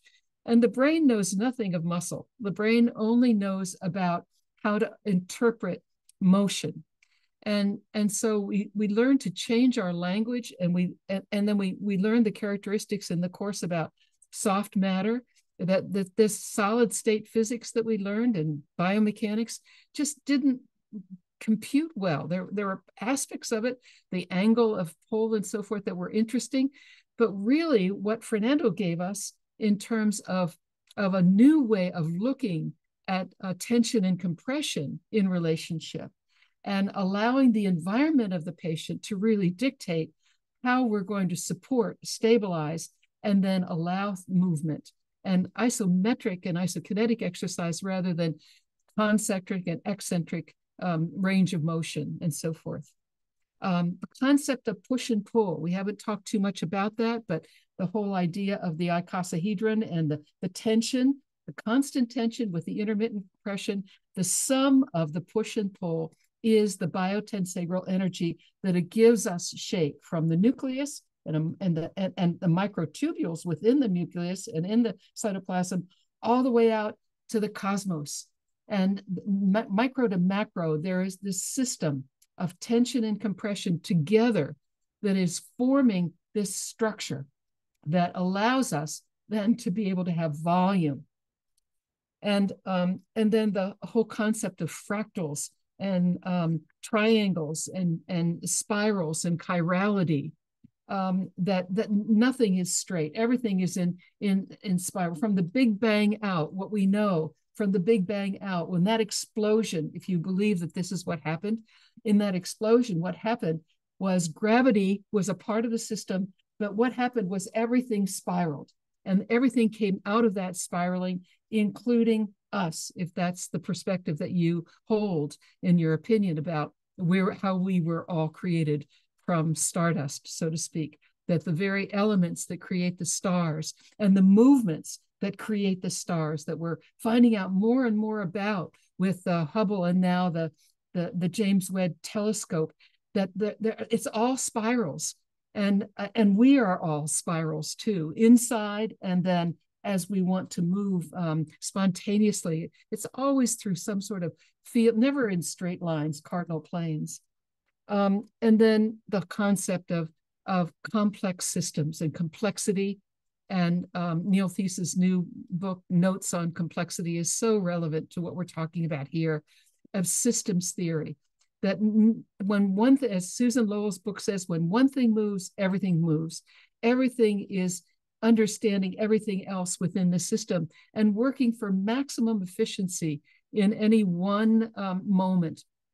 And so we take these principles and we apply them to our therapeutic process. And you saw here today the wonderful cases that people presented from horses, and you should see Kutu's work with the little dogs, the little um, um, terriers that she works with, um, and and uh, the, just placing our hands in a certain way to listen very carefully, and then ask, be curious, ask, what change in with especially with regard to tension and compression what change is required here to bring about a, a balance within the system? And um, then when we start to ask these questions all of a sudden we become different. We become more curious. We start using more as susan lowell says so beautifully and, and like in tai chi instead of resisting the movement you you bend with it. We use the soft answer. Tell me tell me more about that. Tell me explain to me more about what you're thinking. And and we we find that we're changing and that what i realized that when i finally embraced these principles more fully through using the barnes method of manual therapy barnes myofascial release so much of what john said of finding where the person pushes back and the art and then listening carefully not 30 seconds not a minute three to five to, to 10 minutes listening to what's happening with fascia as it changes under my hands. And in terms of compression is the is the fascia asking for more pressure and tension. I've got elongation between my hands. Is there more elongation being asked for here? And then following what the person's body and mind is asking of me because there are some of us who believe, and I'm one, that what we're working with here is the mind, that true healing and coming coming back into balance has to do with the mind and consciousness within the system. Now, we can't measure that. We don't know that. A lot of this is my opinion, and it makes sense to me when I'm thinking about this and feeling this in my in my practice and I see the changes that come about with my patients, I get very, very excited about them saying, I feel more spacious, like after Bruna's exercise today. Eileen said, and Kimi both said, I feel more joyful, I feel more spacious, I'm more aware. And And when that happens, when our when that happens with our clients and our patients, when they feel more like they're more up over their pelvis, when they start feeling like, as one of my patients says, I expected you to make my hip feel better, but I never expected you to help me to feel more at one with myself. And boy, that took me by surprise. And I thought, more at one with myself. and the more I started doing this work, the more I realized there's something happening here metabolically and especially in terms of interoception, the somatic awareness, emotional somatic awareness that is is more relaxing and more safe, especially with the patients with trauma um, that we work with. That when they feel safe and they feel that they can be heard and they they're listened to, and then we work with their bodies, not forcing anything, but listening carefully to what the patients are expressing and what the bodies are expressing, then the changes that come about are um, so much more powerful than doing the repetition of the exercises that, that we were taught. So basically, I gave you a little bit of a, of a breakdown of what we offer in our course for PTs and now OTs and PT assistants and OT assistants um, online. Carol, um, and students. I got the question if we were accepting students. PT uh, and OT students. PTs, yeah. Right. Okay, great. Um, so, and the next course starts on April the 9th, and it's and the website for that is www.biotensegrityphysio.com. And um, you can sign up and become a part of that class. But I'm going to turn it over now to Eileen, whose hand is raised, and I'm glad to yield. So, Eileen, Thank you. Yeah, I just wanted to say that that safety is really important. We keep that in mind with our clients, and we need to keep that in mind when we're talking to other people about biotensegrity so that they say, feel safe hearing from us about something that uh, is asking them to really shift their mind and let go of a lot of what they know. And I know I've heard Susan say that when she first was acquainted, she was like shouting it from the rooftops and expecting everybody to like hear it. And I felt that way too. Um, and and and fortunately, um, I was always viewed as kind of out on the fringe uh, in the physical therapy community. And I felt like I was entitled to share this information, uh, but with the attitude that I leave people in freedom to decide if they want to pursue that. And we're all here out of our own free will joining this. And I think we need to keep that in mind when we're, that's another challenge of early adopters, I think, is um, um, being a little too evangelistic. Yeah, the eye rolls that we get. Oh, here she goes again. yeah. Thank you. Let's let's open it up now for discussion. And some of you who have questions, some of you who have comments about what you've heard. Um, uh, so uh, please join us. Dawn, why don't you just unmute yourself and say what you're writing in the chat, Dawn Nance.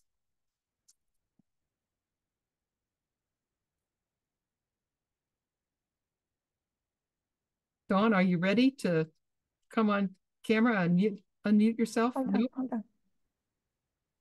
Can she unmute? We're finding it. Hold on, hold on. Oh, I think that's it. Here she is. Hi, Dawn. Yes. Hey, Carol. Um, thanks for inviting me. This is actually my first Zoom meeting. I am much more esoteric than I am computer tech savvy. So but well, I have enjoyed welcome I have enjoyed this today. I had to have my husband set it up for me because I haven't done this before. But I love that both of you mentioned the concept of safety. Um, I learned from Regi Boehme 30 years ago because she had polio. I know many of you probably know her in the field um, as having Boehme workshops, worked with the Bobaths and that type of stuff for NDT training. And she, you know, really instilled in me in 1994, introduced me to John Barnes' work. but also the concept of safety that a kid, a patient, anyone can feel a therapist coming from a mile away if they have an intention or they have a right. Bias or they have an agenda, right? So, this concept of connecting through safety for me is like the most important thing you can offer your patient, your client, your friend, your mother, you know, right? In any connection that you have with another person. So I just think this is wonderful. Um, all the work that all of you have done, uh, coming from a background with sensory integration, you know, NDT, some pediatrics, some orthopedic, um, just all of this basically. You know, that the fact that it's all one system and that we're all part of a bigger whole, um, and how we can we connect into that through safety and actual nourishment, right, to this system. Because I feel like that the consciousness that flows through the microtubules and uh, the mind aspect of it, I believe, as you do, Carol, you know, that we're working with someone's mind body in a holistic way. And that I love, I can't remember everyone's name, um, but whomever spoke about, um, you know, not uh i'm a little bit nervous. I'm not used to being on on a camera where people are watching me.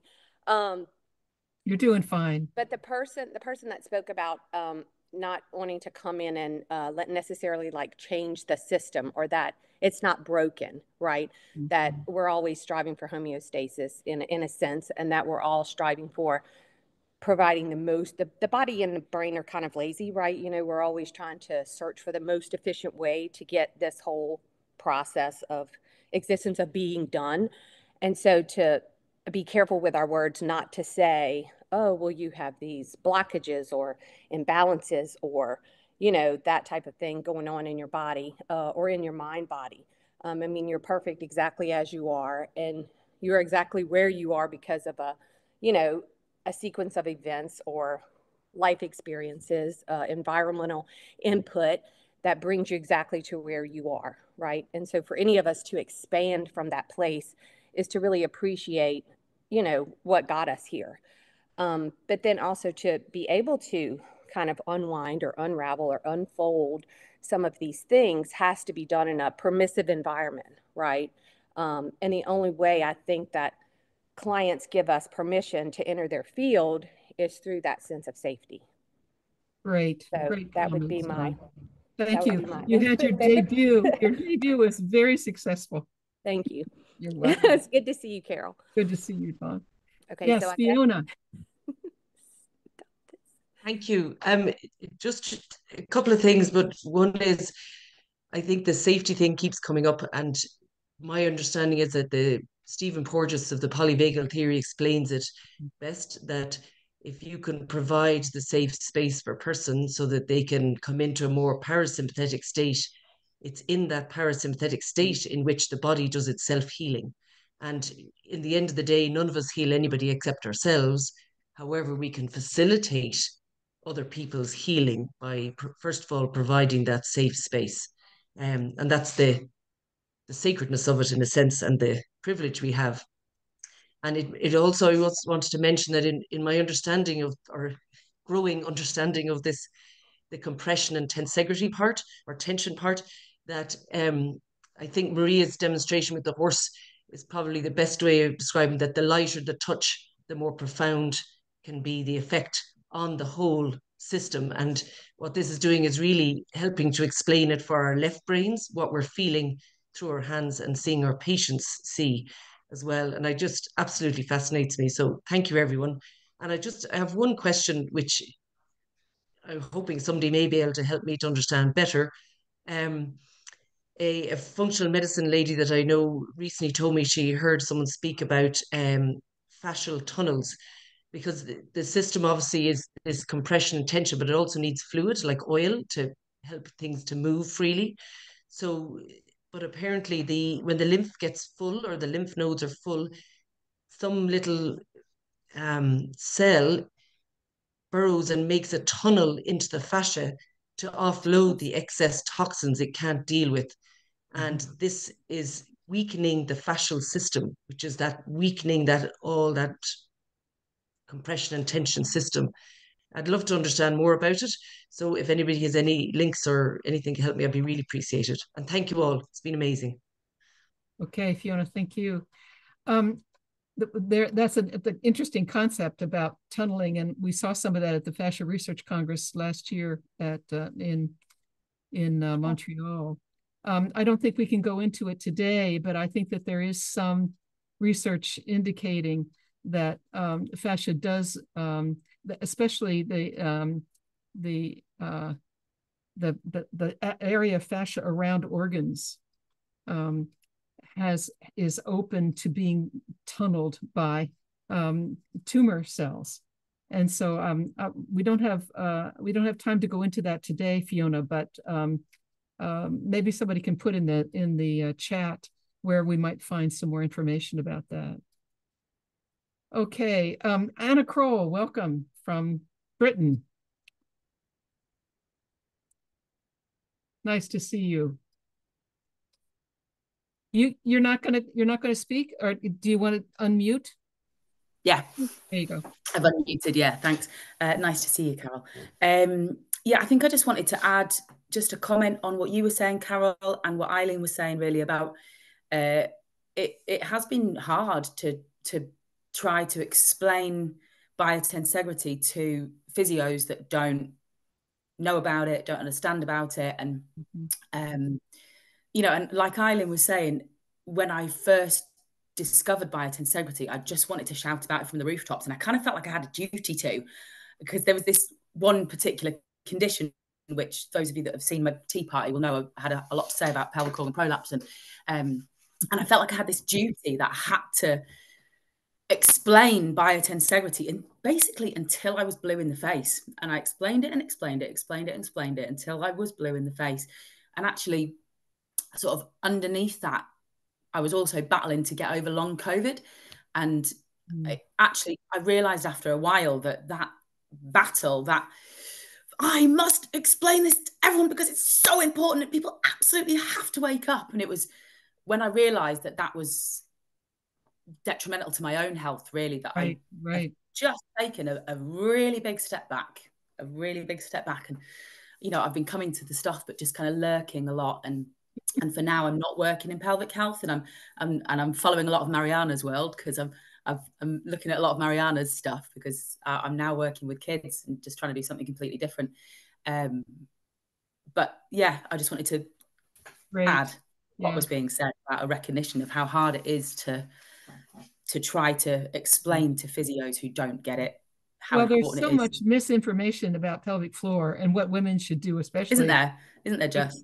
Yeah, and and your your tea party and and Susan, if you could put up uh, Anna Kroll's tea party on pelvic floor, where she goes through her, she becomes the pelvis.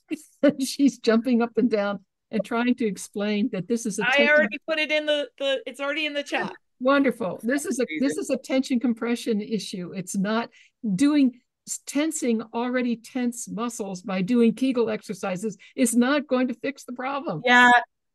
And, and in fact, it just makes so many people so much worse. And this is, I just got so, I was so stuck in that all day, every day. Every, yeah. It was, it was overtaking me. I was like, I yeah. have to just everyone to stop. And well, your use of models and, and metaphor and, and so forth is so helpful. And so I want to, I want to send everybody there to look at that marvelous tea party with, with um, um, with Anna explaining all this beautifully. So it's nice to see you. Welcome back to the fold, Anna. and from and from from from the bottom part, the top part of Great Britain, Fiona from Edinburgh, Fiona Webster. Hello, Carol. Yes, Hello. I'm here in Scotland. Um, it's been wonderful these last few hours, and I wanted to just bring back the kind of for me personally, this focus on biotensegrity ideas mm-hmm. that I've been sharing and discussing and had the privilege of joining in on some of these meetings over the last few years. And really, whether it's, you know, working on your own little models that you can experiment with to get back to the actual principles, it feeds into absolutely every single element of therapy.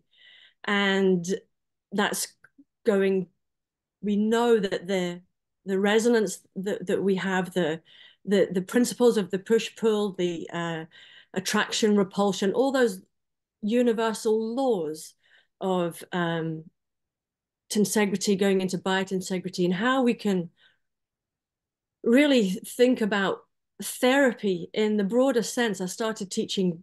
I'm a so I'm a sports therapist, and I do uh, sports injuries and uh, manual movement therapy, and I'm a yoga teacher for 10 years, but also I started teaching breathwork classes.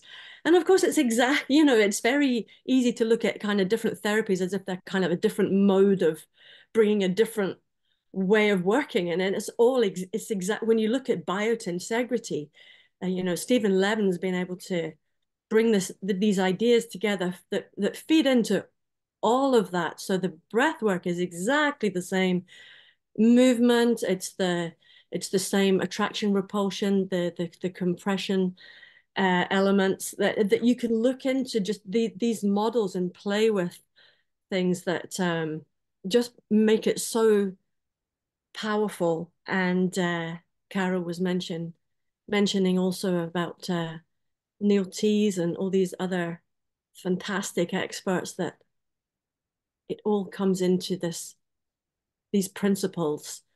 Uh, you can see how those laws work together. And it's so it's so immensely powerful that we all feel drawn to this and and able to share it and and continue to do so. So thank you so much. Yeah you're welcome and thank you fiona it's good to see you again okay mariana yes you're next like i think all of us we wanted to share this like as loud as possible. And we all hit the wall. At, well, I keep doing it many times, right? And I say, okay, this is not the way. I, how can I go softer? How can I put it in a way? But it's especially with the kids and the therapies of the kids. When I say don't stretch the doctor because the doctor is helping, they go like, ah, what do you mean? So, but I, I really want to to just take a deep breath here and right now we are 100, no, we are 53 persons connected here.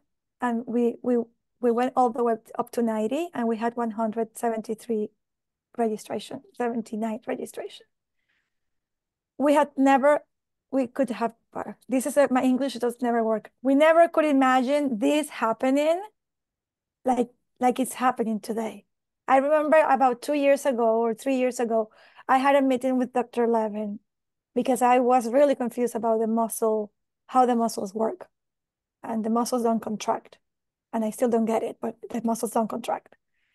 And I remember in that meeting, I told him, like, listen, I, I dream about sharing this with more and more physiotherapists because and and he said, okay, good. That's what you have to do then. And we had already our pity pot. That's how we call ourselves, the pity pot. And that pity pot, honestly, we were four when we started. And then Carol came, Kimi came, and then we we ended up being we're now eight or seven plus Pedro. We love you, Pedro. And now look, that from that pity pot, pity pot, now we have this. And and I, what I do wanna what I invite beside the course and beside whatever like all the resources, I'm gonna save the chat and I'm gonna send those links, all of the links that have been shown there. I'm gonna share that with you so you have it, okay? But I think what what is what I really want to bring back to the point is what the big the biotensegrity interest group means. Because when I asked Susan, the first one I did was the Spanish one. And I asked Susan, what are the guidelines? What do I have to do? And she said, nothing. You just get together and you talk about biotensegrity. That's all. And that's exactly what we did today. We just, okay, who wants to talk? Who can present something? Okay, let's put together. And, and that's what we did. But I can I can imagine in the future as more and more professionals come and join the movement, uh, that we're going to have more bigs and maybe there's going to be bigs that we won't all be part of because we're so busy with other bigs that we cannot just attend them all. And Im imagine what that could bring to the profession, right? And I think that we are very fortunate that, I don't know, Carol, I think it's you the one who said it, or Eileen, that this is going to happen. Like, unfortunately, can you say it, please, Carol? Because you, you have a very strong way. Like, you you better jump in now and be on on, on the trend uh, that to be a late oh why did it who said that in the group? Can you help me? Eileen is that you who say that? No carol probably carol probably was you. What what i was getting at was this is science. This is not this is not a, fa a fad. This is the science of nature the foundation of life and steve levin found certain principles that that seem to fit this this natural natural science. Buckminster Fuller found some. Um, uh, other other people have. Uh, uh, uh, Donald Ingber found pieces of it. The scientists are coming together with these pieces, and then we're recognizing what impact it has on the human. And then we're going back to our science that we learned and said, this makes so much more sense, but it's not going to go away any more than Newtonian science would ever go away because Newton served us very well for, mm-hmm. for hundreds of years, but it just stops short of human beings. And when we want to look at human beings, we have to look at life science. And life science is, and the physiology of life science for me is in part biotensegrity, the principles of biotensegrity. So it's all people, everybody's going to know it and like it and, and use it. Well, I don't know whether they'll like it, but they'll use it. And little by little by little, the the, the staunch um, advocates of Newton and biomechanics and the people who roll their eyes, they'll they will. I don't mean to be harsh about this, but they will die. And and then the, this whole new movement is going to come in, and then other people who were rolling their eyes if they're if they're still with us, I'll say, "Oh yeah, I, I believe that all along. I believe that all along. I was just, you know, I, I, I you know, I'm I'm fine. I was waiting for it to catch on." And and then it'll be the law of the land, so to speak. But it's all it's still changing. We're still finding ways, as Kamila said so beautifully. There there are times when I'll be part of a discussion, like like Steve. Steve, you I don't know where he went. He's kind of it's he's he's still around, I bet, but Steve Levin gave me a, a chat in the chat and said, Carol, it's not really best to talk about this in terms of thixotropy. We have to start thinking, especially in terms of bones, we have to think about something else. So now I want to go back and say, okay, now wait, thixotropy maybe for the extracellular matrix change. But when we talk about bones, we're really talking about pressure in a different way, impact of pressure in a different way. And so I make these statements about science and then I, I i realize some of it is proven and some of it is hypothesis still proposal still so that might be what you're getting at mariana yeah like yeah what you said that this is happening whether you want to say it or not Our, yes i want one of the things that uh, we had this big dream when, when we first started our meetings some years ago if we could teach physiotherapy from scratch if we could if we could if we had the power and the freedom to design the curriculum for physiotherapy, how would you do, how we would do it? So that that was a, a dream that we had. Like, okay, let's let's pretend that no one is telling telling us what to teach or how to teach it. How would you do this? And that's that's a fun exercise because uh, for example, I remember my comments I would start with embryology because if you understand how we became who we are, you cannot put the parts away anymore. You cannot separate the parts. Mm -hmm. If you mm-hmm. understand how we how we became humans, like how we form ourselves, you it's impossible to divide the body in in parts and osteology and arthrology and and you know muscles and uh, nerve. It's impossible. Everything is just formed together, right? So yeah, beautiful. I'm very happy and honored that this happened. Um, and again, thank you, Pedro. You're next, and we're almost in the in the time to close in. So whoever wants to speak, raise the hand because we're getting close to the end. Raise the hand so we know uh, how many people we have like uh, in the line and want to share something. Um, what I want to share is that um, so two things that came to my mind. Someone uh, was saying about um, um, how's it called? So parasympathetic, you know, tone and the polyvagal theory that helps explain you know healing process and this is this was a very nice thing. And in my point of view this is a little as, far as i understand it's great. And it comes a little more from like the neurological point of view which is great or maybe psychological as well which is great. And but at the same time we that work with you know with the hands and and and moving tissues and with touch basically we have uh, in I, I feel in biotensegrity a way to understand a different way which is which comes together but different way to you know to go into the system so to speak. I like to think like that. And something else happens. Yes there is that part of the neurological but something else happens when you go into the system using this you know these principles and and um and i think it helps a lot our our like our, our, our the way i think the way i feel uh, our work. It to me it feels like it's not like a lateral lateral door. It's like an entire gate that we have to work um, to help in this healing process. And this that we're talking here the whole whole afternoon or the whole day gives us more structure more understanding more tools to understand how to work on this how to work with the structure how to work with behavior of the structure to you know engage and produce this movements of the system in directions to healing to you know self-maintaining to health. Um, and the other thing that i want to say is that um, get engaged in the community somehow because we all go through this when you start to see you know you think differently from like the mainstream it's very hard to be to feel alone.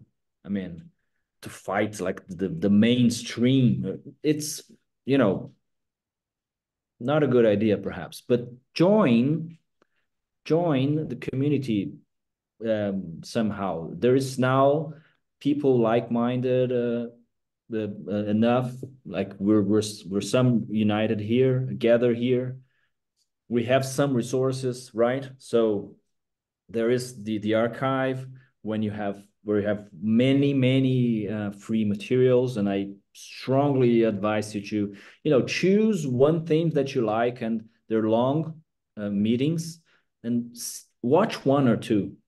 You will find probably things that will resonate. And uh, there's this other, other the other community from, from Chris, the embodied biotensegrity. Uh, we're putting on the on uh, the new group of the the course for physiotherapists, which is more applied, is more direct to how do we apply this on a more practical way, the principles of biotensegrity in the field of physical therapy. There are many ways to engage. Get engaged uh, so that you feel, many people talked about this today, that you feel that you're not alone. Maybe there's not someone like in your area, in your neighborhood, but in the world, you will find people that think like you and uh, will you feel strength. So thank you, Pedro. That was helpful. Great. And Cindy Hodgson, you want to sneak in quick before we have to close out? Yes, thank you, Carol. I just wanted to share. I really do believe that the environment is changing. Last month, I did a continuing education two hour course for a local hospital, and 45 PTs and OTs showed up. And the director was very surprised that there was that much interest, first of all, because she she doesn't usually have that that many. And then in the first few minutes, I, I asked everyone to by raise of hands who was familiar with the term biotensegrity. And I was shocked when no one raised their hand out of 45 clinicians you know and it was just it was an exciting presentation. I had so much fun doing it and they all received it really well. They loved it. I had many people come up later and i was asked to come back you know can you show us more? Because all i did was a, a presentation you know with slides showing them what this was about like how this paradigm shift and so on. And i didn't talk about techniques or anything so now they they want more and i just find that very encouraging. So what you guys are doing is really working and i'm so happy to be a part of it and i just wanted to share that. Wonderful. Thank you cindy very much. Okay i'm going to turn it over now to mariana to have some closing comments and any announcements that you need to make. And i want to thank everybody especially um, Steve Levin and Susan Lowell for coming today, um, and and Graham as well. Graham Scarr, our our mentors in this process, and um, uh, Susan has been very helpful on the chat in in and connecting you with resources that the archive has available for your learning. And um, with that, I'll just say, take it over, Mariana. Thank you, Carl. Well, um, what to do next? It's it it's up to you. What you want to do? And like we are inviting, of course, to a new course. We just love it. It it we're doing it from our heart. It's a very, I would say, affordable, fair course uh, that we're just there to support you and to to help you in a way transit the journey that we've been transiting for so many years in a shorter amount of time kind of way and it's it's very fun so you are more than welcome the links again uh, you will have them in an email but there's also in the chat. And just to give you an, an idea how the course work we meet once a month. It's now this new cohort. It's going to be every third like the third friday of every month we meet uh, usually at 12 eastern time and it's one hour and a half. So in the first half, we we talk about the concept that we're talking that month, and then we we have discussions, conversations. Okay, so that happens. So the course is and it's it's recorded. It's all we have a platform where the course live, and there's also a community there. We we can talk, you know, chat with each other later. Uh, we, we share resources. There's a lot of experientials that we do as homework. So it's a fun and easy and easy um, how you say that, like an easy pace course. Okay, we're gonna start on April 19th. The archive, please go and check the archive information. Um, there's a lot there and two things. If you subscribe to their newsletter and you will find that the, the moment you, you check, Pedro, yeah, Pedro, can you help me also with um, the other links? You have them or not? not, not or maybe Susan put the archive there. My mistake. I should have done this properly, but I I, I for, completely forgot about the links. Okay, it's okay. If not, I'll send them by email. So the Very archive, yeah, they have the tea parties or the meetings that we do.